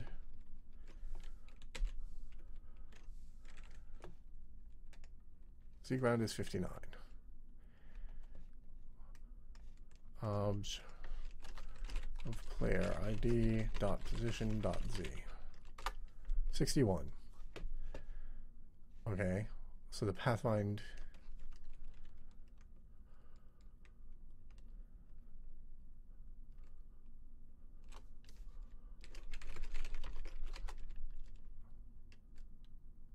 Uh, maybe that's maybe I'm using the player's position as the destination.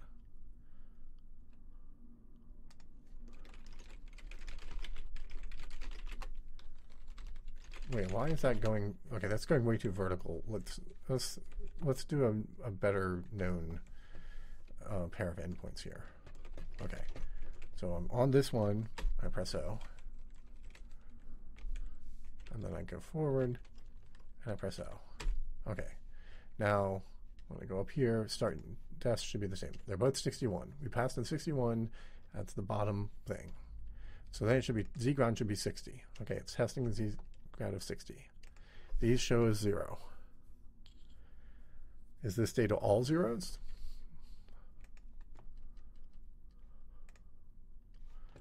Uh, let's copy that over here.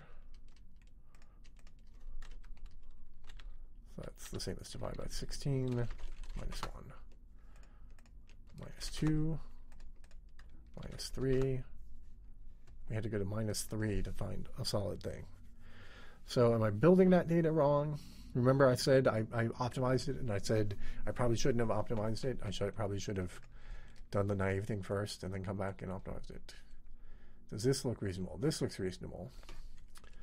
Um, let's see. pc.pathdata ry of rx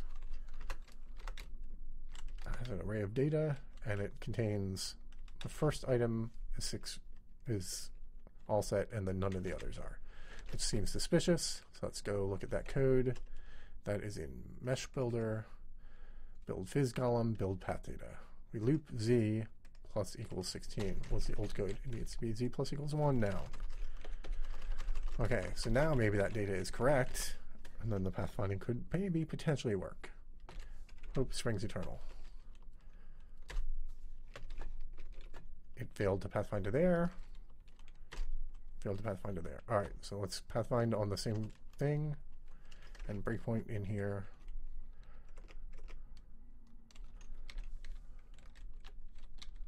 Start there.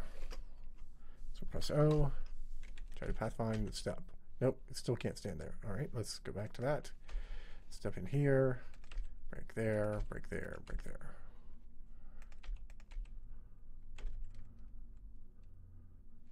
Okay, now this data is not bogus. And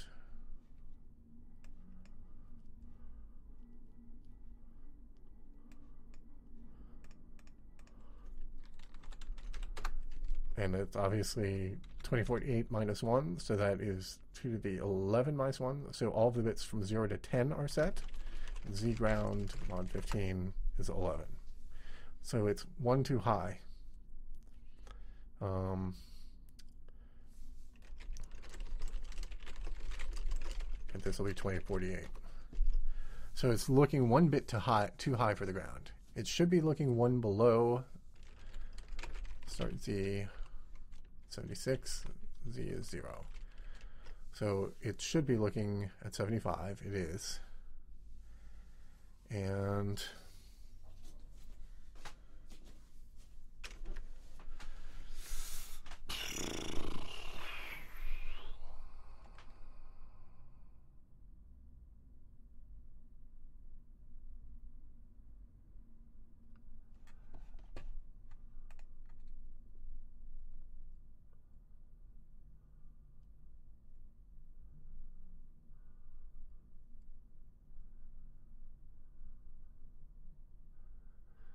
So I am, of course, not recreating Minecraft. I'm trying to make a game engine that has a set of features, and it turns out the set of features that's interesting to have is a set of features that are all in Minecraft, which is this set of features over here. Um, but uh, we're not playing with it right now, but currently it has a Factorio style simulator in it, which is nothing like Minecraft. Um, and I'll probably explore making some kind of shooting shooter game using Minecraft style worlds. The thing that interests me is I think people should make more games with a block aesthetic, but not Minecraft specifically. And so I, I made a library that helps you make C++ games that use voxels if you want the block aesthetic. And now I'm making an engine out of that to try to make it even more possibly accessible. Not that this will never necessarily ever succeed and be usable by anyone, but hey, it might. Okay, what, uh, why would this off by oneness happen? Okay, one possibility is that the physics um, is actually off by one from what I think it is. This build phys comp, look, it starts at z equals 1, not at z equals 0. Oh no, because it looks at z minus 1. No, okay, that's not why. So it starts at z1. If the type of z at 1 is different from the type at z0, then it generates a run length of length 1. So yeah, that's starting at 0. It is starting at 0. Well, I need to see how the physics decompresses it, I guess. It's actually the big question. Because if the physics decompressed it off by 1 from that, uh, that would be what matters. But then we would see that because the physics wouldn't match up with the visual world. So I think it's got to be correct. So I don't think the physics is wrong. And then the question is is the path data somehow wrong, but it's block, reblocked the same way that this stuff is blocked. So I don't see how it could be. Um, type has to be 0 or 1. Yeah, I don't see any way for this to not work.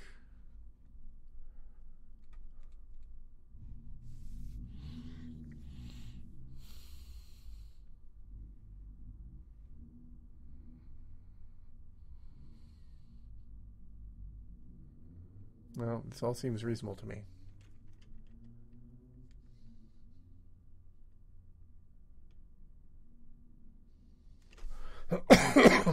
um, I don't know. I don't know what to debug to do this. I'm not sure what where the mismatch here is. Um, because that data is compressed, it's hard to look at it directly, but I guess I could try. So uh, we want to look at MC arrow PC dot, I don't even know what's called, column. Dot column of ry of rx of Oh all right we can't index it it's a so length 75 and then the next one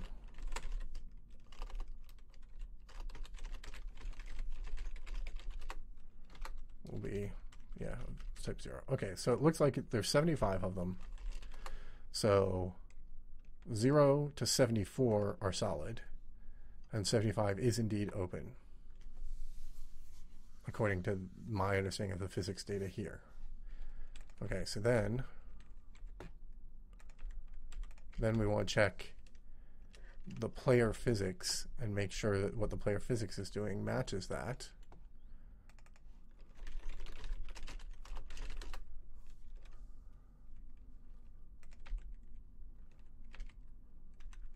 So then IZ, it should be the bottom of the player, I think. Or is it? Oh, it's the center of the player.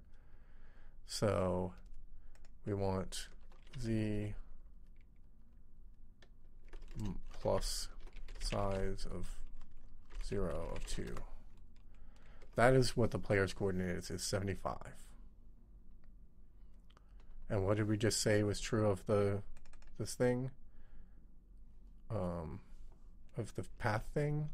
Do, does anybody remember what? I don't remember. Do it again. Um,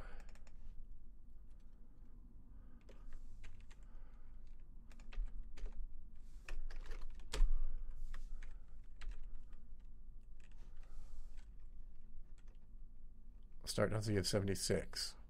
That's too high. Okay. So I'm pathfinding one thing too high. Which is what we saw. We saw that it was rendering one block higher when it was when it was broken earlier. Um, so this seems to just be a problem in my logic for generating this here. Um, it's because it should be that.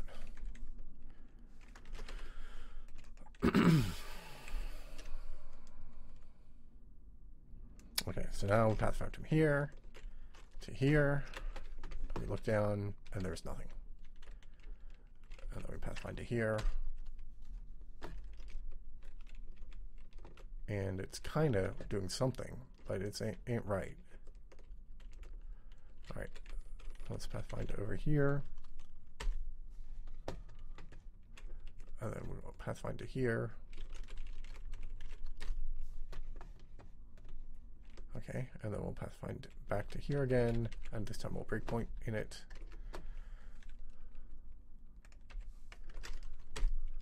All right, so can you stand there? No. Once again, this is failing, even though I just adjusted this. So did I move it down too low somehow? Is this going to turn out to be? Yep. Okay, now it's colliding. So now it's saying I'm starting it too low. Um, oh, I should have actually broke point here to see what size for type is. Size for type, min versus max. This is min max. This is z. All right, we'll break point there.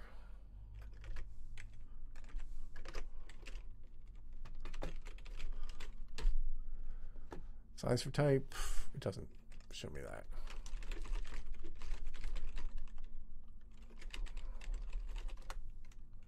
Negative 2.25.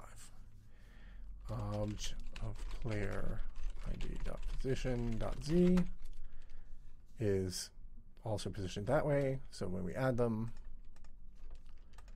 plus size for type 1 of 0 of 2, we get 75.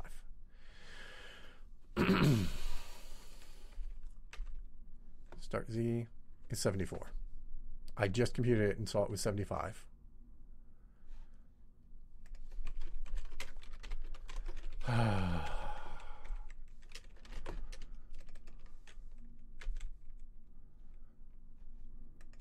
that's a float, that's a float, that's a float. Cast that first one to an int, then added a float. Yeah, that would have done it. Okay. We're getting closer and closer. Pathfind from there to here. Nothing shows. Then we pathfind to here, so it's flat. There we go. It shouldn't be able to stand here. Not sure why that's passing. Pathfind to here. So it doesn't seem to work if there's a z difference. Pathfind to here. Pathfind to here. Let's pathfind with the step down. Doesn't work. Well, or does it is it under the ground? It's under the ground. It's pathing under the ground. Even though you shouldn't be able to stand there. Can stand should fail under the ground.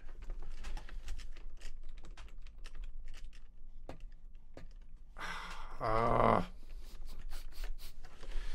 If the physics database just weren't compressed, I would have just used it directly, and this all would have been more straightforward. But, so this is failing sometimes in the wrong direction, and I don't know why. Sometimes it's allowing a can stand that it shouldn't allow.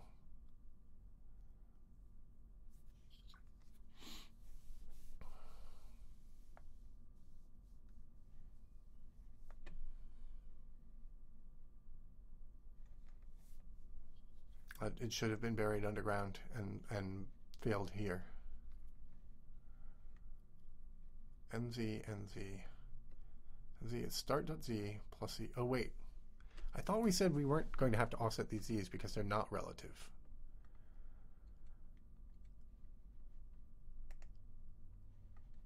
Didn't wasn't there somewhere I said z is absolute? Well, let's see what we actually did. No, we use relative coordinates for z. That's relative to s.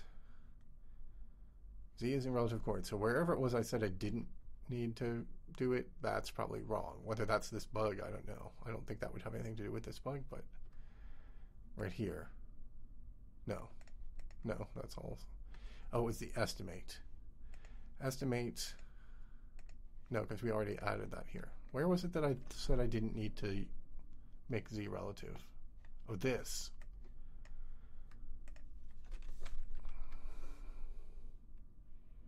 Yeah, these still have to be relative because I didn't I didn't propagate that out. So this path node, yeah, path node is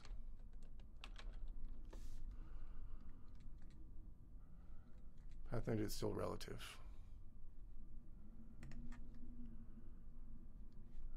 Yeah, I made it unsigned to try to remember to make it non-relative, and I never did. So let's just leave it relative which means you can only move up or down 128, which is fine. Um, I doubt that this is the issue, but okay, so now it's relative.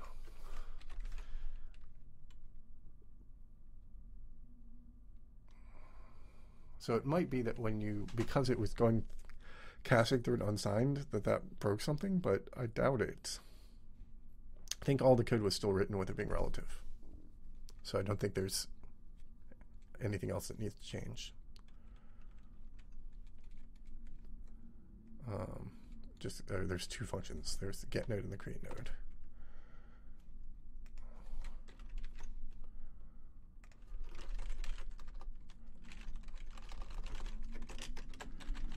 These should be cast as well.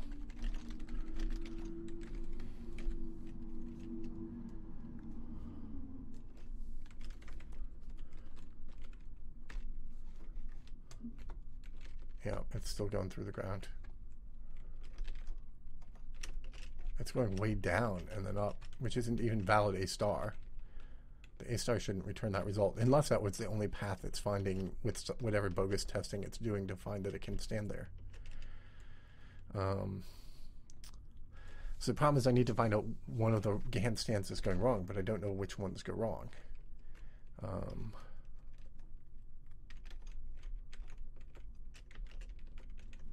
if I stand here, I'm not sure how far above it I need to stand. Do that a couple times.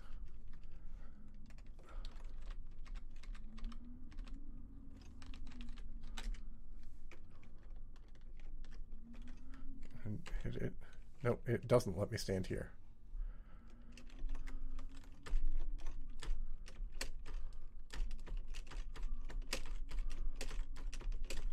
No, this can't stand is forbidding until I get out of that. Yeah, so I don't know how that, how those paths can be there.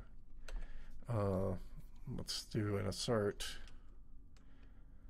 Um, oh, we don't, when we create, we don't have the relative thing. So I have to do that out here. Create node. Assert can stand PB start. Oh, we don't have to, so x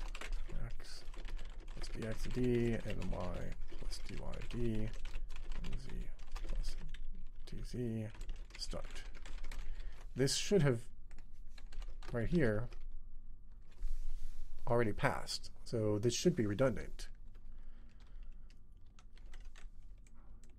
But it seems like it is letting me create nodes. Or the moving backwards is failing. Or this maybe this logic is wrong somehow. Uh, although I don't see how it would not eventually hit a null. Unexpected file macro extension. Oh.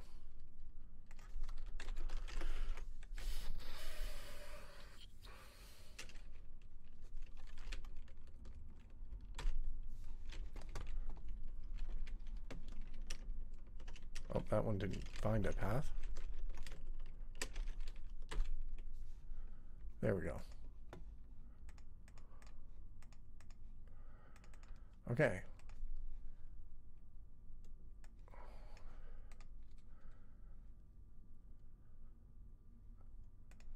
In fact, I could do this test here. Um, allowed is false. Can stand passes that test. Doesn't update any of those variables in here. So somehow that test changed by the time we got to here. Seemingly.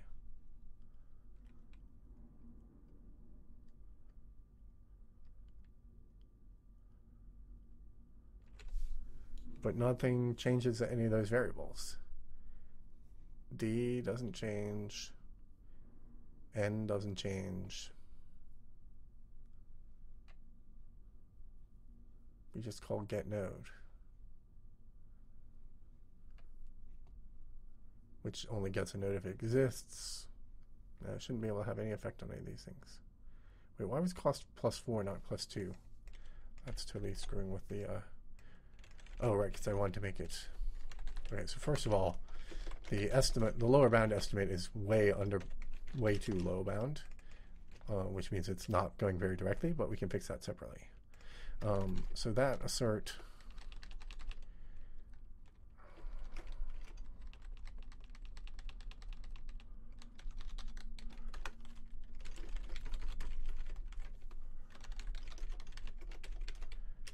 So one of those should fire.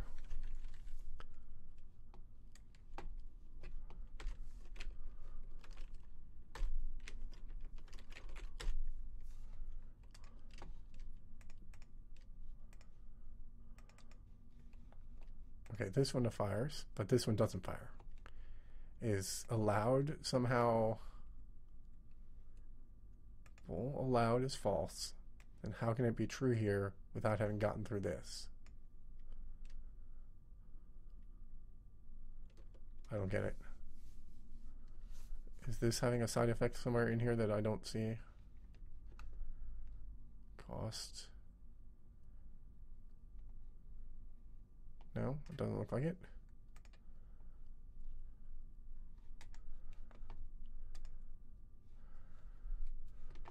So this assert fails.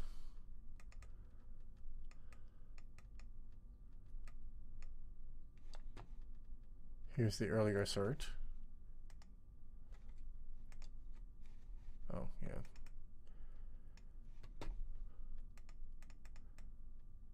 Why does this one seem longer?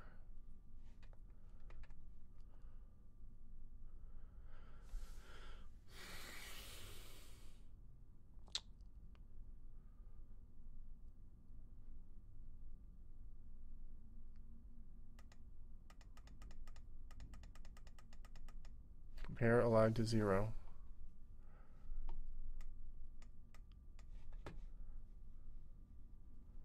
Bunch of math. Hard to say. Doesn't seem like it would. What am I missing? There's something going wrong here that I don't understand. What's the scope of this loop? No, my curly braces are all matched. That matches that. That starts as false. This is only if it's true.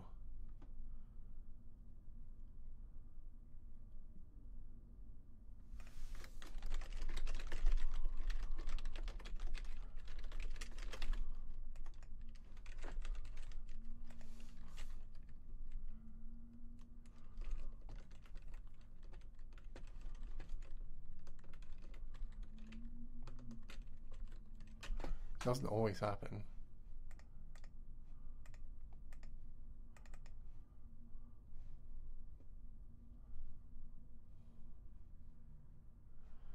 Nx plus dx of d, ny plus dy of d, nz plus dz. Start.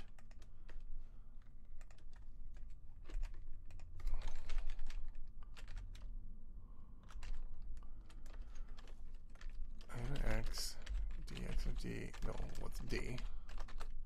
dx of d,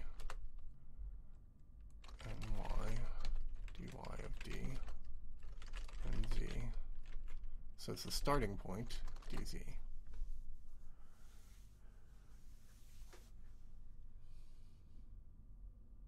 Trying to move up 1.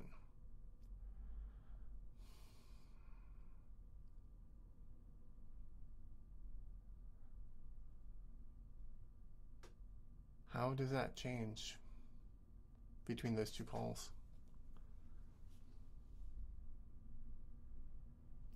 So allow conditional breakpoints. Yes, it does.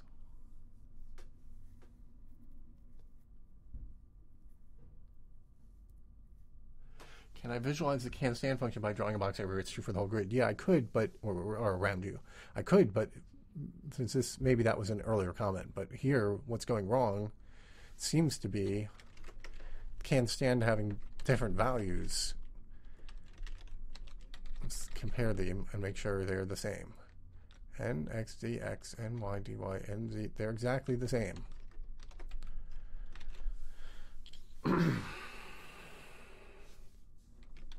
assert asserts that something is true, right? Yes.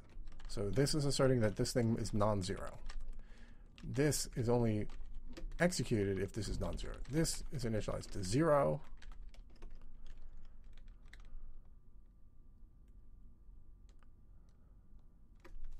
Yeah, unfortunately, I don't have source installed for the thing, so I can't go back. If I had source installed, I would step back. I guess I can do it and it'll just break, but maybe it'll let me get far enough.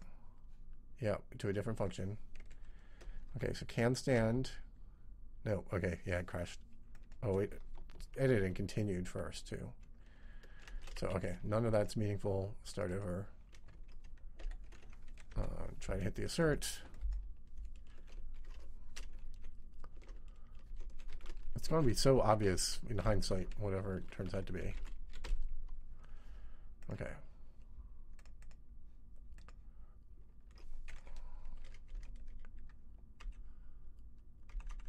Oh, I can just step out. Okay. All right, so now I'm back in this function. I go to here, set next statement. Now can stand fails. So either it failed originally and something is going wrong here weirdly with allowed, or something is changing the state of things. Somebody's overwriting some of that data or something, uh, which is certainly possible. But it happens between here and here, so I don't, unless can stand itself is overwriting that data, I don't see who could do it. Is there somebody like assigning something that shouldn't be assigning something in here? Don't see it. There's no and equals.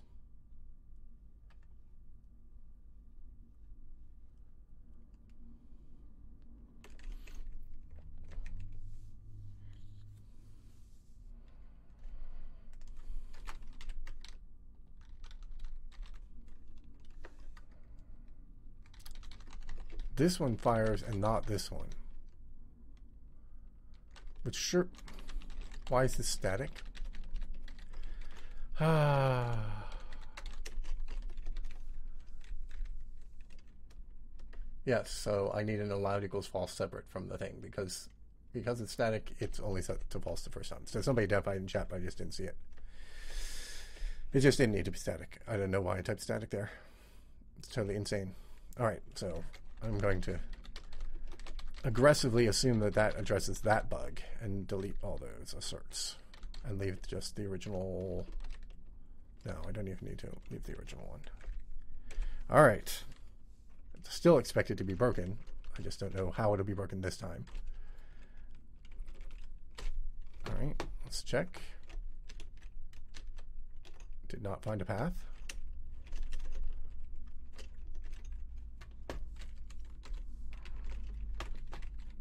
On the same level. Okay, so it finds a path on the same level. If I go up one, it doesn't find a path. If I go down one, doesn't find a path. If I go over a gap, doesn't find a path. Nope, now it's not, just not finding them.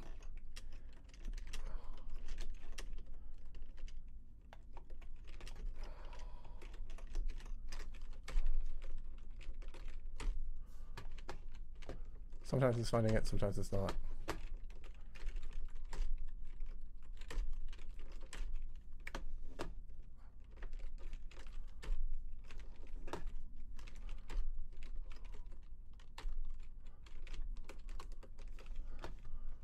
Looks like it's mostly.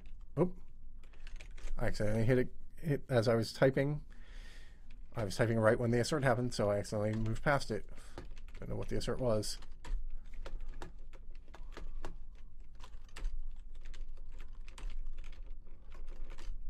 Most of these are failing.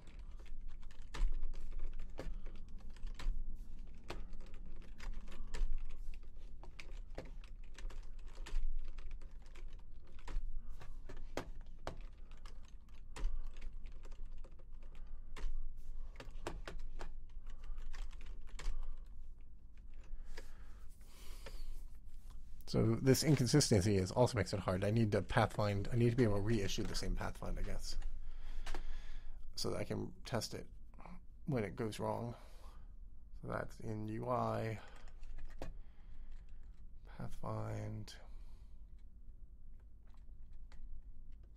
Just down lower. Right here. Um,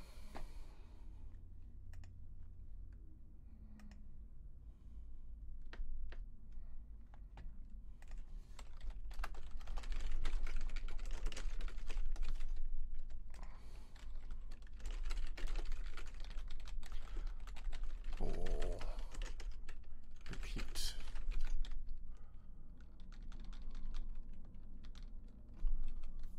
Um, wait, last pos. We will start. Oh, the start is the current play position, right? So I need to save the last pos.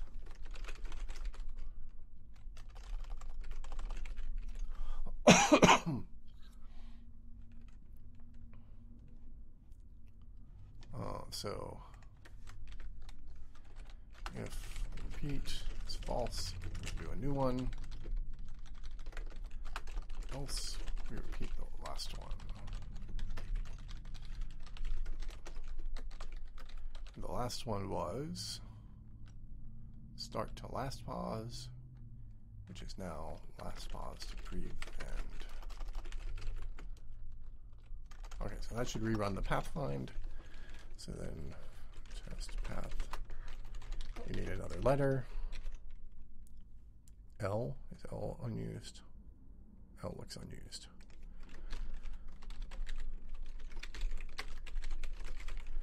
All right. Prev end.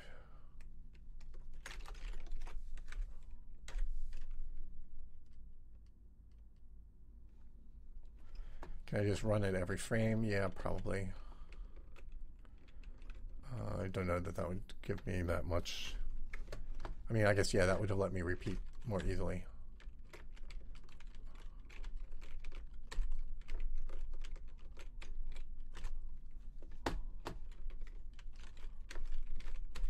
Okay, there's one. So if I L, it's not finding anything, and I can now here.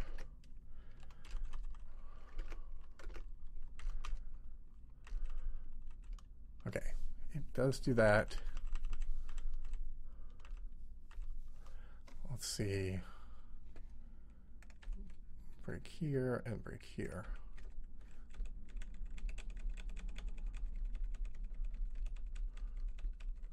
Okay, so uh, if we go to the end and find out how many nodes we allocated, uh, that is in, that's alloc, node alloc. Okay.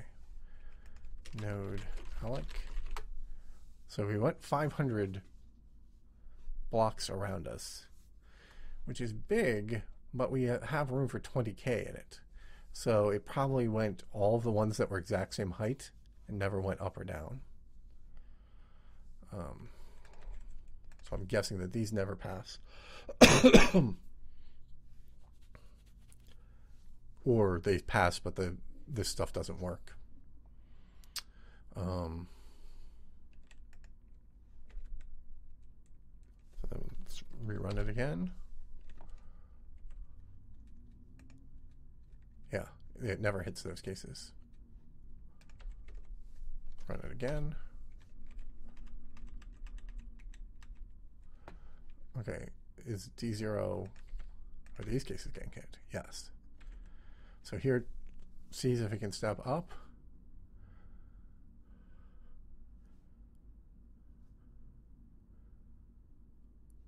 And that must fail. Why would it fail? Oh, because can stand fails. Okay. Yep. Got it. Um, so I know why it can't go up and down, but I don't know why this pathfind here failed on the same level. And still should have succeeded. So there's two separate issues. I see what the bug is for the other issue, so I'll fix that. But um, can fit. Can stand. So this is becomes can stand raw. Can stand. Turn can stand raw. PB XYZ start. Bool can fit. Oh, I'll just copy that whole thing actually. Can't fit. It's false. And so this is the thing I was saying where if you're standing here, you can step off, fall. This you have to be able to stand here. We know you can stand here, but the important thing is you have to be able to fit here. But you don't have to be able to stand here because there's no requirement that there's a thing under you. We actively know that won't be true. So you just have to fit. So, bool fit, uh, bool must stand.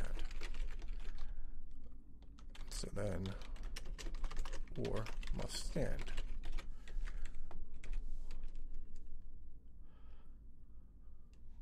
So now it should be able to go up, although it will still fail some of the time.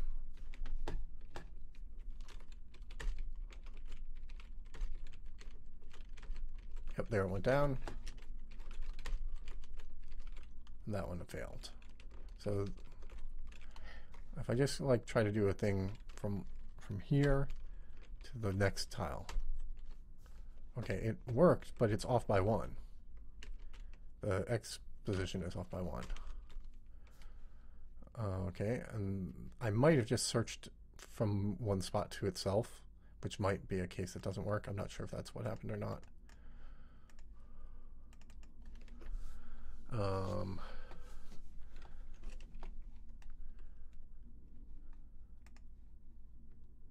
so yeah, I think it might be the case that I was already at the destination at the start, and that um, if start.x equals, well, let's just look at start dest to make sure that's the case. But I'm pretty sure that is a case that it doesn't handle correctly. Yep. Okay. So rather than try to figure out how to make it handle it correctly, just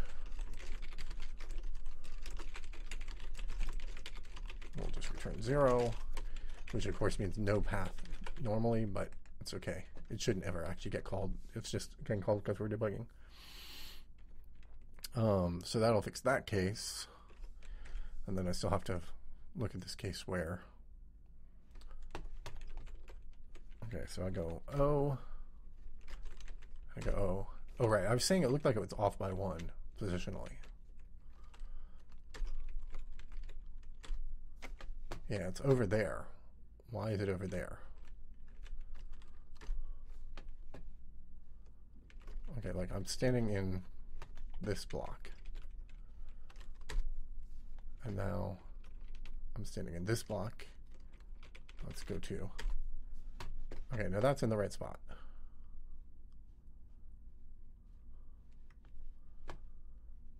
It looked like it was off by one in that other situation. Why can't I move forward? Oh, right, that's that. Say now it's off.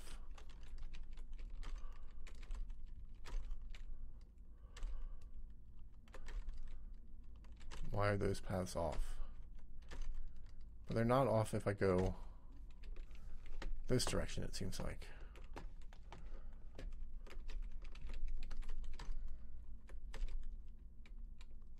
Oh, that's weird. That that is, is he fighting that? Um, UI. Let's fix that.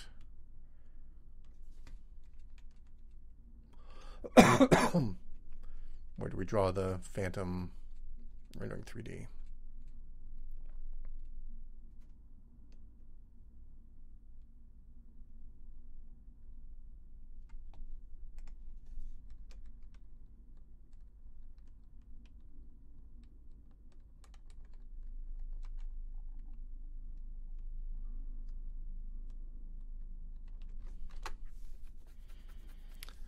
Uh, what is it? How do you disable Z writing? But without disabling Z test? Um,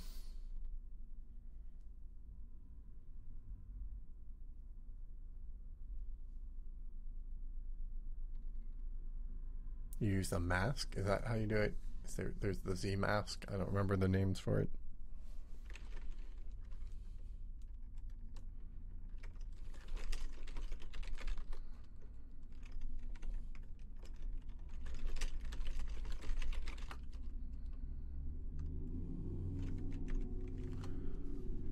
Color mask and then it's a Z mask. What would the what's the one that's not the color mask? Depth mask. Depth. That's the word in that's the name for it in OGL. Depth range.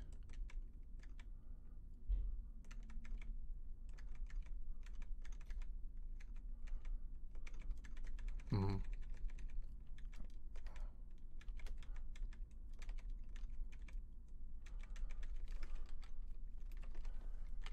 GL depth mask. Why don't I find it in here when I search it? Oh, it's GL Xed. That's why. GL depth mask GL false. Mask, GL true. So let's just render it before that. Anyway. Um, but wanted to avoid that issue in the future. All right, so go from here to here to here to here. All of those fail. To here to here. That one failed. Succeeded. That one failed. Okay, I was trying to look at the off by oneness here, but now they're failing. Okay, so here they're not off by one. They do fail sometimes. Um,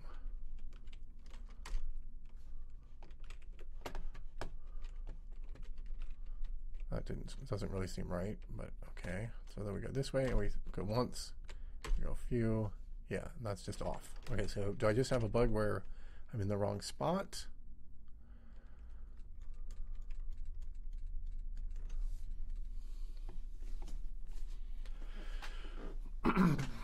Um, if you're negative, that would be wrong, which might be the case.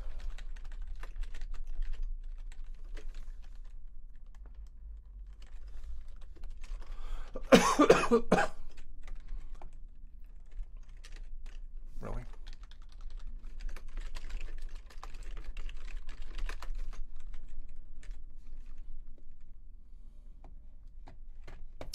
Uh,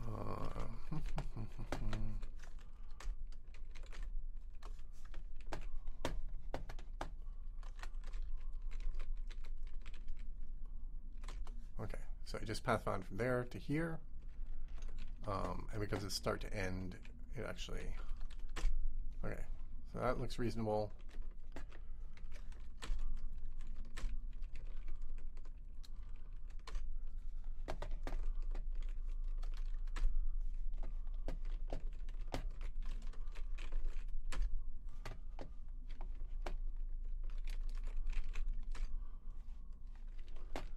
All right, these are all working.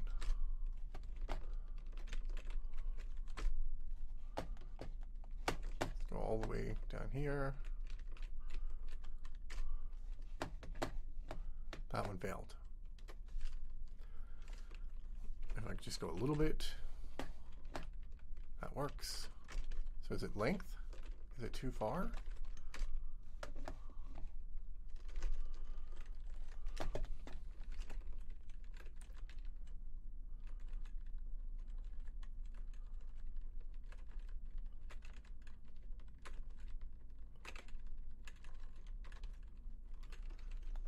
Uh, that one failed.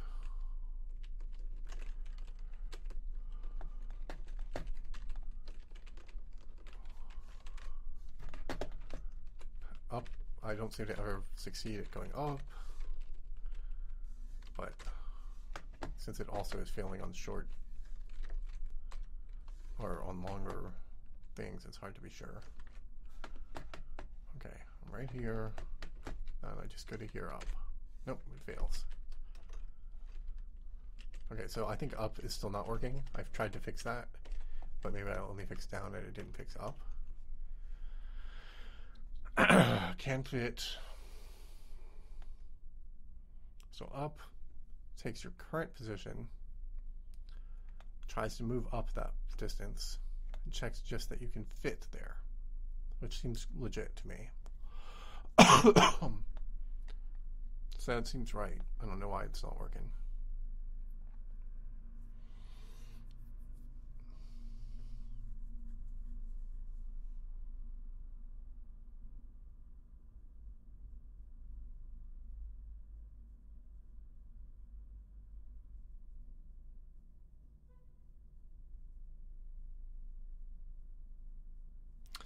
Okay, so I think what I'll do is um, try to debug render the um,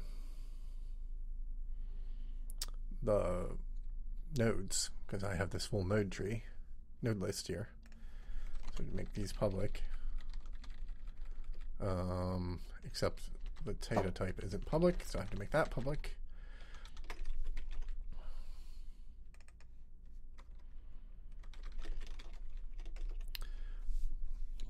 And now I can iterate over that whole thing. Their status will all be closed probably. Hopefully, if there's no bug. So I guess I can debug that. and uh, sure.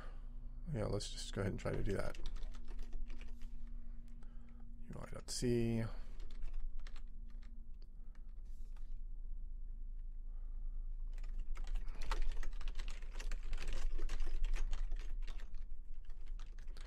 So then we go geo color 3F, make these maybe yellow.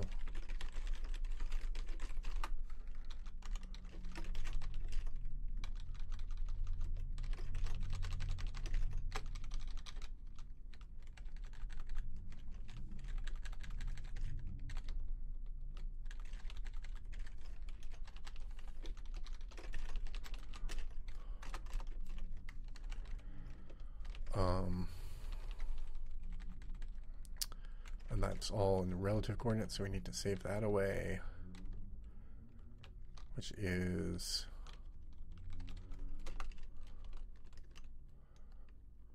always last pos. So we can just use last pos.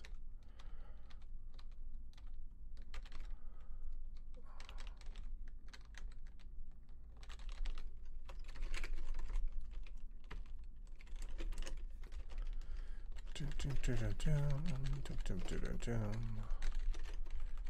then this is path node, is nodes i.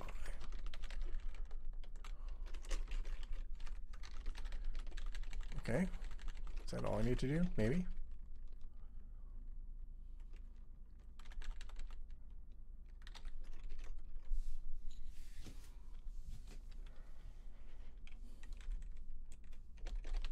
Oh, This is node alloc.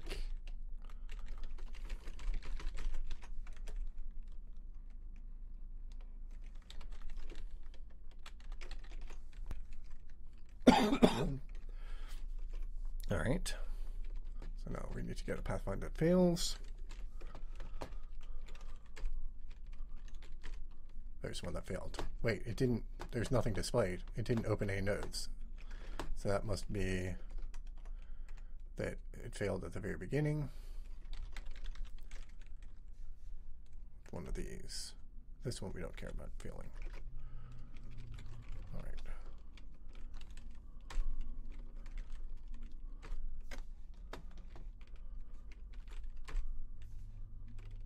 Well, we saw one one of those. It had path found. It had searched really far away, which is obviously wrong. Yeah, like that. So here, it needs to step down, and it's not finding the step down and stepping up. but it's never stepping down. Oh, because I looked at the wrong case when I checked that. Um, and then look up here, it managed to explore some places it should not be able to stand. Um, not sure. It looks like it just doesn't even match the terrain. It looks like it's wrong terrain. Um,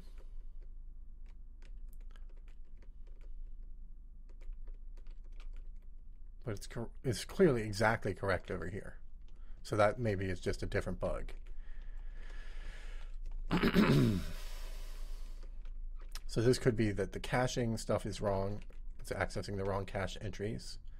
Or it could be that the pathfinding data is being built wrong, the, uh, the pathfinding world representation. Um,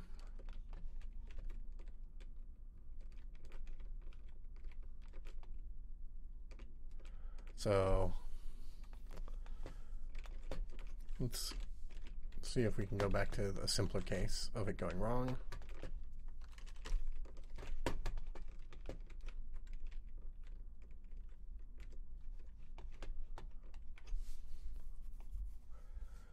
Um, not sure.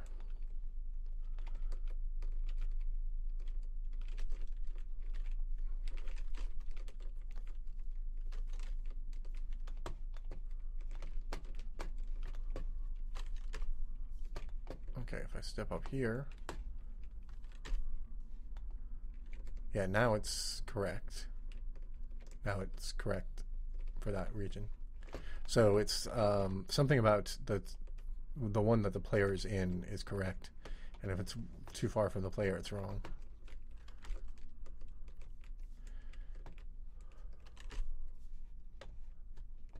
Well, actually, that looks nope. There it goes wrong over there. It's right for a lot of it, but it's wrong over here.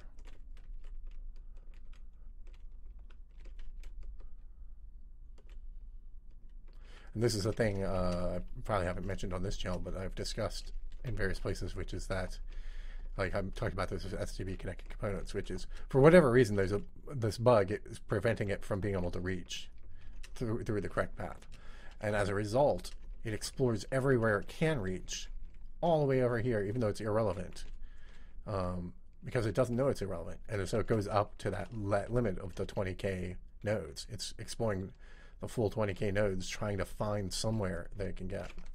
Okay, so first of all, what do we do when MC is null? What does can stand do? Get physics chunk for coord. Is that just never returning null? Because it would crash if it were null. Oops.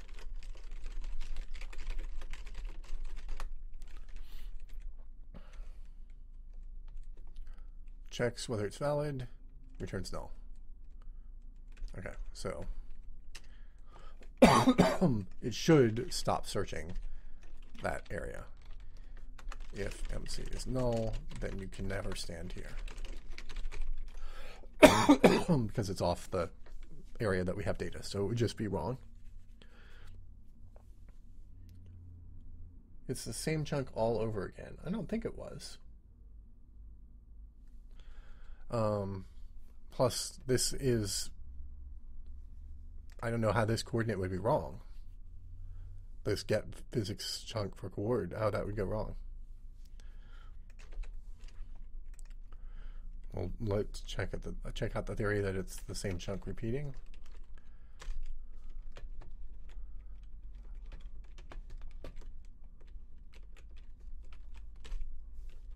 Okay, that's correct over there.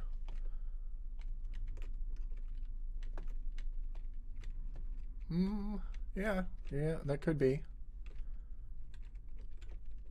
Yeah, you're right. It does look like it's the same chunk. Don't know how that happens, but it sure does look like it. Yeah, good call. Yep, it's just the same chunk repeating.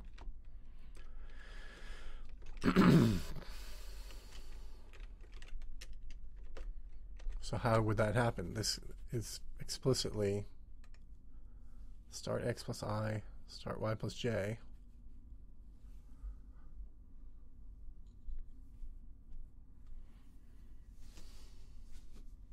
Why does it start x plus i instead of start x plus x plus i? Um, you are correct. I should do. I should systematize these coordinates. So that's probably what was doing that.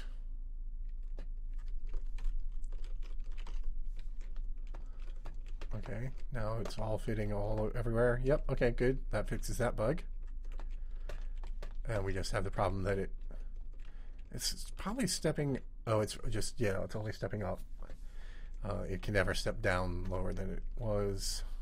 Yep, okay, so let's look at the step down logic.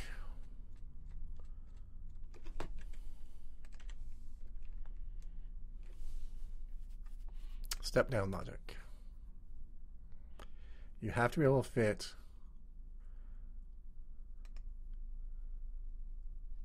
DZ is less than zero. So you probed here that you can stand there stepping down. And then you have to be able to fit in that same spot without stepping down. But you only have to fit. that looks right to me. But somehow it's never working. And maybe the, the cost or something else like that is broken step down cost of negative dz.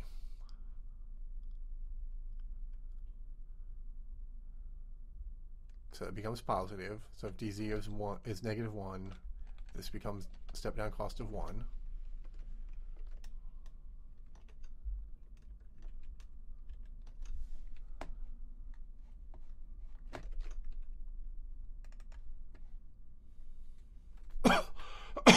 Excuse me.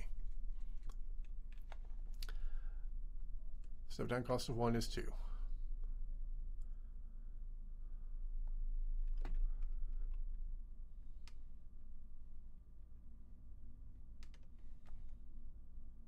Max step down is 2.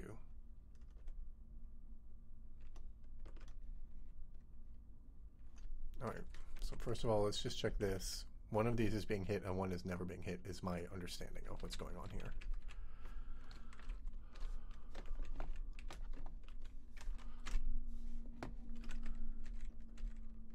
Oh, no, they're both being hit. It is allowed to step up and down both of them. But sometimes it can't step down. All these are rejected.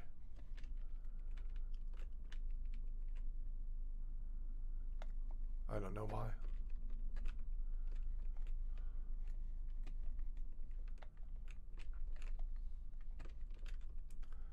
Somewhere it's allowed to step down, but somewhere it's not.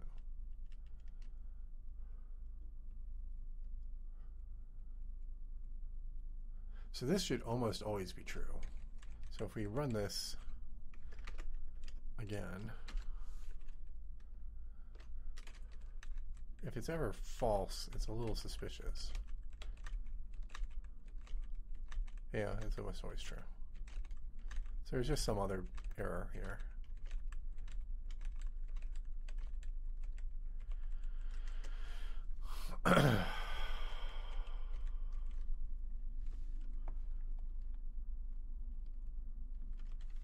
Step down cost is 2.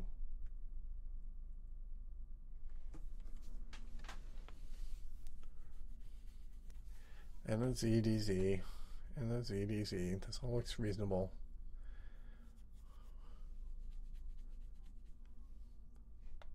And then Z plus DZ. Then we read back out those coordinates and we offset them by start x start y start z. That looks right. The z's are relative.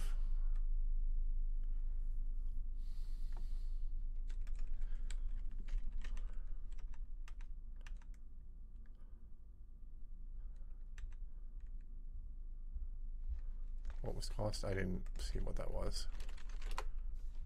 It was more expensive so it didn't bother trying to step down to it, but that was because it was already open.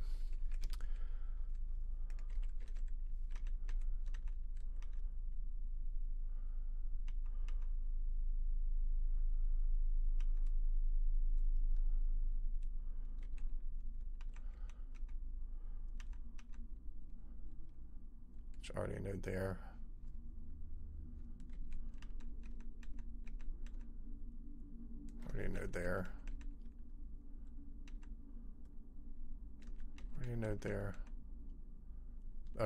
No node. Creates a new node.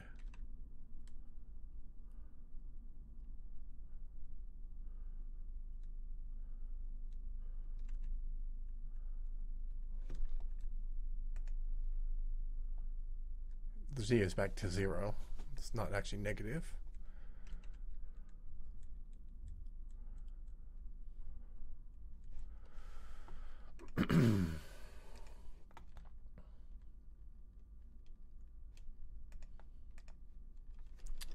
um,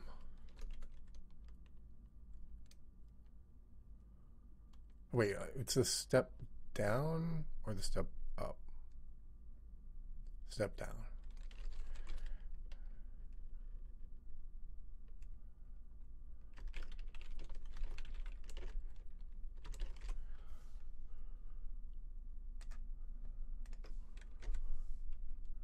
It's a little slow though to do the breakpoints.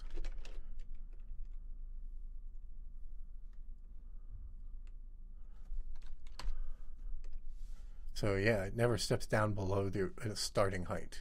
So there's some issue. Maybe there's still an unsigned somewhere uh, accidentally.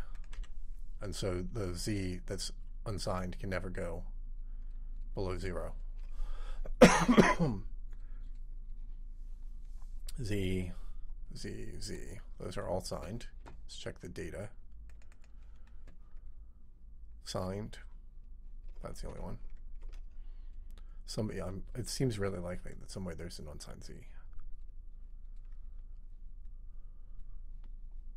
DZ.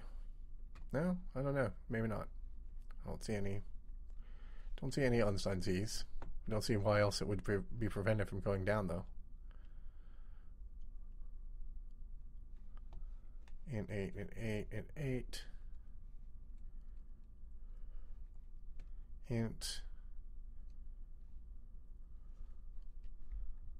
starts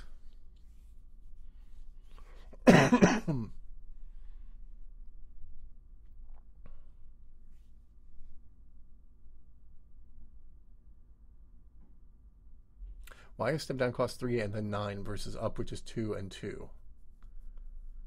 So isn't it too expensive to step down unless there's search on alternatives? Well, first of all, it's not so expensive. That's equivalent of two, like nine is equivalent of stepping twice horizontally. So nine is not preventing. But the point is, these are all step ups and downs of one.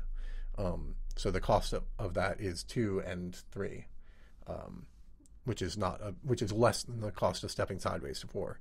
So it will favor going up, or whichever one's two, will favor going two over going three but um, it shouldn't never explore those. And it is, in fact, accepting them. It did, in fact, step down in some places. It just isn't doing it for this specific, for specifically ever stepping below the starting position. So, ah, maybe the estimate, maybe the estimate is doing something wrong.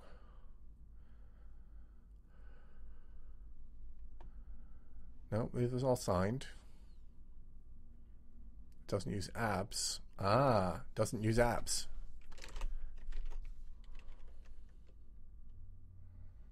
So that was actually decreasing the cost estimate if it was negative.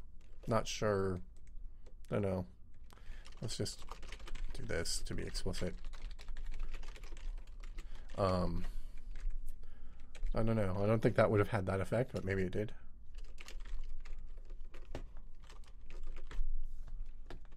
Nope, it's still the same thing. Can't go down below the starting point.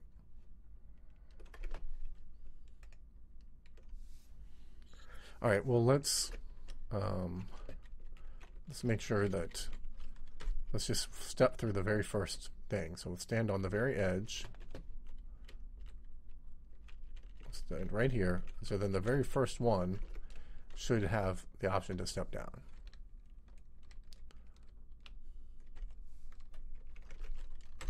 Okay. I don't know which direction that is though. So the max you can step down is 2. So we don't care about this case. We're going to skip past it. Okay, now it's negative 1. So one of these ought to work. I just don't know which way.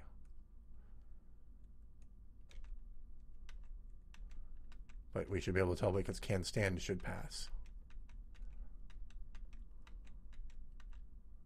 Nope, can stand never passed.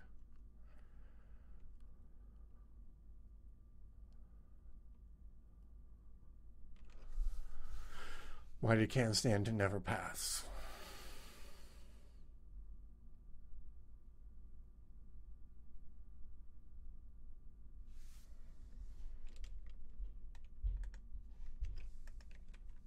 I wish I knew which direction it was allowed.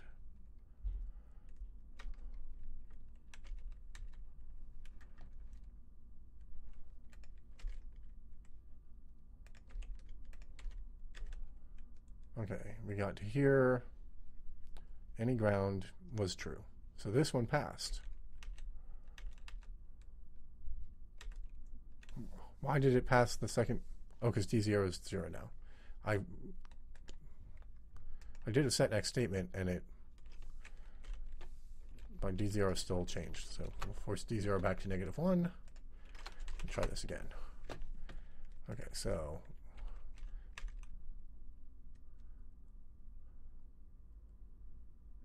That's I put breakpoints in can stand, didn't I?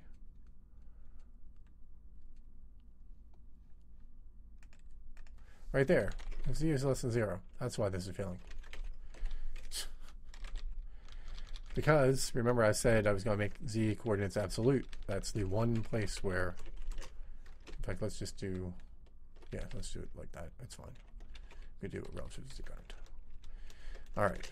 So that's why they weren't going down. Now the question is, do we still have a case where it fails?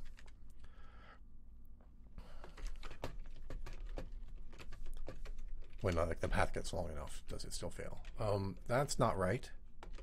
That looks diagonal. Oh, okay. I just couldn't see them. They were hidden. Uh, that's stepping down and stepping back up. Yep. Okay, there. That one failed. Why did that fail? It didn't produce any output. Was it, did, did I actually double click and it's just pathing to itself?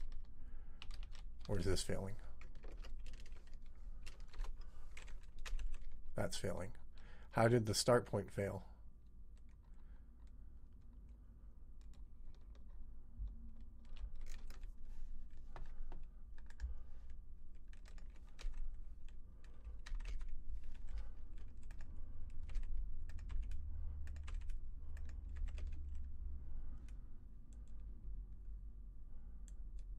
Didn't find any ground.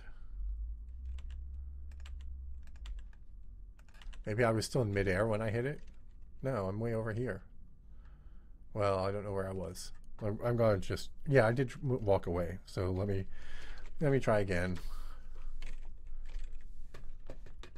Okay, there's one that failed and explored everywhere. Explored all these places and somehow failed, even though it clearly also explored the endpoint. Right? I was the endpoint was somewhere uh, else around here. So let's rerun it. so what are starting tests? Negative 13, 16, 74, negative 10, 13. Oh, 75. That might be in midair. Okay, like we, let's visualize the start and end points so we avoid getting confused by that. Um, don't know why it would be in the air, but we can at least do that. We don't want to be fooled by bugs in the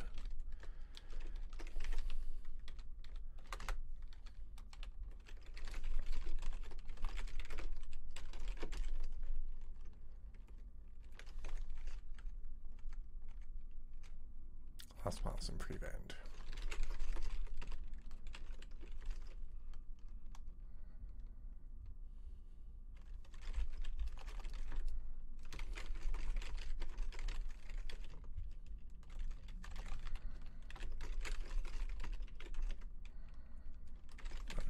move that one up as well.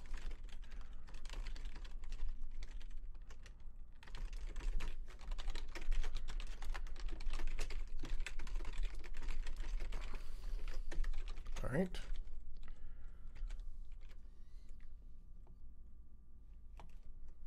So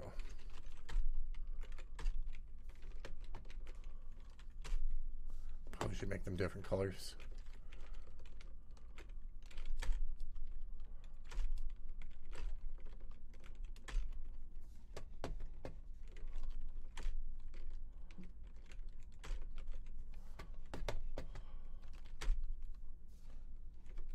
Okay, that one failed.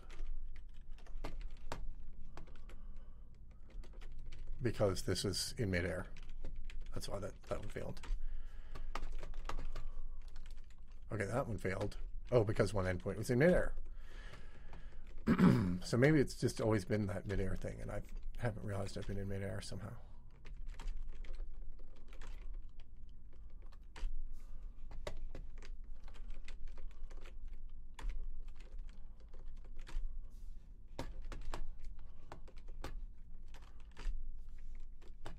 All right.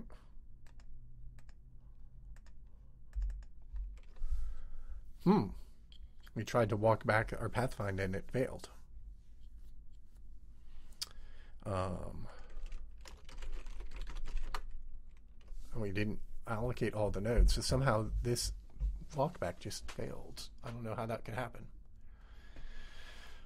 How far along the path are we? Um, how close to the end are we? Six away.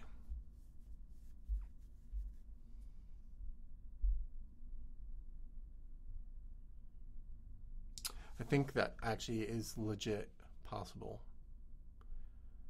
Well, yeah, I think that is legit possible. The whole because of the way the open closed stuff works, you can reopen something that was closed before or update it and um, potentially visit. Well, no, because you're supposed to visit Ah, but the lower bound, yeah, if the lower bound is really weak like that, then that doesn't work. The uh, thing that's stored in it for which way to go to retrace your steps is not correct. But that was never the bug we were hitting before because we didn't hit this assert. Most likely.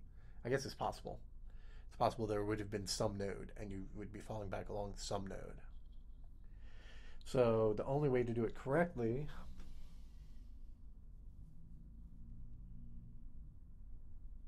I don't remember. I don't know how you do that. Let me- Let's look online.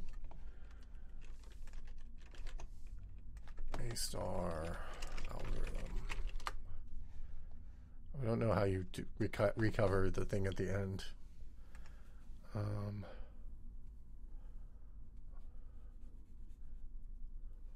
reconstruct path.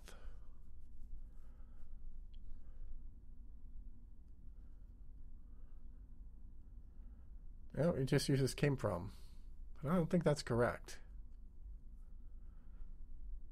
Because you can re update them.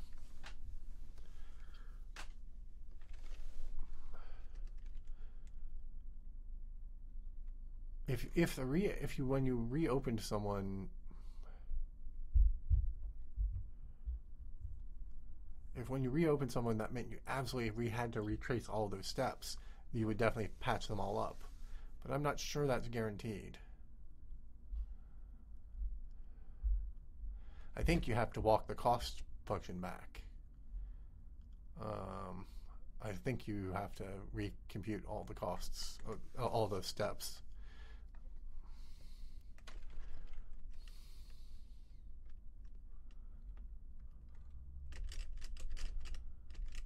This is the kind of thing that lots of people would get wrong, though. I can imagine that's not. Yeah, lots of introductions to. Where's the like actually correct thing? No, I don't want to open a PowerPoint. No.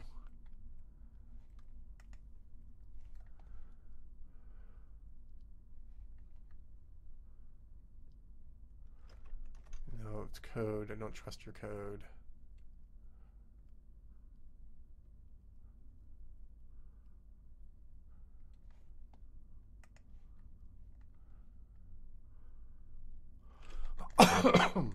I guess I'll have to read one of these intros and see if any of them get it right.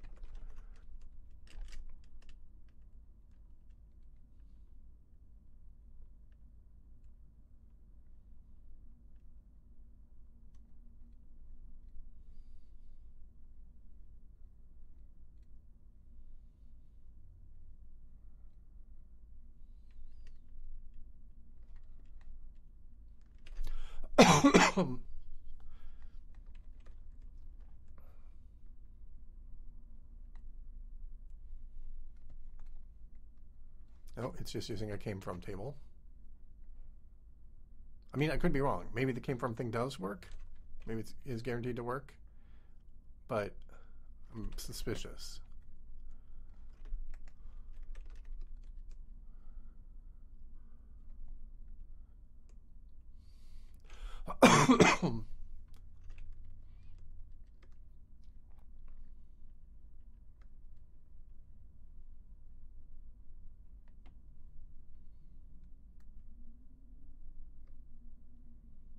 Nope, that's incorrect.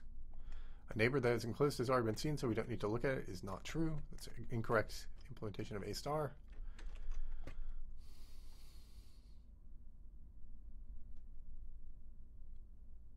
All right, if we forbid reopening, then it might be the case that this would work.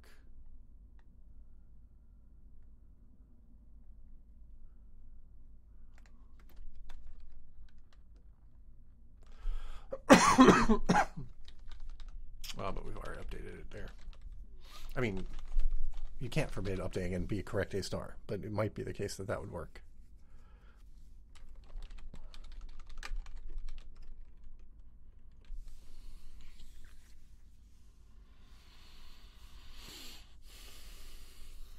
It took me so long to trigger that, though. I don't know how easily I could trigger it again.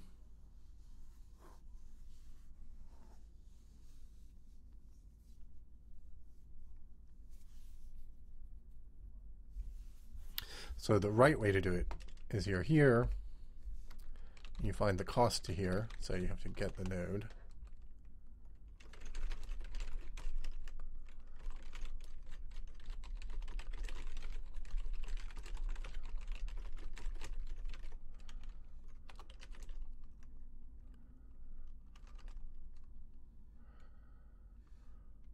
Oh, we have the node. It's n.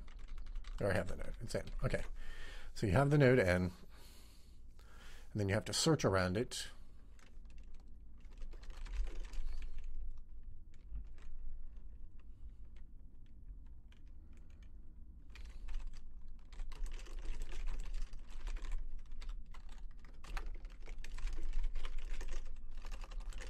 And you're walking backwards, so this is opposite of what it is here. Max step up, DZ max step down.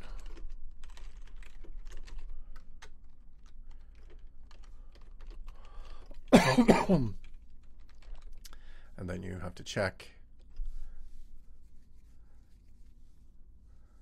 um, this all again.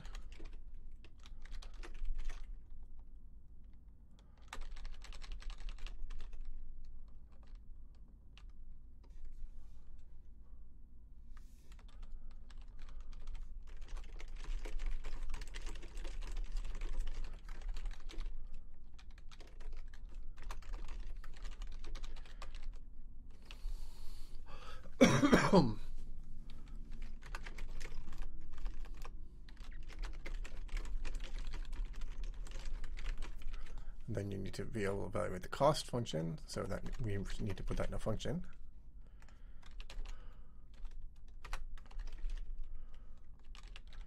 Again, this is reversed, so it's now d0 greater than 0.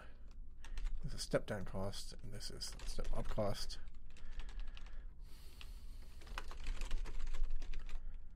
Um, so what we want to do is get the node.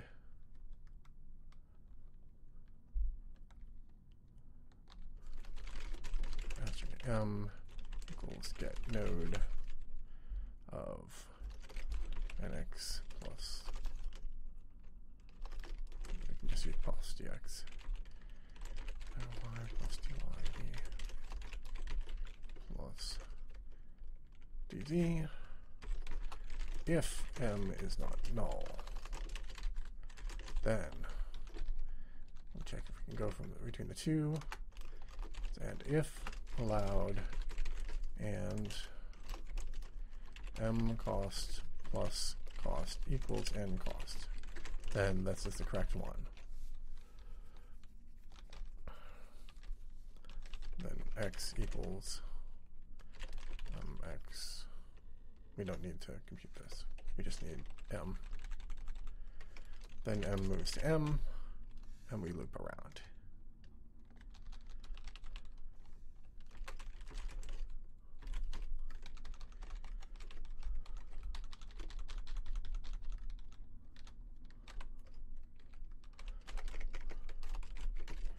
And if we get to here, we didn't find anything that worked.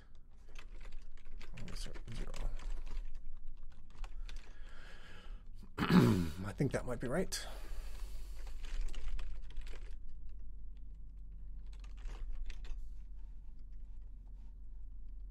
And then we can actually do these tests in the other order because we require both of these things.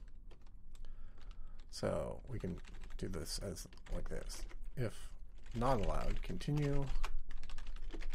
I'm going to write this one as if um, cost is not equal cost. Continue. And then this. And I'm just I'm using a go to because I can't break two levels. Um, and because I've rewritten it that way, I can put these here and I can move this up to here so we don't do this expensive computation unless this cheaper computation works.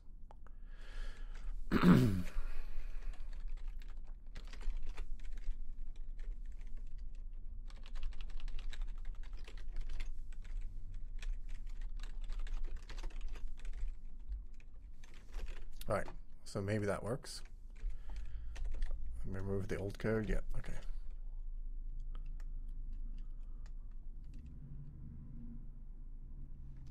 So, see if that even attempts to work. Nope, it doesn't work. Um, so we try cancel. Step out of this.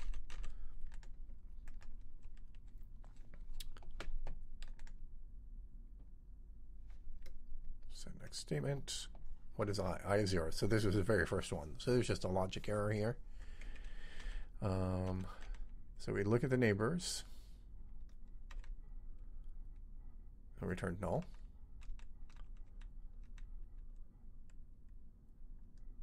Okay, so let's look at what dir ought to work. Um, so n arrow dir 0, so it should be opposite direction, so it should be 2, and n of d0 negative 1, which should be 1. So we want to go to dz is 1, and dir is 2.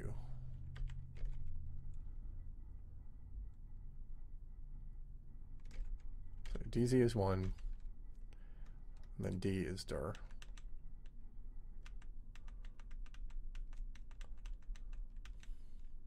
And there we go. Dir is 2, m was non-empty. And then, oh, it's m cost yeah, this is in the opposite order.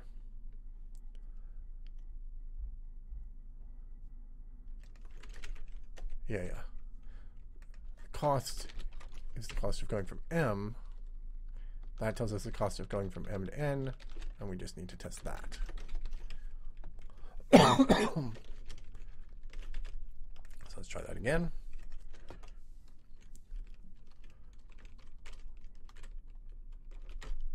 Nope, still fails.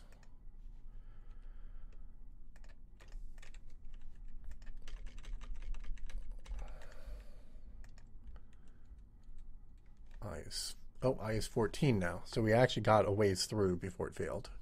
Um, wait, we lost the whole check of did we make it back to the beginning?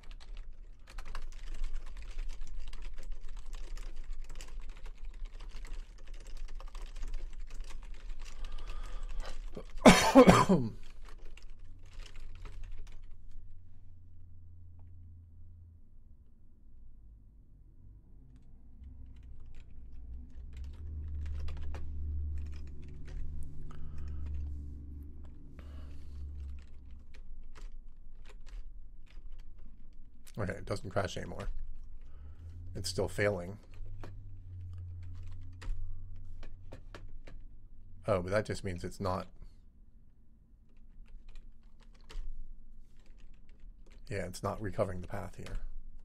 Well, no, because that would assert zero if it weren't recovering the path. So those were just failing. And now it's failing to recover the path.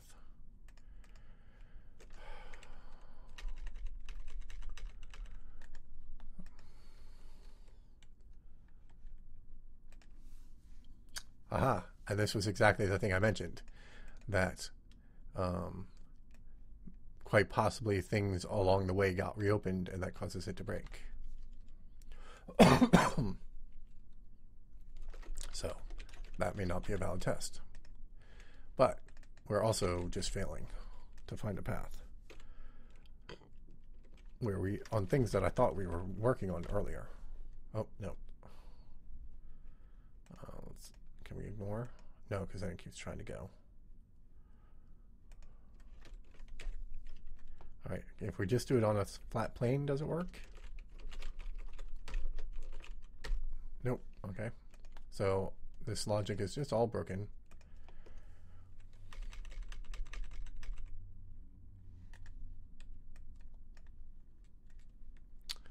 I is 3.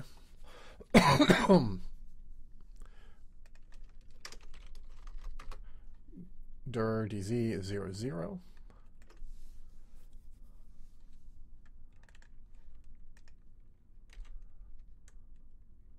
So we want to go till dz is 0. And then we want dir 2 again. Okay, here's the one that should work.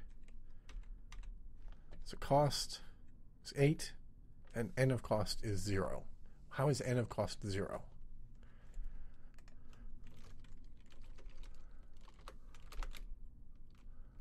n is 0, 0, 0. So we did make it to 0, 0, 0. Oh. Because I'm testing this wrong still.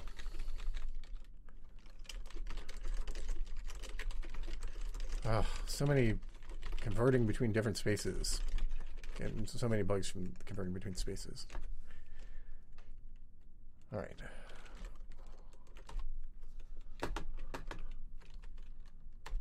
So it's not drawing any nodes. Okay, now it drew a whole bunch of nodes and found no path. There it found a path. There it found a path. Path. Okay.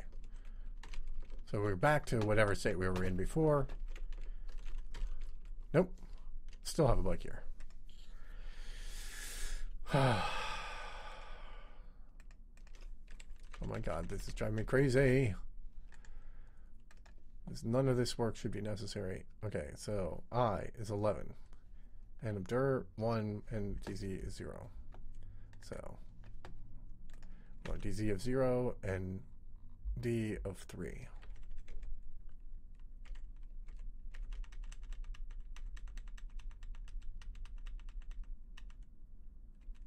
Okay, here's the correct one. So cost was 37. Let's see if it adds exactly 4. Yeah, that ain't right. Okay, so how is M's cost higher if that's where it came from?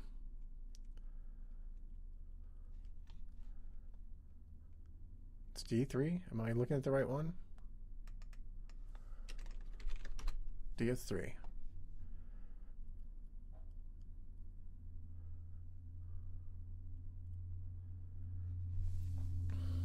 So if you try to go from N to M,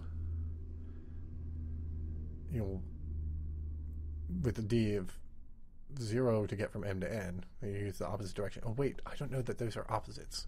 How did I do that? I think I did it that way. It's dx array. Yeah, they're opposites. Okay. How could M cost be higher than N cost if stepping from M to N, N should always have been. Oh, but if M got reopened, we updated its costs again. So maybe it is correct that you can just use the came from direction, and this implies there's some other bug where we're not doing something correct. If you ever reopen an old thing, it should always, every step of the way, should always be cheaper than it was before. Yeah, it, it, it should work. Okay, this shouldn't be necessary. Uh, I'm going to F0 it out, though, just in case I'm wrong, because it's not in source control, so I want to make sure I don't lose it. Okay, so the thing that we did instead is we said XYZ. Should have saved that code. Should have checked it in at some point. Um, x equals mx minus dx of n dir minus ny minus dy of n dir z equals mz minus n dz and equals get node xyz assert n just unequal null assert n arrow status equals a closed. Okay, I think that is actually correct. It should work. It should not be necessary to do this other thing. So that implies that something up here is not obeying all the rules. Get smallest open. Is it definitely getting the smallest open? Cost is less than best cost. We loop over all but one. We seed it with zero. That seems correct to me. Then we use best I and we return it. So it seems like once you decide something is cheaper, then it should always be smaller and you should always re explore it. So that seems correct.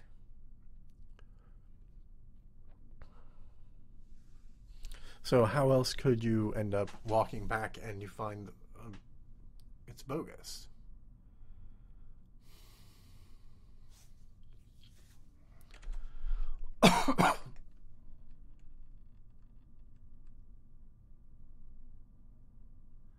For cost calc, it does dz greater 0 and an else, which always incurs up cost. Um, how do you mean? You mean the you mean the question mark colon or an actual else somewhere? The by by definition, I made sure that the zeroth entry of this and the zeroth entry of this are always zero, so they don't pay any penalty if dx is zero. I just did that as a makes it easier to not explicitly test that case. I could explicitly test that case just to make sure, but as long as I make sure those are always zero, it doesn't matter. Um, but yeah, reasonable thing if you don't know that, because I didn't vocalize all that, or and if I did, you wouldn't necessarily remember it. So it's a perfectly reasonable question. Um, so I think maybe I just need to let that break again and look more closely at it again when the when it gets a null node.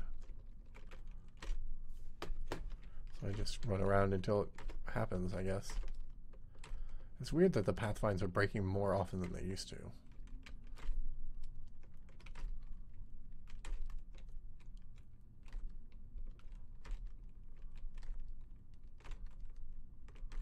And of course, now they're not breaking at all.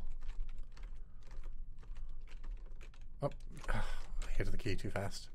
And sadly, for some reason, O is a character in the assert, even though I thought it's just ignore, retry, cancel. Why would O mean anything?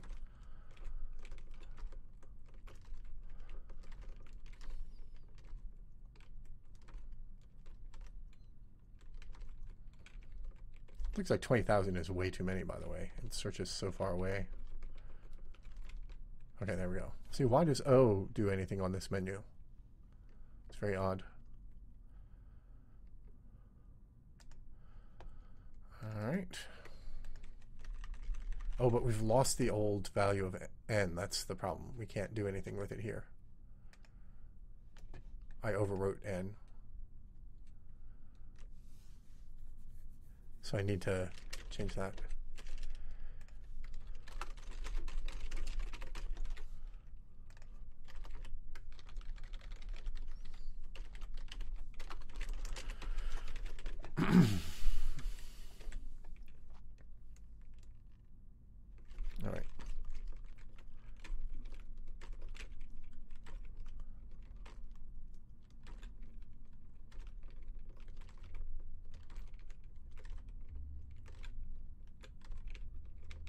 maybe I'm moving as well, so I'm hitting A. Yeah, I'm probably hitting A because I'm moving.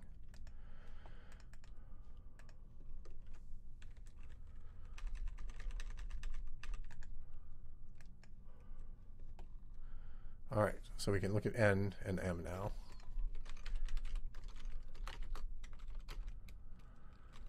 So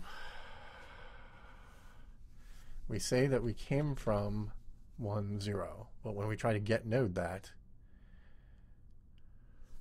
all right, so what is x, y, z? x is negative 1, but n of x is negative 1. How did that happen?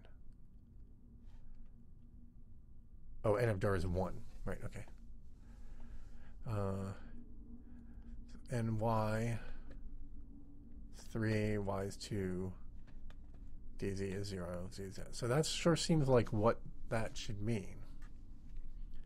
But how do we have a get node return nothing for that? So, right, so let's go back to this. Here's where we create it. dx of d we always filled this out with d and dz. So what is now n was m back then. And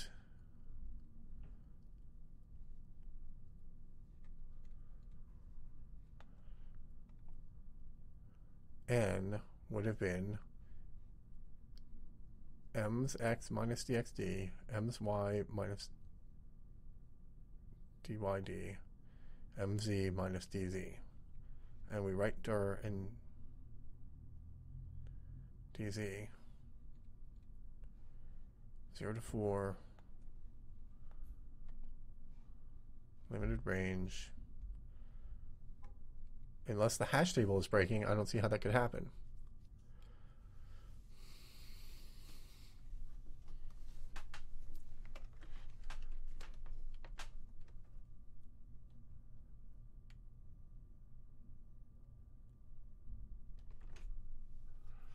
Um, how would that? So how could you?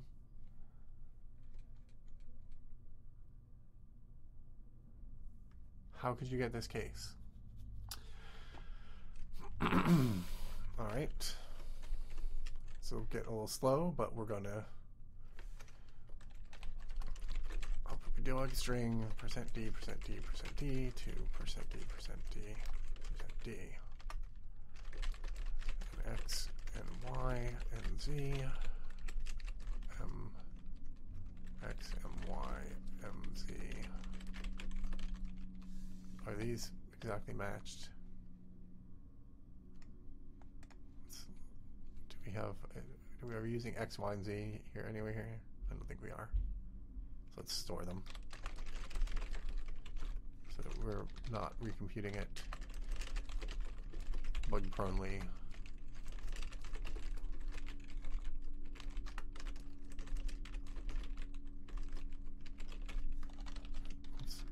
typo. Let's actually do that up here. Right. And then we can replace these as well. X, Y, Z. This becomes X, Y. This becomes Z.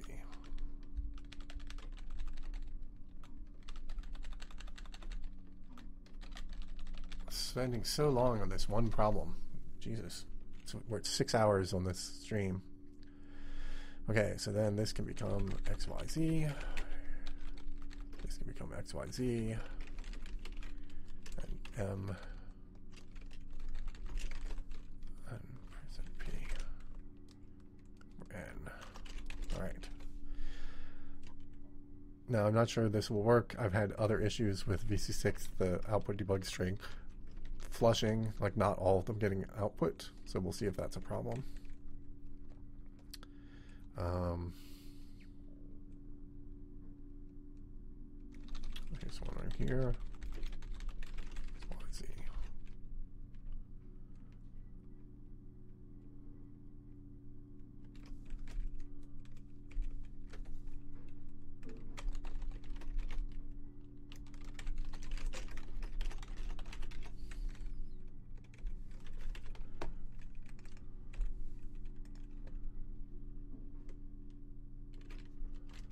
Course, if it prints 20k of those, it's definitely not going to be very effective.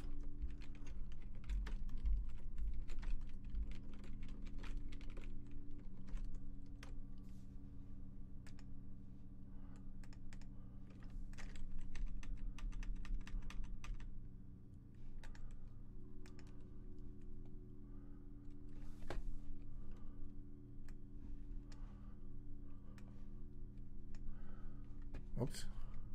That's not what I meant.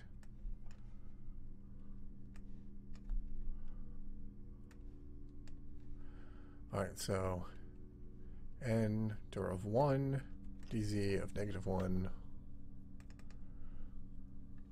So uh, it's the 0, 3, 0. So it should have gone from 0, 3, 0 to 0, 4, negative 1. I don't know how far back I'm allowed to scroll in this, though. I maybe need to redo that and put a marker in for the boundary. Here's a 0, 3, 0. That went to 0, 4, negative 1. 0, 4, negative 1, right here. So 0, 3, 0 existed in one of these searches and should have been this pointer.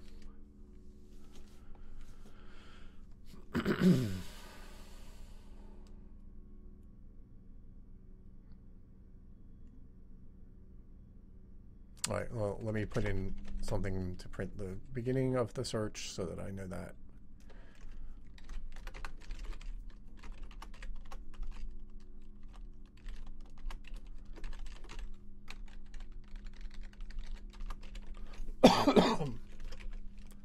Is there something going wrong with my hash table? I've used this hash table. Well, I haven't used a pointer map, but it's the same thing. Maybe the way I'm building the pointer map with the because it's a hack because I'm indexing with integers is a problem.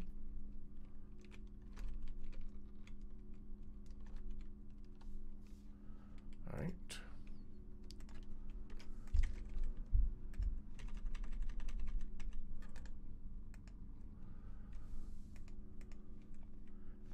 All right, so 0, negative 11, negative 2 to negative 1, negative 11, negative 2. So 0, negative 11, negative 2.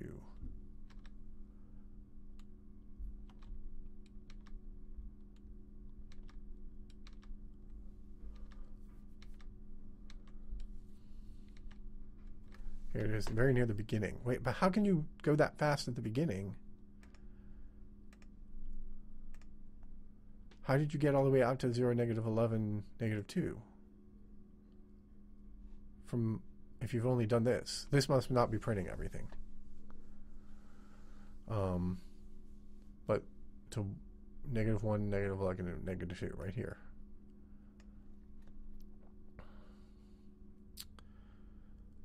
Um,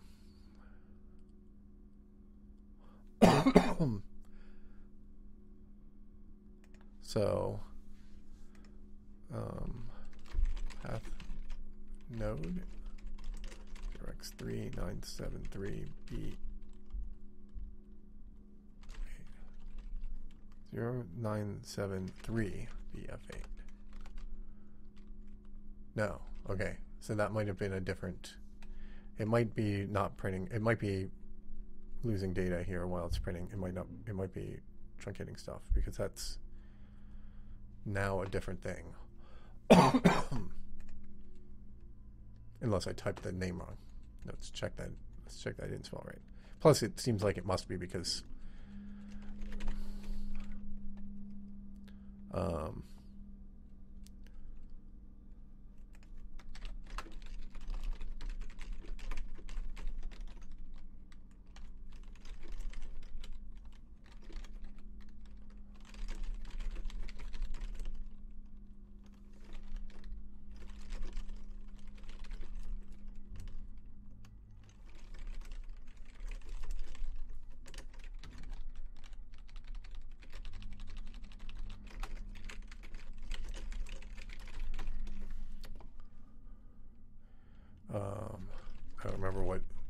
SDL calls the sleep thing.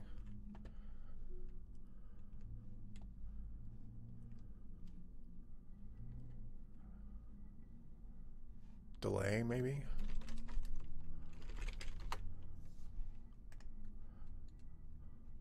SDL delay, okay.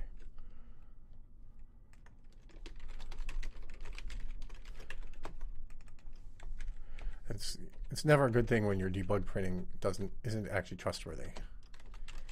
It's kind of a problem. Do you update Dura and DZ when updating a node? Yeah, I do. I'll I'll double check it, but I'm pretty sure I do.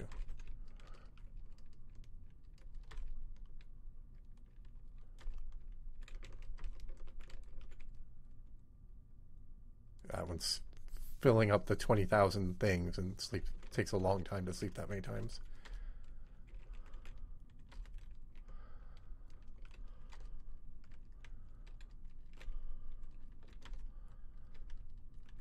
So you can see that uh, they use some kind of buff, shared memory buffer to communicate because you can see it still updates after if the game has started moving again. It's still updating that thing. And the problem is that shared memory buffer is only so large or something, I don't know, and so it just truncates in VC6. It just overwrites itself. Come on. Oh, there's the slow one again.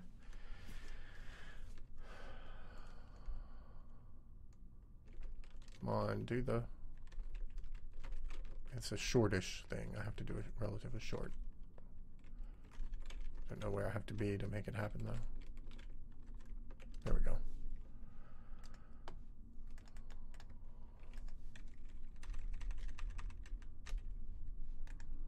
All right, so,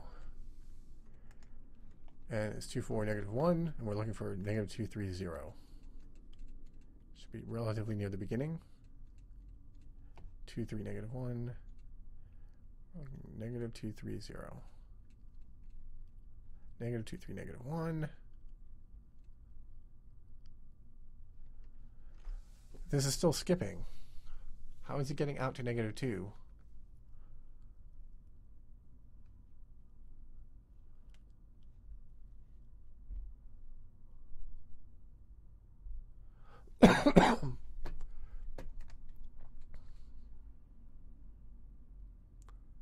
oh, I print this even if the cost isn't cheaper. So it's I'm printing every possible connection, not every real connection.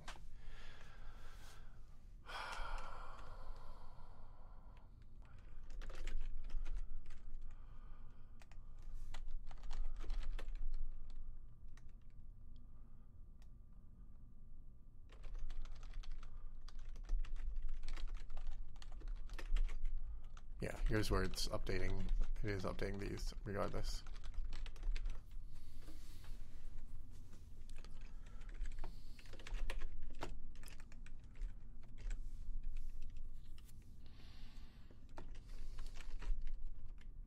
It's not actually efficient because of the bad priority queue, but when we fix that,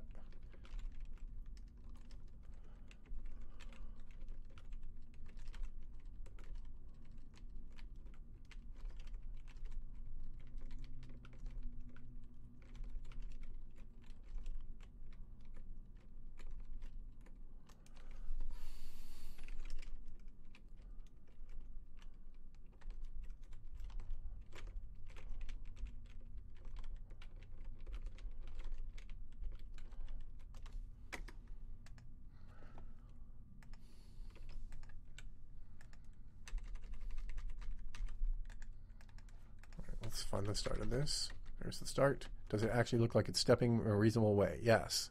Now it's actually stepping in a reasonable order. All right. So negative 631 is supposed to be coming from negative 620. Negative 6. Wait, this never reached to negative. No, I'm still missing some data here because I've got a negative 6 without ever a negative 5. But all right, let's see if we have that that one anyway. Negative six two zero is that in here somewhere? No, I don't actually see negative six two zero in here anywhere. Do I see anyone expanding to negative six two zero? Negative six two one. No, I don't ever actually see anyone expanding to negative 620. So I'm not sure. Negative 622. All right, let's sleep a little longer.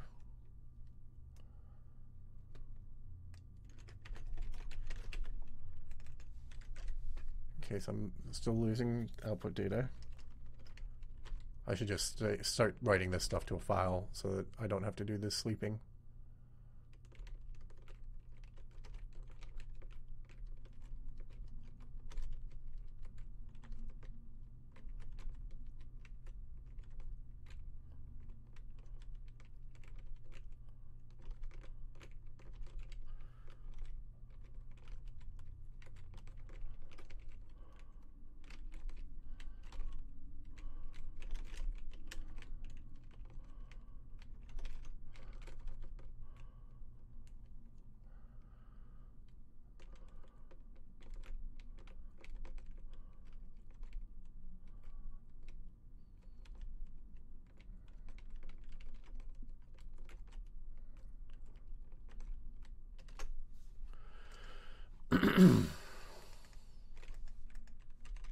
If it it's looks like bad data again, I'll I'll switch it to writing it to disk.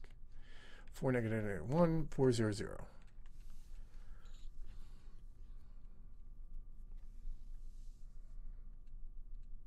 Four zero zero to four one negative one. No, four it's both negative ones. There we go. This one. Right here. Not sure how it got out to 4. It didn't seem to have print, printed how it got out to 4 here. But this gives us an address we can look at.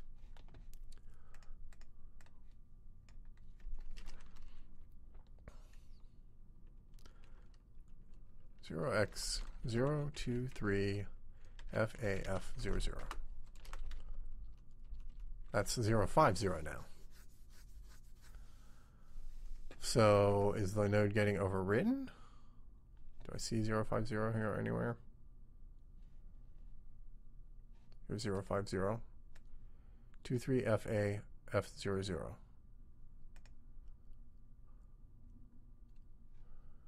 Two three FA F zero zero. So how did that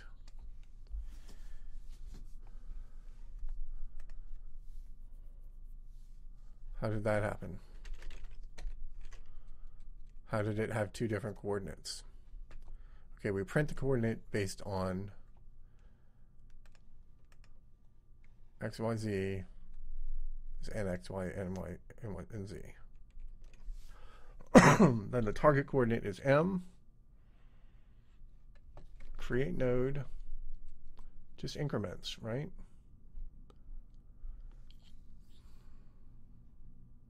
Node alloc plus plus. How would that ever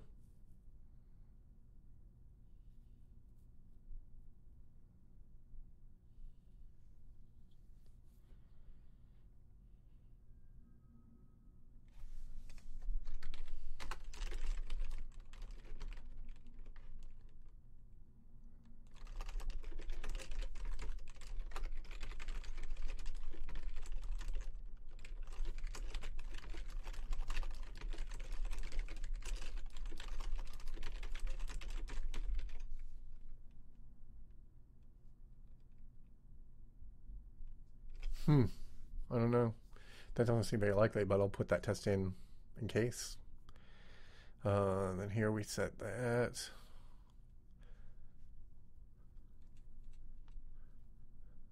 But if we if get node does succeed, we don't rewrite this data, so it wouldn't even matter. Even if somehow that were wrong, it shouldn't be able to overwrite it with a different set of coordinates, right? Because we print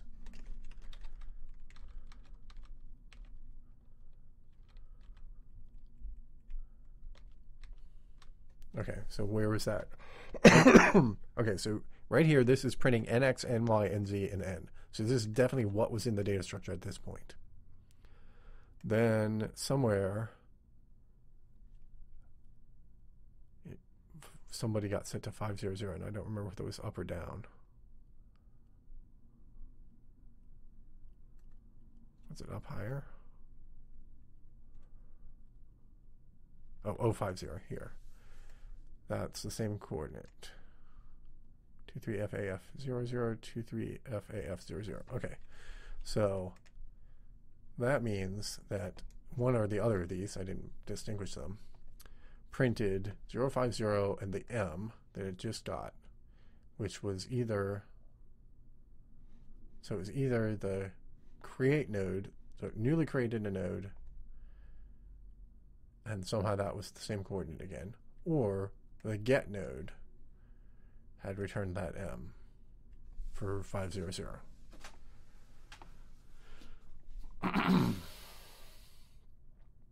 Which would imply the hash table is broken. But then it shouldn't have actually overwritten the 50. It never rewrites the 500 here. So when, yeah, if, I guess it were hashed at the wrong spot. Okay, so then when we create the hash, we reuse this, which we already set here. We don't actually use the, we don't fetch it out of nx, ny, and z again, but we do use that. Um, so I don't see how that could happen.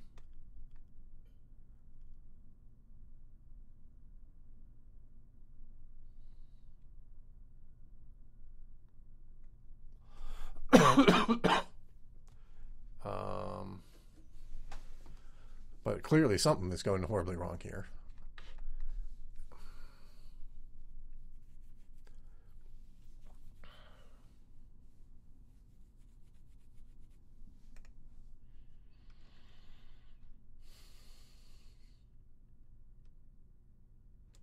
I guess we'll just try it again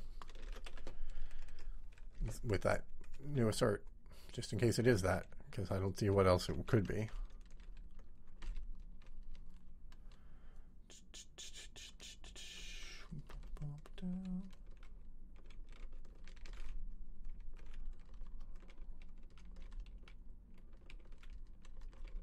Oh, I hit A.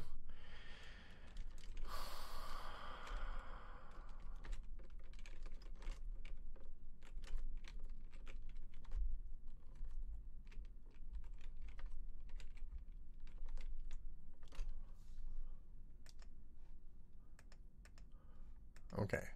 So it did not assert in that thing. It's still back out here. Negative 3, negative 7, 1, negative 3, negative 6, 0. So we'll find negative 3, negative 6, 0. Doesn't look like I can see it here.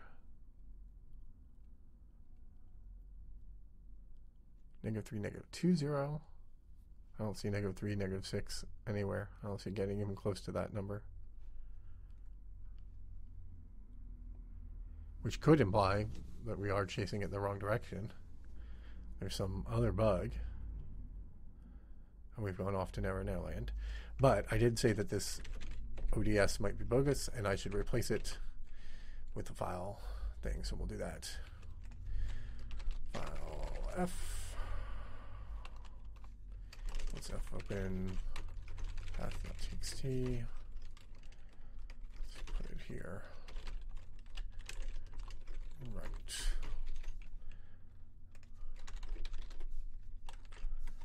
And then we f write. New. So we f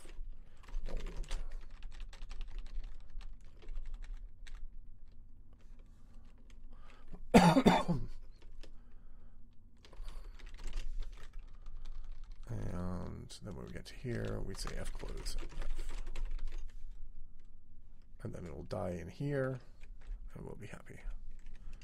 F write, no, F print F, sorry.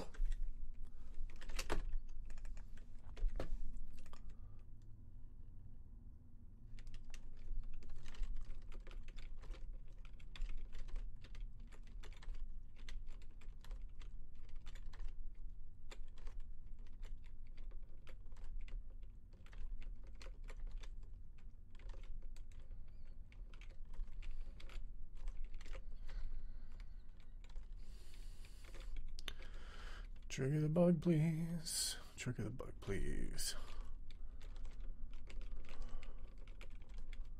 Trigger the bug, please. There we go. Dun, dun, dun. All right, now we can be confident that we will have all of the data in here. So we're looking for 320. Look, 320. And it should have connected to 42 negative 1, and it did right there. So this is the address. We're looking at node. And I need to zero exit. And it's negative 200. So somewhere down here, we'll see a new a negative 200.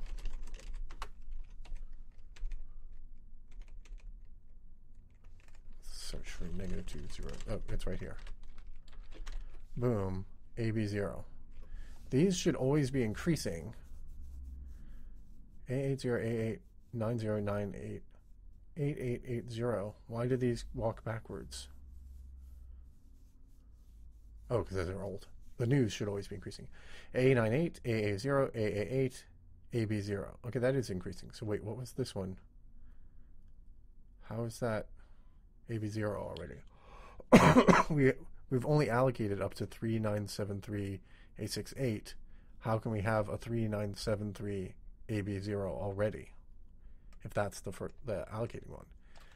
Okay. So that means the get node is returning us something stale from the previous round. Um, but how can it return us something stale from the previous round? We've recreated the pointer map every time. Get node is using that, right? I'm not confused about what get node does. Get node looks in that. How can that return us an old one? And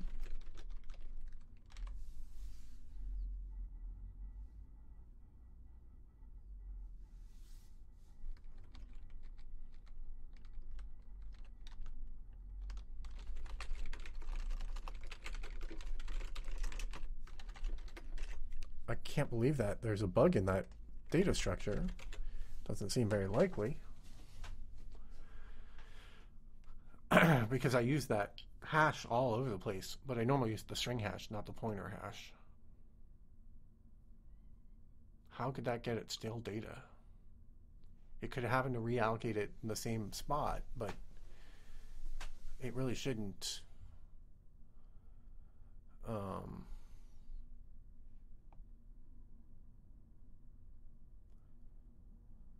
Am I, am I missing something? Is there some other way that this could? Is there any way other than this data structure being broken that this could happen? Um.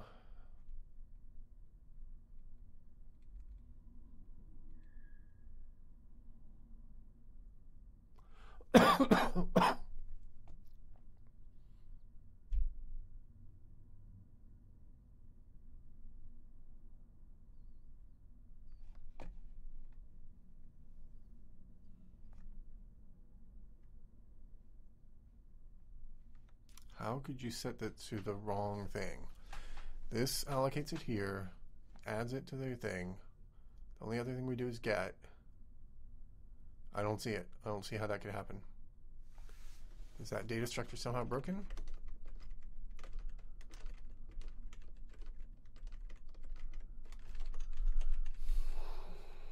It's just a hash. I use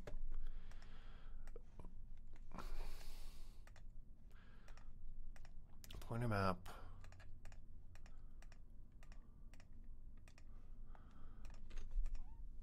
Check the quality. No, but I mean, none of that should matter because it's, it's up here that we init it. We init, do we memset? We malloc, then we iterate over it and set them all to empty.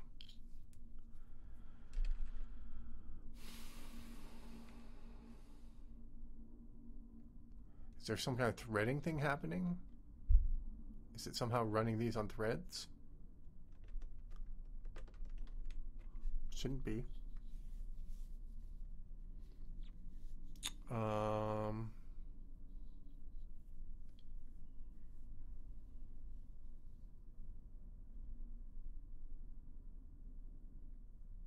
it's doing it from the UI, so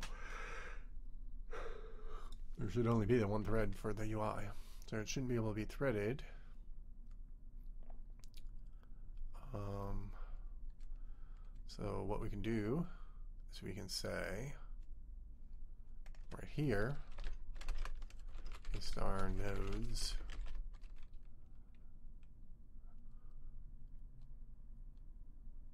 count equals node alloc.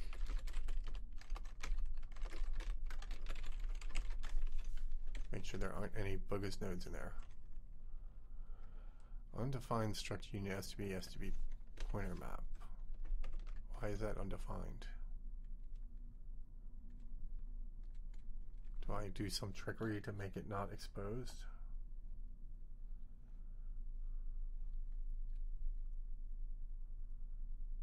I don't think so.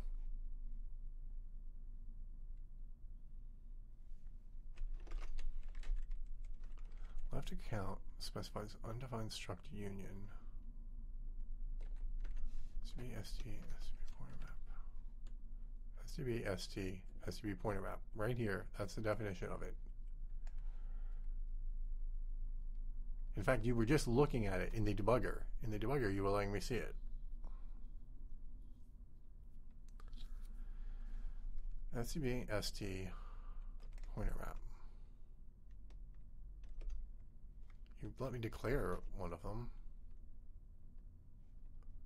A star nodes is a pointer to one of these.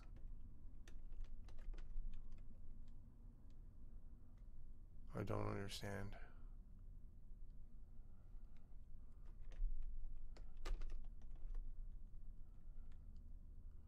Is pointer map a wrapper around this? No, it's that right there. STB pointer map is that, and its value is struct STB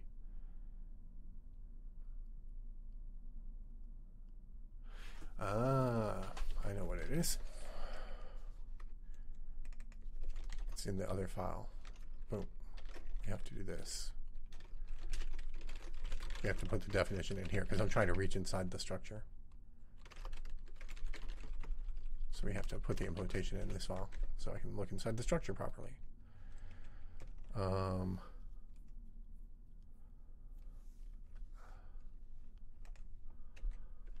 Oh, but this is.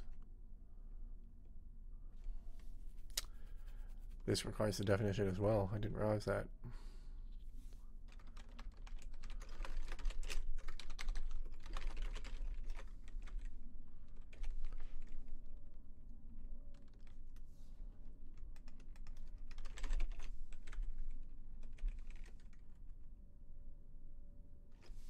No, wait, it's still claiming it can't parse it.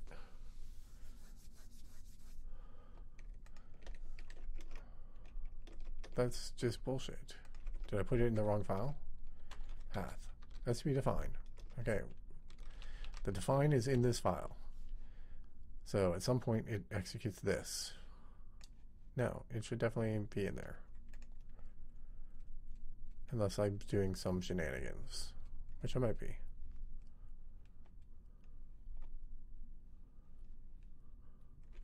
No, I'm not.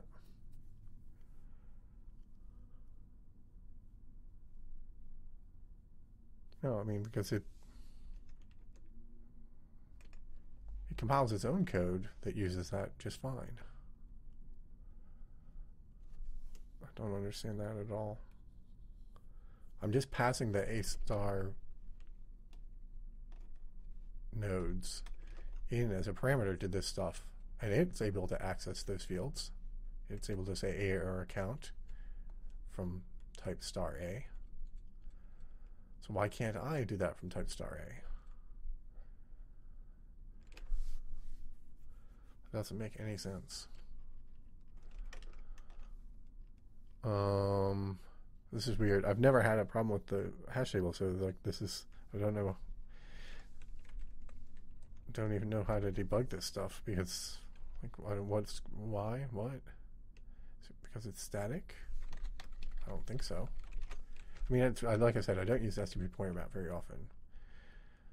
Suppose this were not pointer map. Suppose this were SDict. Let's see what errors we get. This needs to be a char star. Oh, it's calling pointer map get though.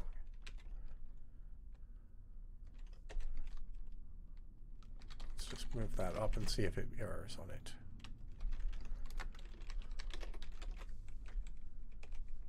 Yes, it does. Okay, so that would happen with SDict as well. Let's see here. Oh, but they're only pointers. But no, the definition is in the same file. How can it not see the definition? Does not make any sense to me. How can this definition not be visible in this file?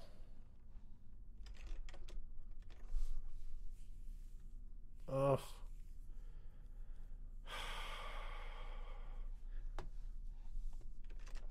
Let's make the definition the first thing.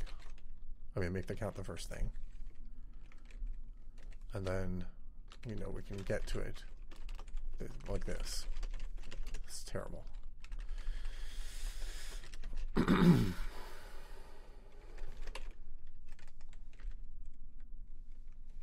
oh, because it's just not being defined. Somehow this is just not working. That's why that was failing.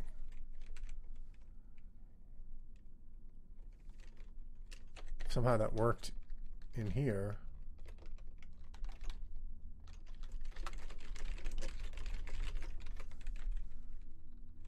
But it doesn't work in here. Why is STB define not working here? I know, because it's already been included. And I don't handle that case correctly. All right. Jesus.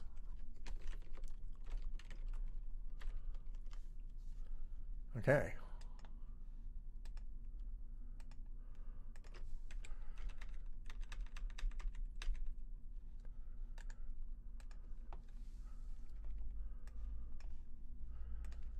So,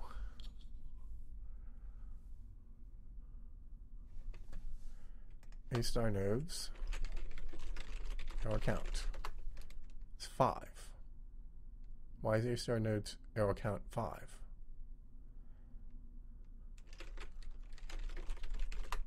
Oops.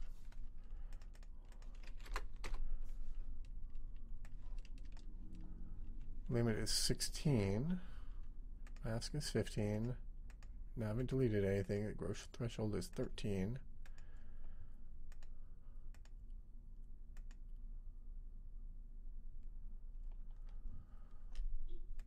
Um, we haven't hit the deleted case.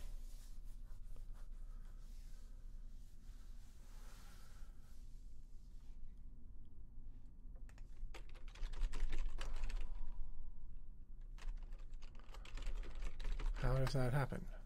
Oh, no. Okay, 5 and 6. Not 5 and 2. Ah, and that can happen if EV, because EV exists. So they can be off by 1. That's not outrageous. Um, and actually the DV case as well would be would be the, the other one. So um, replace this with count plus a star nodes has empty plus A star nodes has del. It's the actual number of things. I guess. I guess that's how that's implemented. I would have thought it would still be in the count, but maybe not. Um,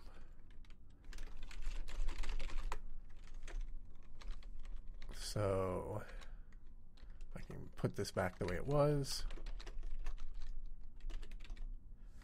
And count. How does that work? Oh, no, we just early out even before it. So that's why, yeah. We handle those cases early. So the count never even sees them. Yeah. All right. So now,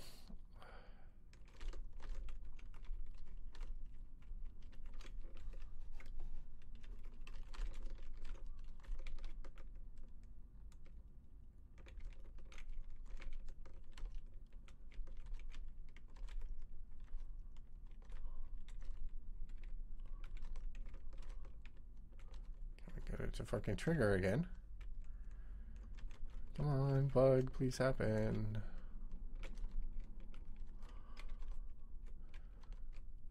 Well, I can stop flushing all the data out to disk now because I've now tracked it down to a different spot. So that, okay, there we go.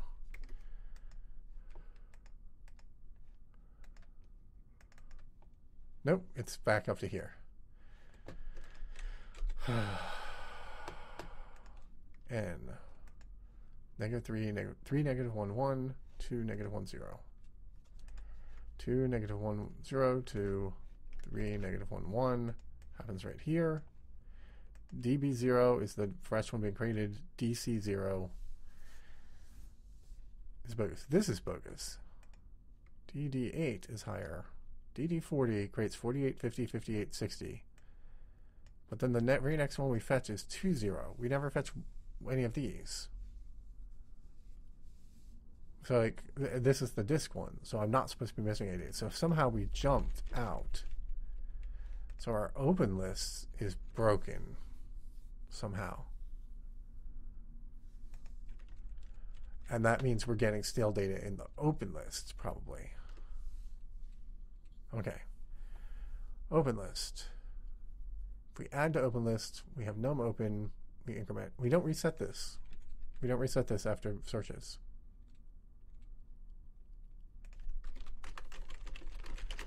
so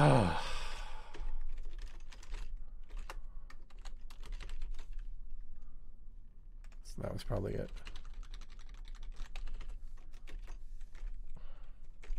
Because that would just be totally broken. Surprising that it, that stuff ever worked with that not being reset.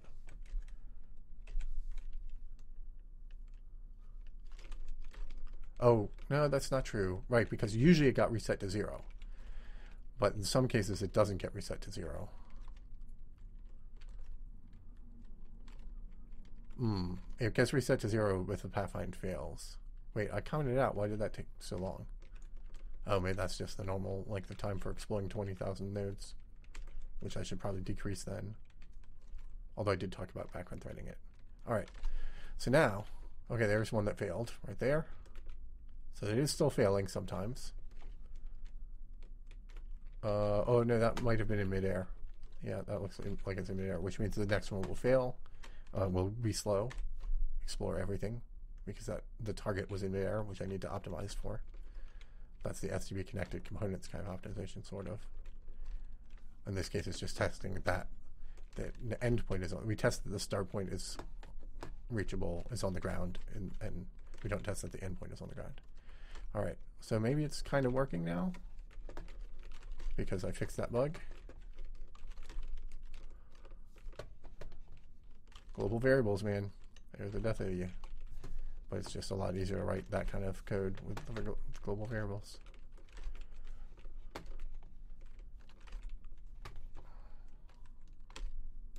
Okay, so now you can see that that was a very bad path that it found here. Um, in that it did this well curly Q, which means the A star is not working correctly, but at least it's finding paths, even if the paths are buggy. So um, let's clean up this dead stuff that we don't need anymore.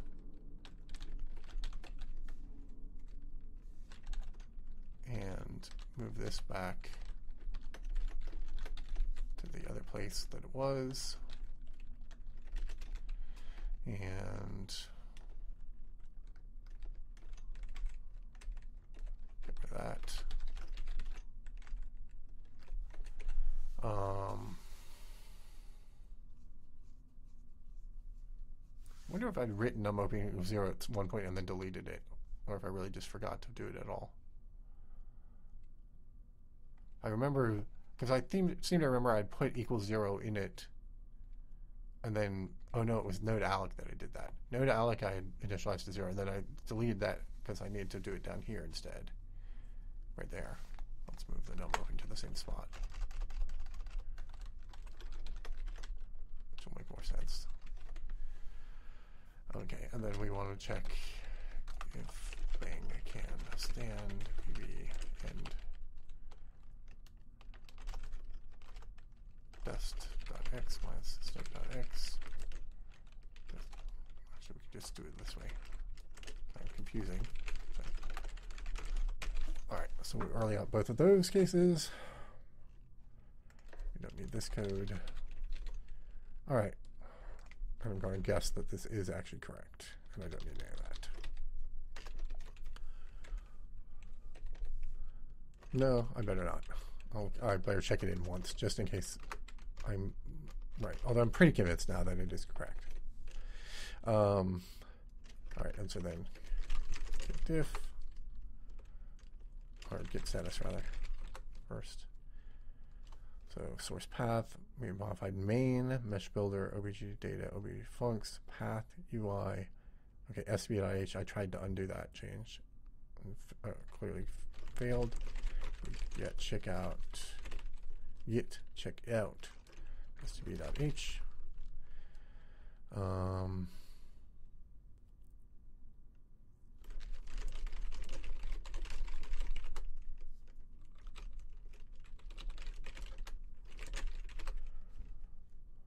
right, so we had to build new path data. That's in Mesh Builder. We UI for debugging. Not sure what changed in that. Ah, yep. That we can undo again. okay, so um, path finding v1. All right. So got the SDL delay in there. Thank you. That would explain why it's still slow. Oh, I see it. Yep. Uh, and then get rid of S hack right there. Which shack? Uh, but I meant S hack. All right. So now we can debug why the pathfind is not finding the shortest route. I don't know how we're going to do that. Um, have to make it happen again.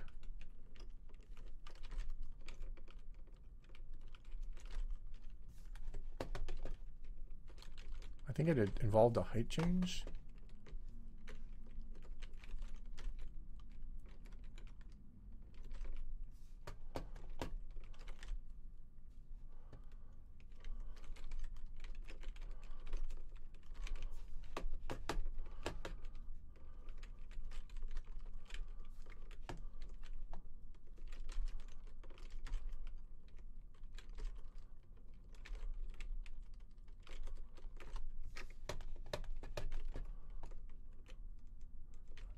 Here's a weird one. Okay, so oh, that's right, because I said the A star is not the the heuristic. The estimation is totally wrong, which is why it searched out from the start way too far this way, because the heuristic is um, bogus. Although that's too far. Actually, that went way too far. It shouldn't get that far away especially not only in one axis. Why wouldn't it do that in both axes? So I wonder if there's a bug there too.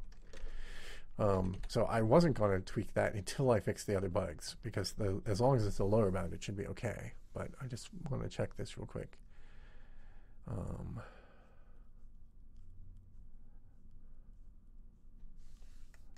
yes, that is incorrect. Okay, there we go.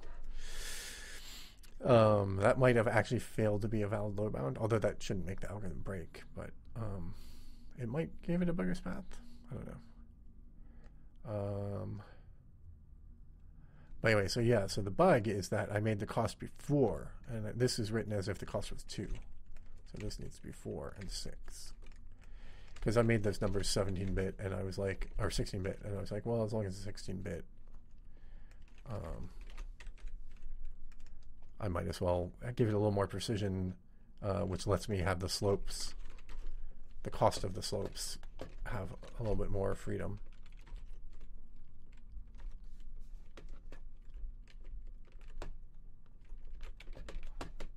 So some that one time I had it double back. Okay, there one, there's one that just failed. Oh no, I was in midair. Okay.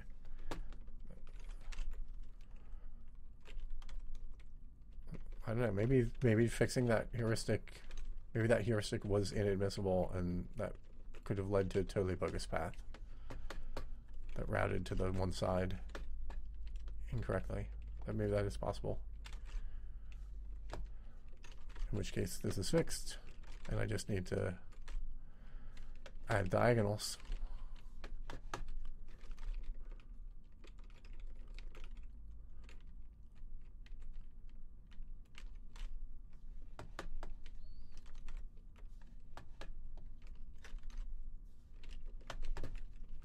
Looking good. I think it's working.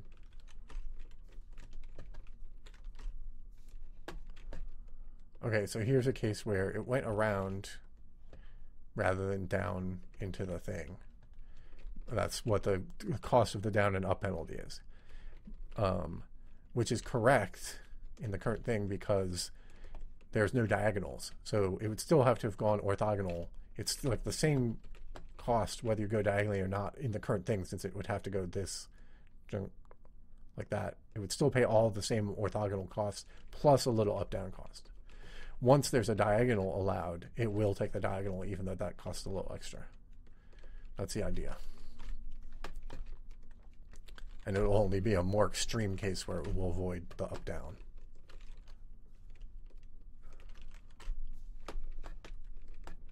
All right, looking good to me. So let's go ahead and do the diagonals.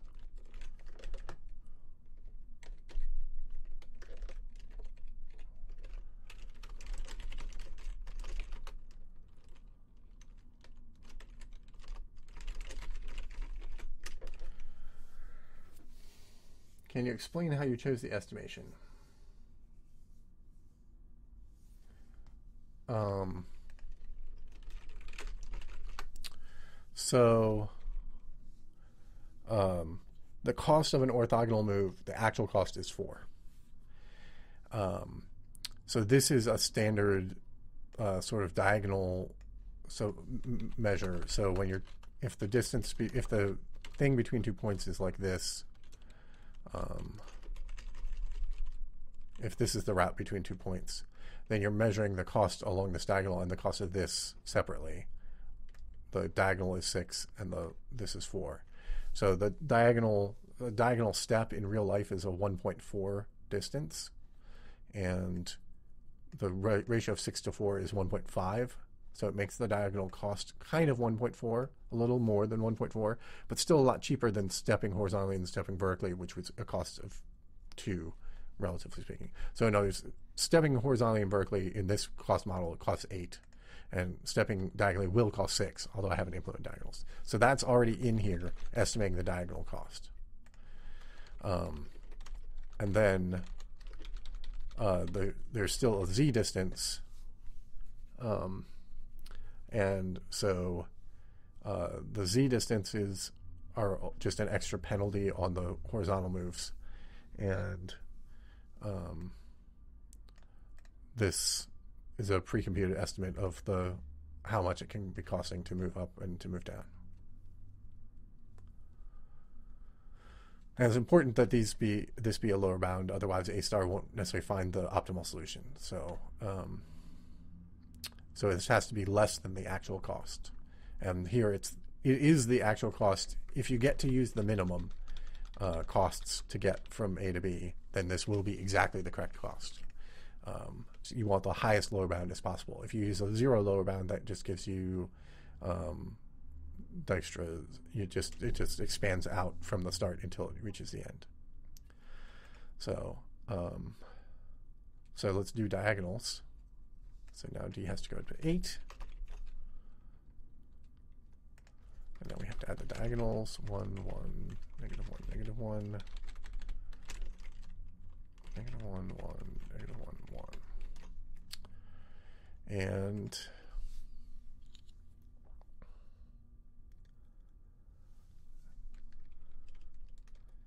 um, if d is greater than equal to 4, then it's a diagonal move and we actually have to do a little extra work.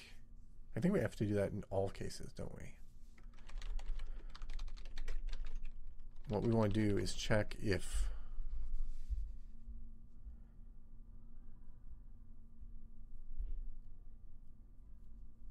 what do we require for a diagonal? You have to be able to move Not if it's step up. Okay, so if so we'll overwrite allowed at this point. Okay, so if it's diagonal, then we need to do some special stuff. We need to try both orthogonal steps. So if dz is less than equal to 0, then if can fit pb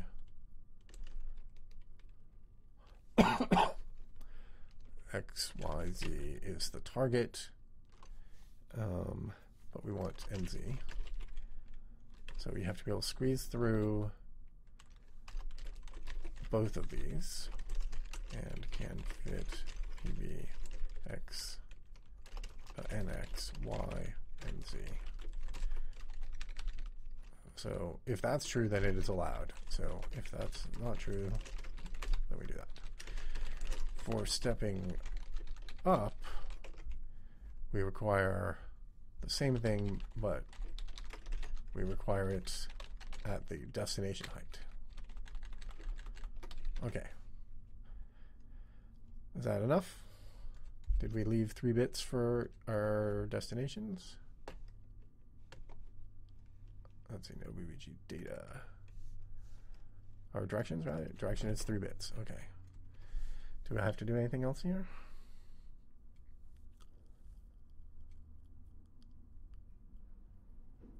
Yes, the cost model then has to be adjusted. So first we pay that, and then we say if d greater equal 4, uh, we just do this. If it's diagonal, then we add an extra 2.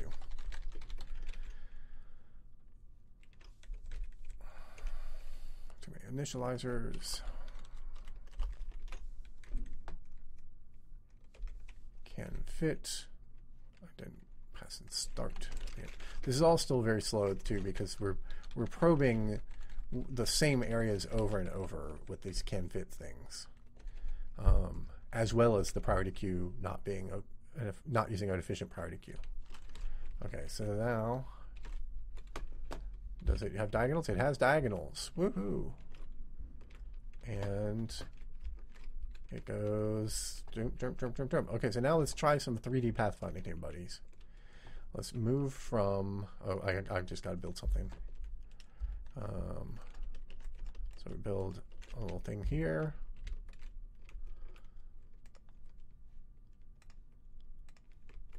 Okay. So now you can get up on that. And then um, we want a thing over here.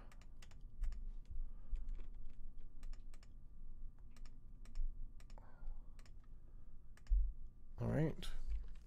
And then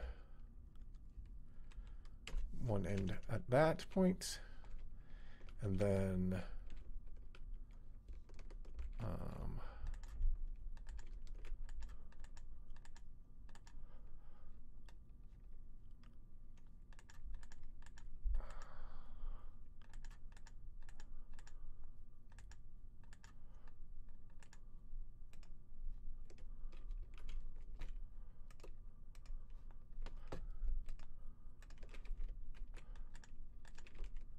and then the other end down here. Boom. It did not succeed. all right. One end here, and one end here. None of these are, uh, are succeeding. Oh wait, the other one didn't even show the yellow dots, so I'm not sure what that was. Okay, finding that. Can we get onto here at least? No. Is this not updating the physics correctly when I when it's stuff I've built? What about just to the other side of it? Hmm. Hmm.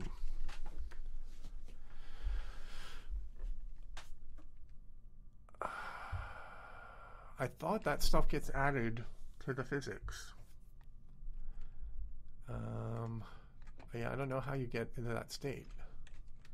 So I'm not sure what I can look at here.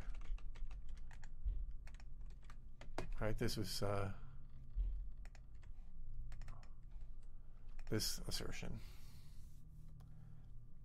So the status of M was open, which I was pretty sure couldn't happen. Negative 4, 6, 1, negative 3, 5, 1. It's a diagonal move.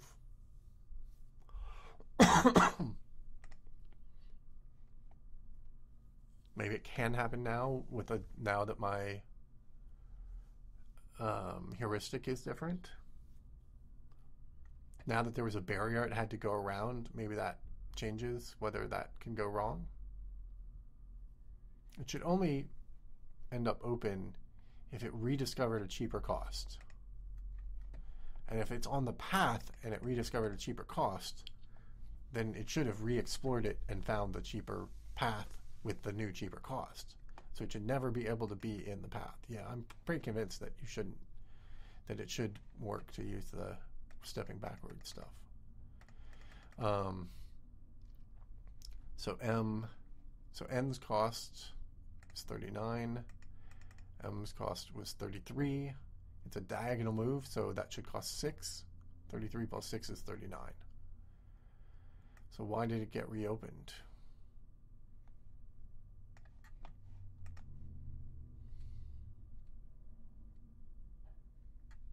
M status closed.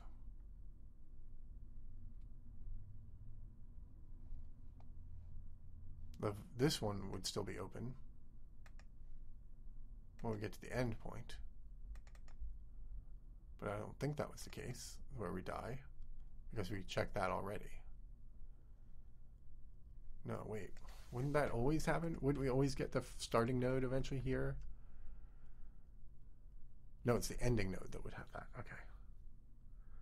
Yeah, we never queried the ending node here.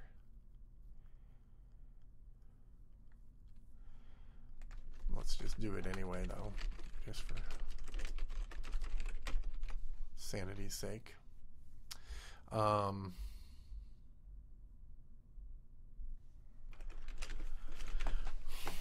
okay, I don't know what happened. Let's try and make a simpler case go wrong.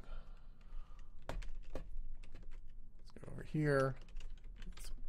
All right, first of all, let's go around trees. Let's check that going around trees works.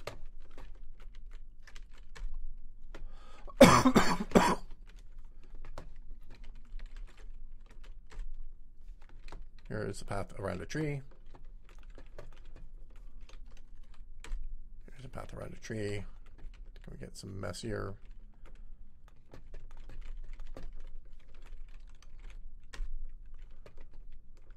I didn't find that path. Didn't find that path. Oh, I was in the air. That's why. No, I'm wrong. Unless that one was in the air. Oh, that one was in the air. Okay, now here's an interesting one. It explored right at it, but it explored way out this way. And the reason it explored that way out this way because this is cheap to traverse because it didn't have to go up and down any, right? Because there's a penalty for going up and down. But it still should be estimating the cost of going up and down and not expand out that far that way because it knows it like it the cost it spent going up here is the minimal cost to go up. So the estimates on all the others should include that same cost. And they shouldn't have actually explored out that far. Let me look at that while I'm thinking about it. All right, so PV estimate, I don't know if that's up cost or down cost. It had to be up from the where they were. But I thought we went from start to Hmm. All right, so then let's look at where we set that, which is in world. No, it's in UI.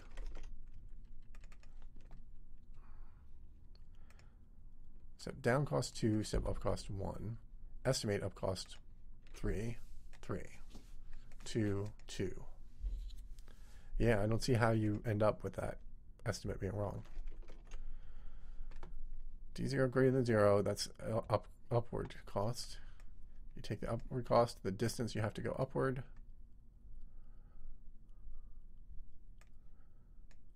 Downward cost, the cost you have to go. Yeah, I don't see why that would be wrong. Hmm. All right. Um, so I think that was mostly working. So let's go ahead and now build our pillar and Pathfinder around it.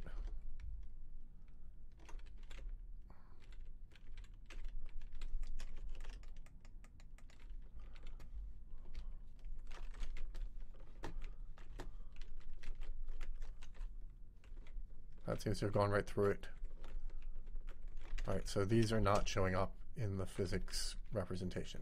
But they are in the physics, they're just not showing up in the pathfind. So I must have something setting that stuff on a different path than the one that I updated, uh, which was Mesh Builder. Build phys_chunk, but I didn't touch update phys_chunk. Update phys_chunk does what? It just takes one single point and rebuilds it. Okay, so we can just do that. Why does it do? Why does it walk over all of J and I? Oh, because it had to. Yeah. Because it had to reallocate everything. So, MCA or um, PC dot path data. Is this in relative coordinates? Yes, it is ey of ex dot data of ez4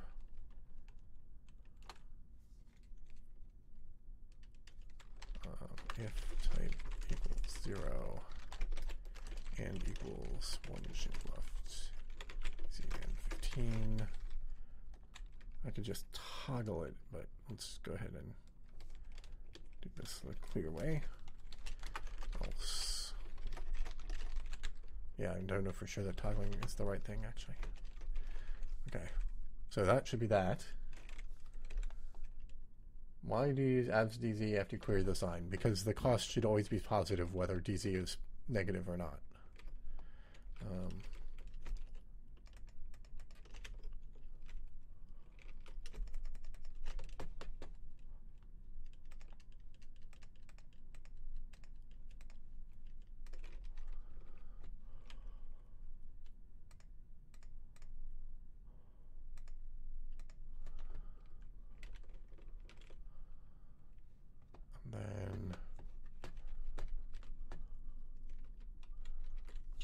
here up to here. Although actually it's going to go the other direction. All right. Yeah, so it jumped off. You can see it took the little leap down here, cut off the corner rather than go all the way around. So now let's go pathfind in the opposite direction, which can't leap up, and see what it gets. So it goes over here, Goes over here, steps up, steps up, steps up, steps up. Boom. There you go. 3D Pathfind. Yay. That crosses over itself. That was why I was trying to set that up, just so you can actually see that. and then, uh, so if you have multiple places you could come up,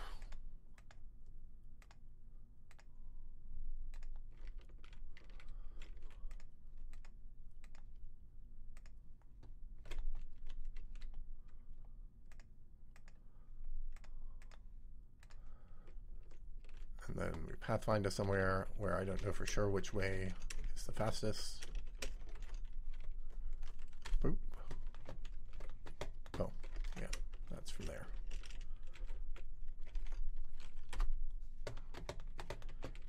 So this one took this route down, but if we go over here, say, mm, about here, Okay, it takes this one, but not that one.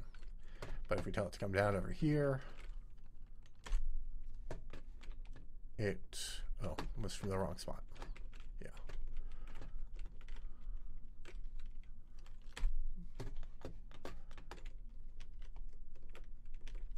Here it decided not to go up this one. It went up that one. Oh, it's because it's coming down. So it decided to come down there. That's wrong right? It clearly would have been faster. Right, it comes along, jumps down, goes down there, steps down, steps down, jumps down here, has to go around that, whereas it clearly would have been faster to come straight down this, step down, step down, and then jump down. So I don't know why that didn't find the optimal path. Um, and I don't know why it went so far off this way. Which is clearly the wrong direction and should not have been efficient. But you already know the sign. Yes, I originally wrote it with one of them DZ and one of them negative DZ, and I decided that was less clear than just putting the absolute value in. Um, just to make it unambiguously clear. Like, what if I change my mind about which one's DZ or which one's negative and which one's positive or something? It just is peace of mind when you're looking at the code. You can know it's absolutely positive because that's what it's actually asking for. It's actually asking for the absolute value because it's, using the absolute value of dx and dy. It wants the absolute value of dz for most of that. It just needs the sign for the test. so like one a different thing I could do is I could compute dz as absolute valued and then compute the sign separately. So yeah, why did this go the slow way? I mean, it still works. It path found to the right spot. It's just not the optimal route. And the whole point is A star should find the optimal route. So it would imply I still have a bug.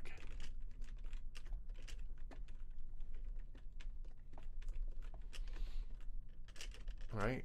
It's it's got to be. That's got to be a bug. It could be a bug in my heuristics, or it could be a bug in the code. Um, and the fact that it expands over here seems like a bug too.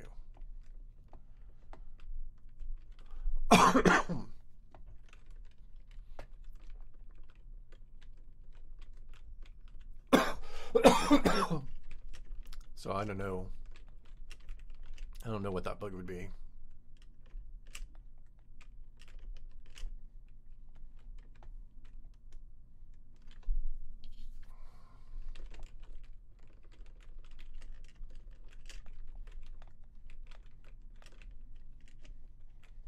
But it's definitely not quite optimal.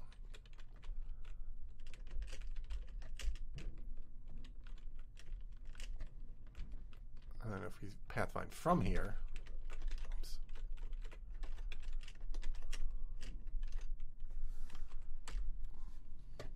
it goes this, and it does take this one up. But if we pathfind back the other way,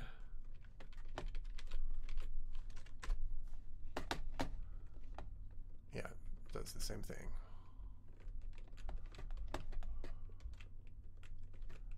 Which is just not as efficient, I don't think.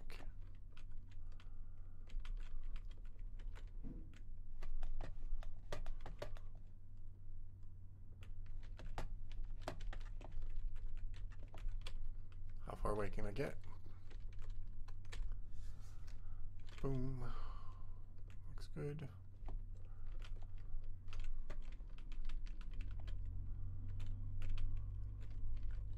Oops. Guess I should save this map so that I can test this pathfinding issue in the future.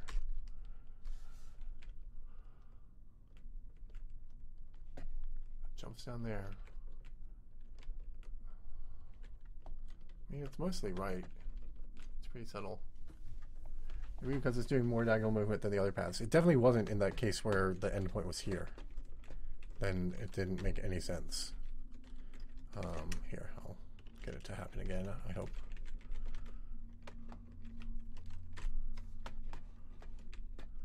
Right, here, this one has to go all the way around here. It has to step to here. Whereas if it came to here, it would only have to step to here, and then it could come straight down here, and it wouldn't have to do any of this stuff. This is definitely longer. this has more diagonal movement than the path I'm talking about, but it's diagonal movement away and then back, whereas this would never have to go away and back. So there's just something wrong there. All right, so let's save the map. Um, and let's go ahead and check that in.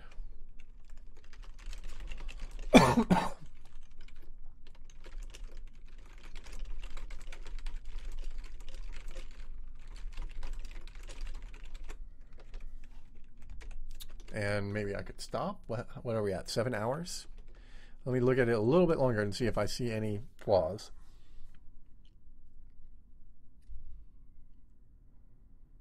I'll probably need to make the debugging stuff show the cost somehow.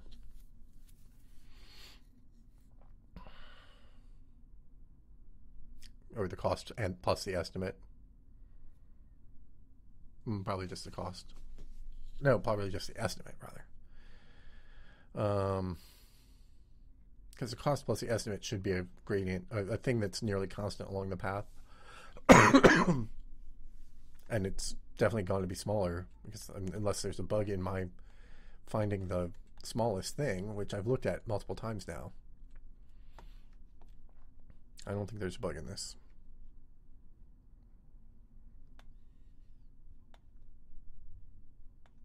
Oh, there's a bug in this. There you go.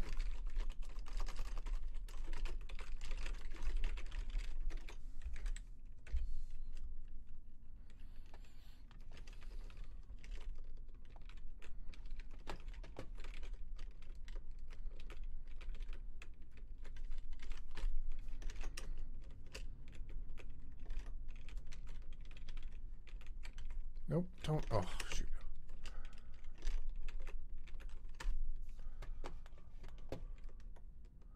Right, there it goes. Now it does it the right way. All right. So I think that's a functioning pathfinding. Took way longer than it should have because I had dumb bugs. Um, and just they were dumb bugs that were hard to debug because I was using global variables and that made it hard to debug the, that one thing. and this, because I changed it from the way I was doing it originally, where I initialized this to maxint and just let it loop over all of them, would have worked fine. But um, but because I did it this way, now I have two copies of this thing, which is just bad.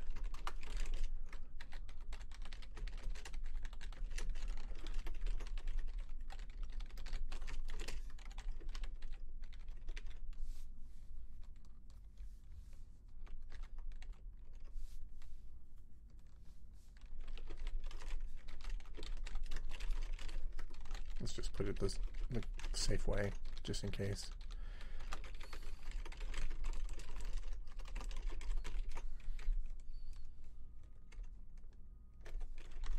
Um, what's it in? I mean, I know it's in standard def um, in C99, but what's it in in old things? Wasn't there a C? Wasn't it maxint in old C? Maybe there's a reason I never use maxint. Maybe it's just because I never remember where it is.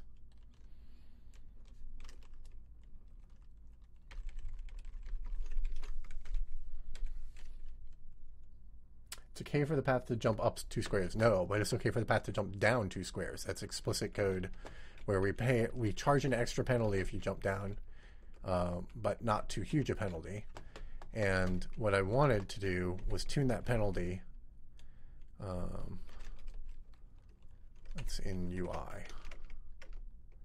I wanted to tune that, but here's the step down penalty. So I want to tune that so it avoids doing it unless it has to do it. That was sort of the intention. So let's, and then if you're like pursuing somebody, you might always jump down. So let's try making it a higher penalty.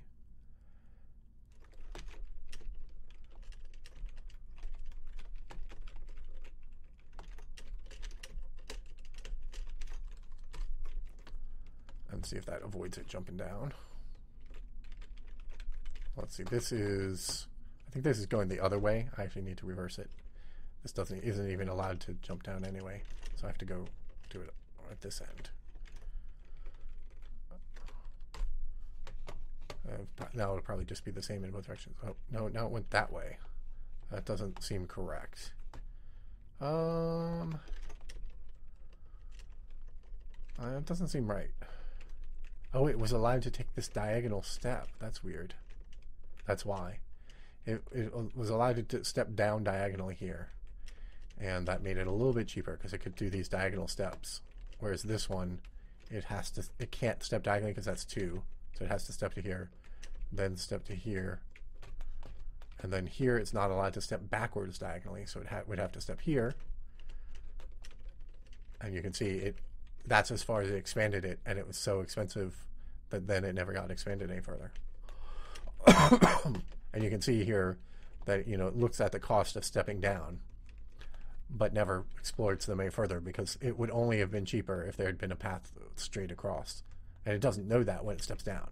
It steps down thinking maybe there's a path right here, and if there was, that would turn out to be cheap, potentially. Um, so I think that's all actually correct. So then what I wanted to do was make a case where it has to jump down. Right? So we make a hole in the ground that's too deep. Um, and then let's make a passage even deeper into here. Okay, so this is the end point. And then I'll come out here and mark the start point. Right Let's say right here. So what does it say to do? It says it can't do it. Oh, because I maybe I have that backwards. Maybe I'm forgetting which one's the start and which one's the end. Because one way it can't do this, and one way it should be able to do it. Okay. Okay, so this tried to search and got stuck here and couldn't search any further. So it's the other way that should have worked, but it didn't work at all. This, oh, yeah, because that's not in the right spot. Great, thanks. To replace that. All right, well, let's not go that, that crazy on that. Let's just go over here. Okay, so this says, hey, look, I have a path. If I go down here, and then I jump down in this hole. So that's why I have that supported. And now it's expensive enough that it won't take the jump downs unless it's like maybe there's a path down over on this side and it could go all the way around or it can jump down. And depending on how much further it has to go, it'll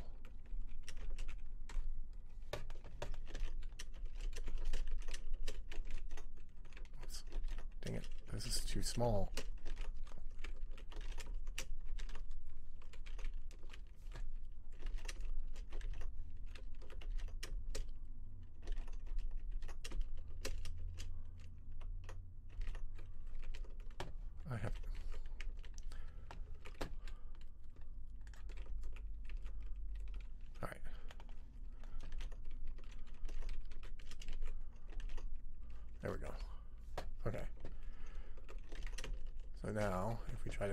Pathfind.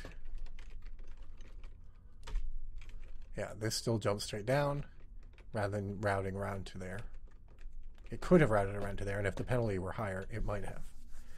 Um, but, uh, so like if we make that, then it'll have to go around and jump down. So if we keep doing this, extending this all the way around, maybe to there. And then we do this. Let's see. How do we want to do this? Um,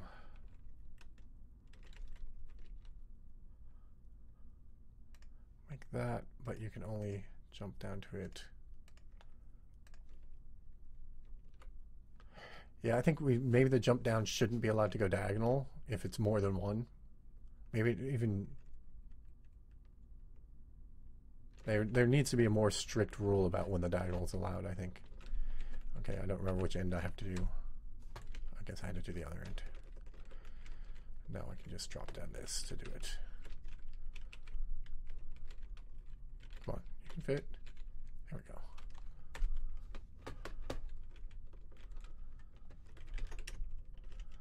Okay, so now it can route that way. I'm not sure which one, which direction that was.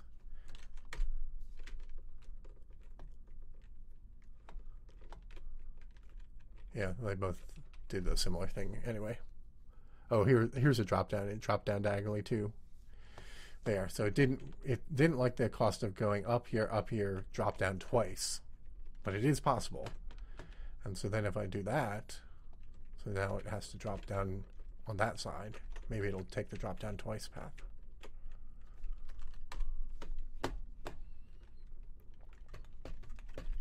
Uh, you can't get out there. And now this way. No, it still went. Still went around to here, then took the drop down. Instead of taking this double drop down that requires climbing up to get to it. So if we make the climbing up more inviting and put a barrier in the way of that, maybe we can force it to take the double drop down. And so then if you had a type that's allowed to drop even further, you would just keep adding in more entries in that array and, and decide how expensive it should be to allow the drop down. Okay, you can't get out of there. And then from this end, pathfind from here. Now you go up to here, you drop down to there, and you drop down to there. So that's all pretty good. all right, so that looks like the pathfinding is working as as expected, as designed. Uh, now that I tweaked that cost, so commit dash a tweak cost for jumping down, and that's it for today. I'm done with OBBG. So, uh, any questions that I should answer on the stream? Um, let me push that.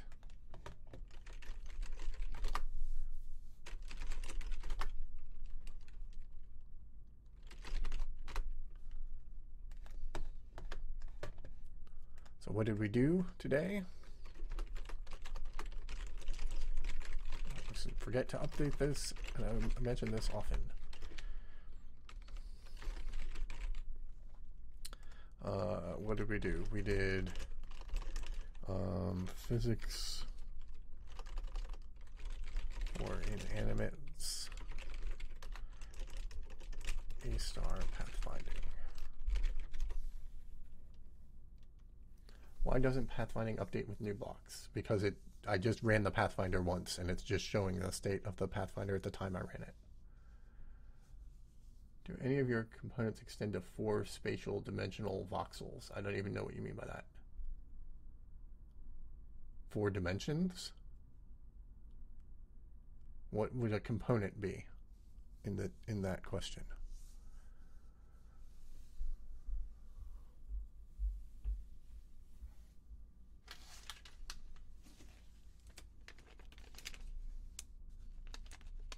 I use your connected components thing in a 4D Minecraft game?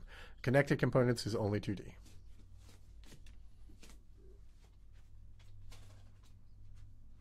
It's explicitly hard coded to 2D. That's why I'm not using it here for the 3D case. Also because it's the dynamic moving around in the open world doesn't really work. Would you optimize the pathfinding further? Yes. Um, the priority queue needs to be rewritten to not be linear. The whole thing could be run on a thread in the background because when a thing decides it needs to pathfind, it doesn't have to instantly go. It can uh, wait for a thread that finishes a couple frames later. Um, but then only one thing can pathfind at a time, or you have to have time slates between them, or whatever. Um, and um, the whole can find test, can fit testing here um, is super redundant because it keeps testing the same area multiple times. Um, it's worse if you had an object that was bigger than one. I guess I should test that actually. We'll we'll do that while we're talking. Um, let's test what happens when we have a large object uh, that's pathfinding. So let's say that it is three by three Oh, and I was pathfinding for one tall thing, so I wasn't even handling that case properly. The can you fit uh, under in, into a tunnel kind of case. So let's say he's three by three. Say he's two by two, and he's four tall. Um, now the one thing is that that's um, which so I'm my position will be the corner of the guy, so my y is decreasing and decreasing that way. So so if, which direction is increasing? Is this increasing both? Yeah, okay. So so he'll extend out for me by one block by one block. So let's pathfind from here to here. He should fit. How tall you make him? Four. I think he fits under there. Yeah, he did fit under there. But he won't fit here. So this will just be a failed pathfind. And then if I make this one taller, he won't be able to go under this if I did the code right. So we try to go from here. To, oh, that's flying in midair anyway. Oh, no, it's not. Okay. So here you can see he has to go around. Um, he actually can't fit here, but he can fit here. So if we go to about here. So you can see he has to stay away from this pillar because he extends, he's actually this big and four tall. Um, but when when the dot is here, it means this guy is this big, and so you can see that that's how he goes around this pillar is by being like that. Um, so that does seem to be working. And oh, I had one at that height already. I didn't need to do this.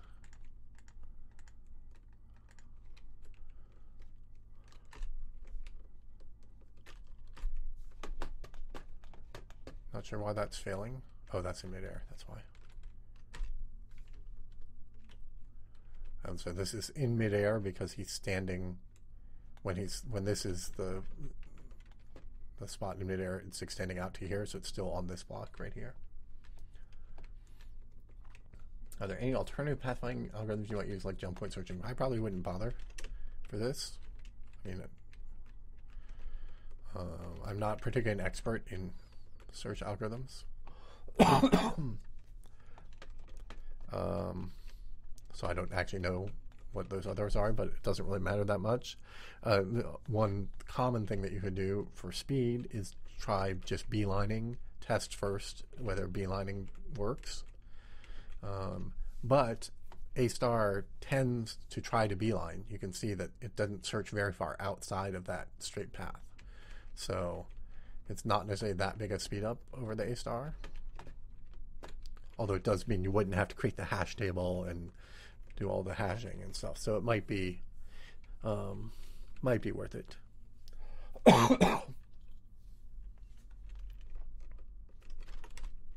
um,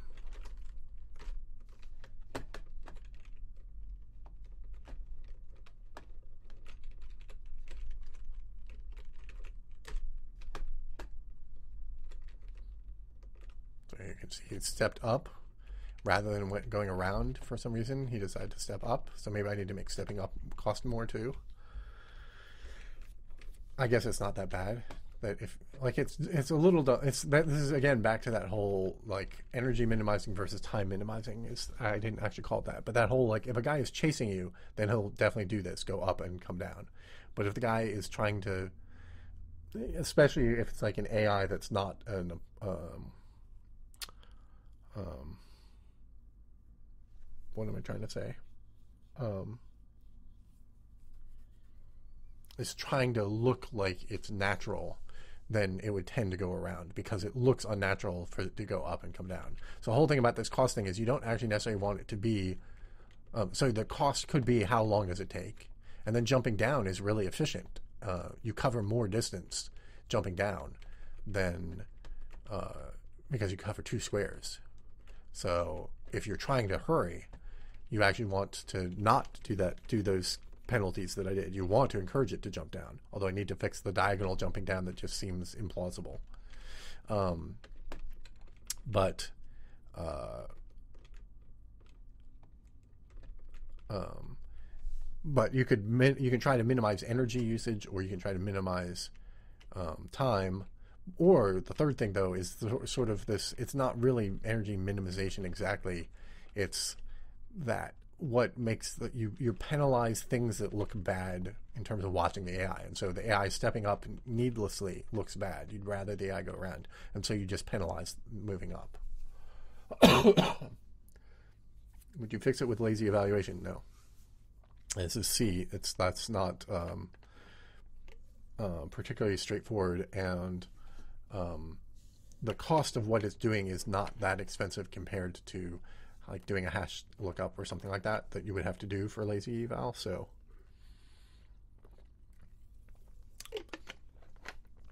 Uh, no, the whole thing is that now that it's a large thing, it's trying to check whether it fits in a given spot and check whether it fits a spot above it and check whether it fits a spot above it. And it calls some of those multiple times.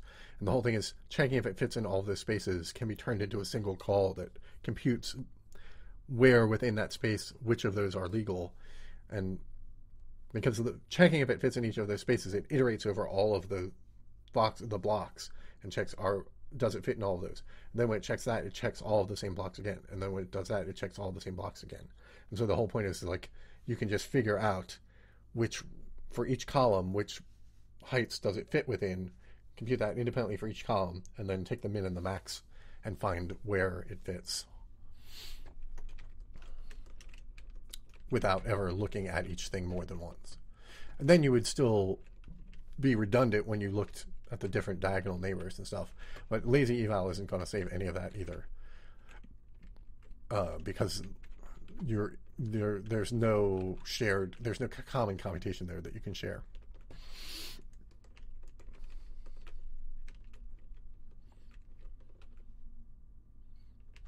You have to figure out how to refactor it into a different computing a different thing that's more efficient. So the thing I just said will at least save one axis of redundancy which will bring it down a lot. Then there's still other axes of redundancy, but that may be it may be enough to save the that one because that one's the biggest axis because the Z things extend in Z um, and can jump up and jump down. So there's a lot of range of testing there. We're currently testing four different heights along Z, whereas we only test three uh, along X and Y, plus one, zero, and minus one.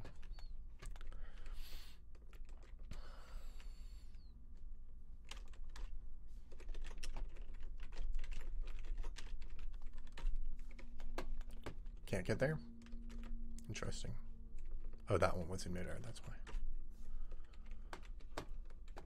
Yep, here it goes. It goes around here, goes up the ramp. Takes a giant step in midair here. Not quite sure how that's legit. Uh, because it's. No. Oh, right, because these are half height. Yeah, yeah, and it, so it doesn't know about the half heightness. So it thinks they're full sized blocks, so it's this is a full sized block from its point of view that it's standing on. Yeah, so that that's legit. That's correct with what it knows. Need to tweak all that stuff.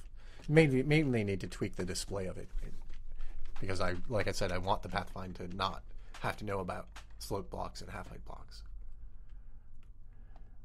How expensive do these calls end up being? Can you do a thousand per frame? I'm sure I cannot do a thousand per frame.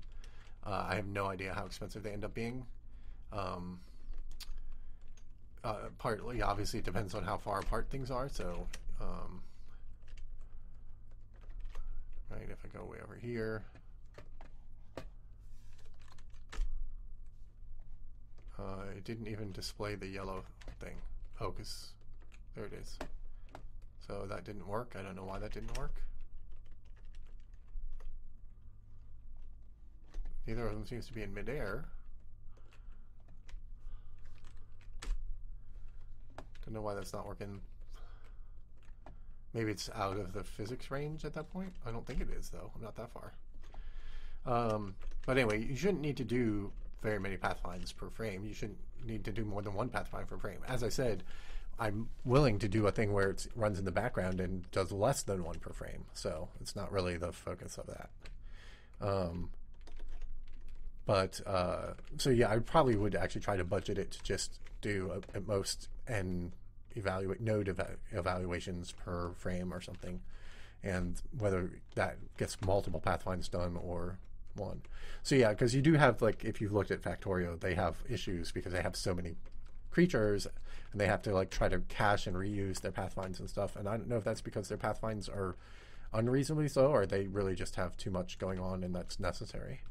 Uh, and if we ever reach that kind of state, we would see and see what's needed. Um, some of these pathfinds are failing, and I don't know why. It is still the big guy. Maybe I'm forgetting and not leaving room for the big guy. But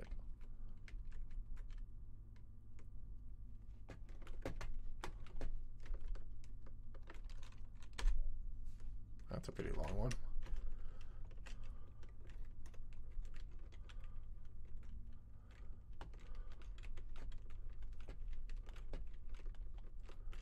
So yeah.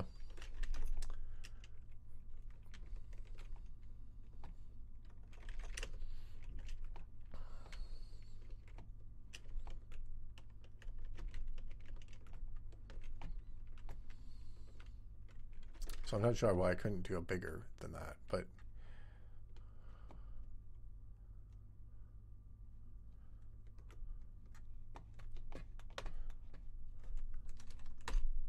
All right, that one worked.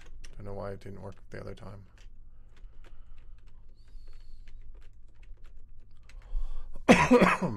so it's probably fast enough anyway, but I do need to fix that. The linear search, I do have to fix that.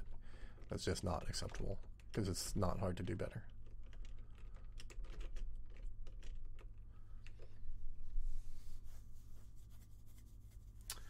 He plans to put in an assembly language and begin a 3D circuit game. Um, no, I think I th- think I wanted to go down the Minecraft Redstone kind of path.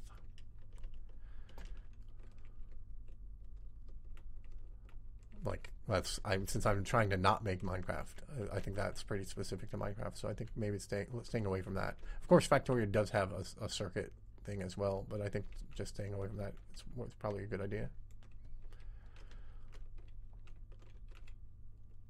So yeah, you can see that this this routed. It's a little inconsistent about when it chooses to do its diagonals here, but it made it under this arch. And you can see it, it did, in, in fact, here zigzag to get around. Uh, I don't know why. That doesn't make any sense. This zigzag here doesn't make any sense. I don't see why it did that zigzag. That seems to just be suboptimal.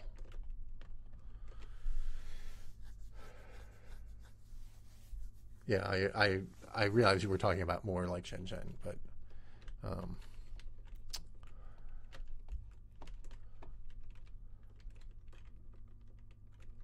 one game, two games at a time here. Factorio and like a shooter or something.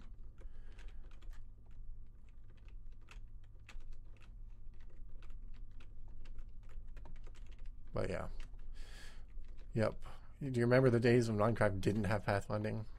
For shame. I mean, it's not trivial, but it took me eight hours or whatever. Six hours, five hours, because I did the physics first, so something like five or six hours. And that was just because of stupid freaking bugs. You couldn't have some of those bugs in Java because there's no global variables. So, um,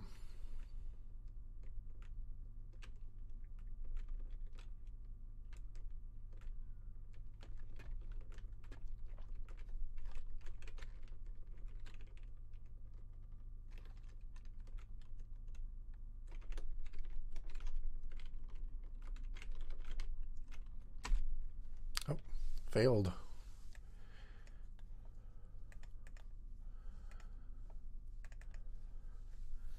Ooh. Hash table failure.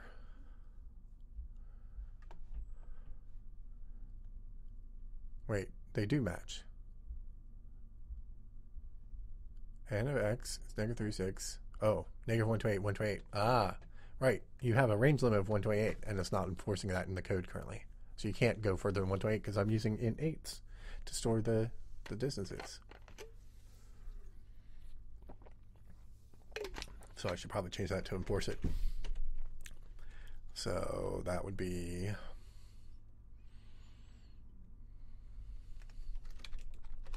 if x is greater than equal to 128 or x is less than negative 128, or y greater than equal 128, or y, or z greater than equal 128, or z less than negative 128. Continue.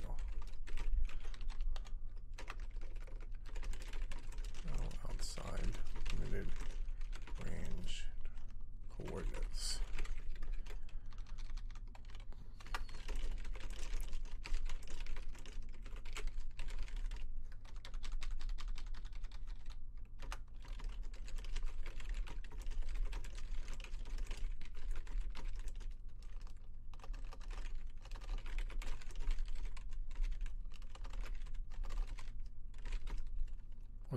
Orthogonal? Orthogonal? Orthogonal. Yeah. Ort.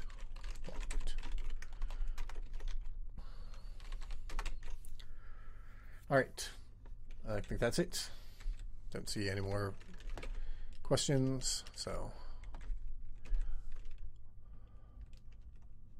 just gotta make sure I didn't break that.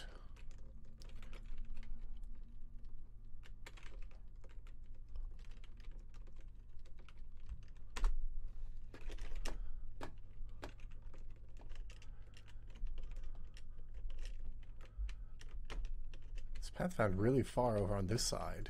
Not sure why.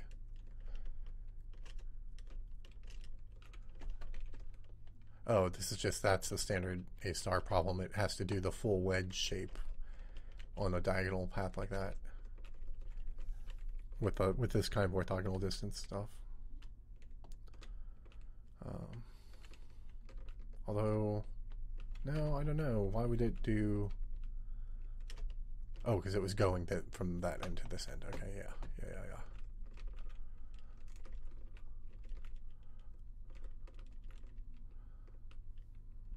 All right.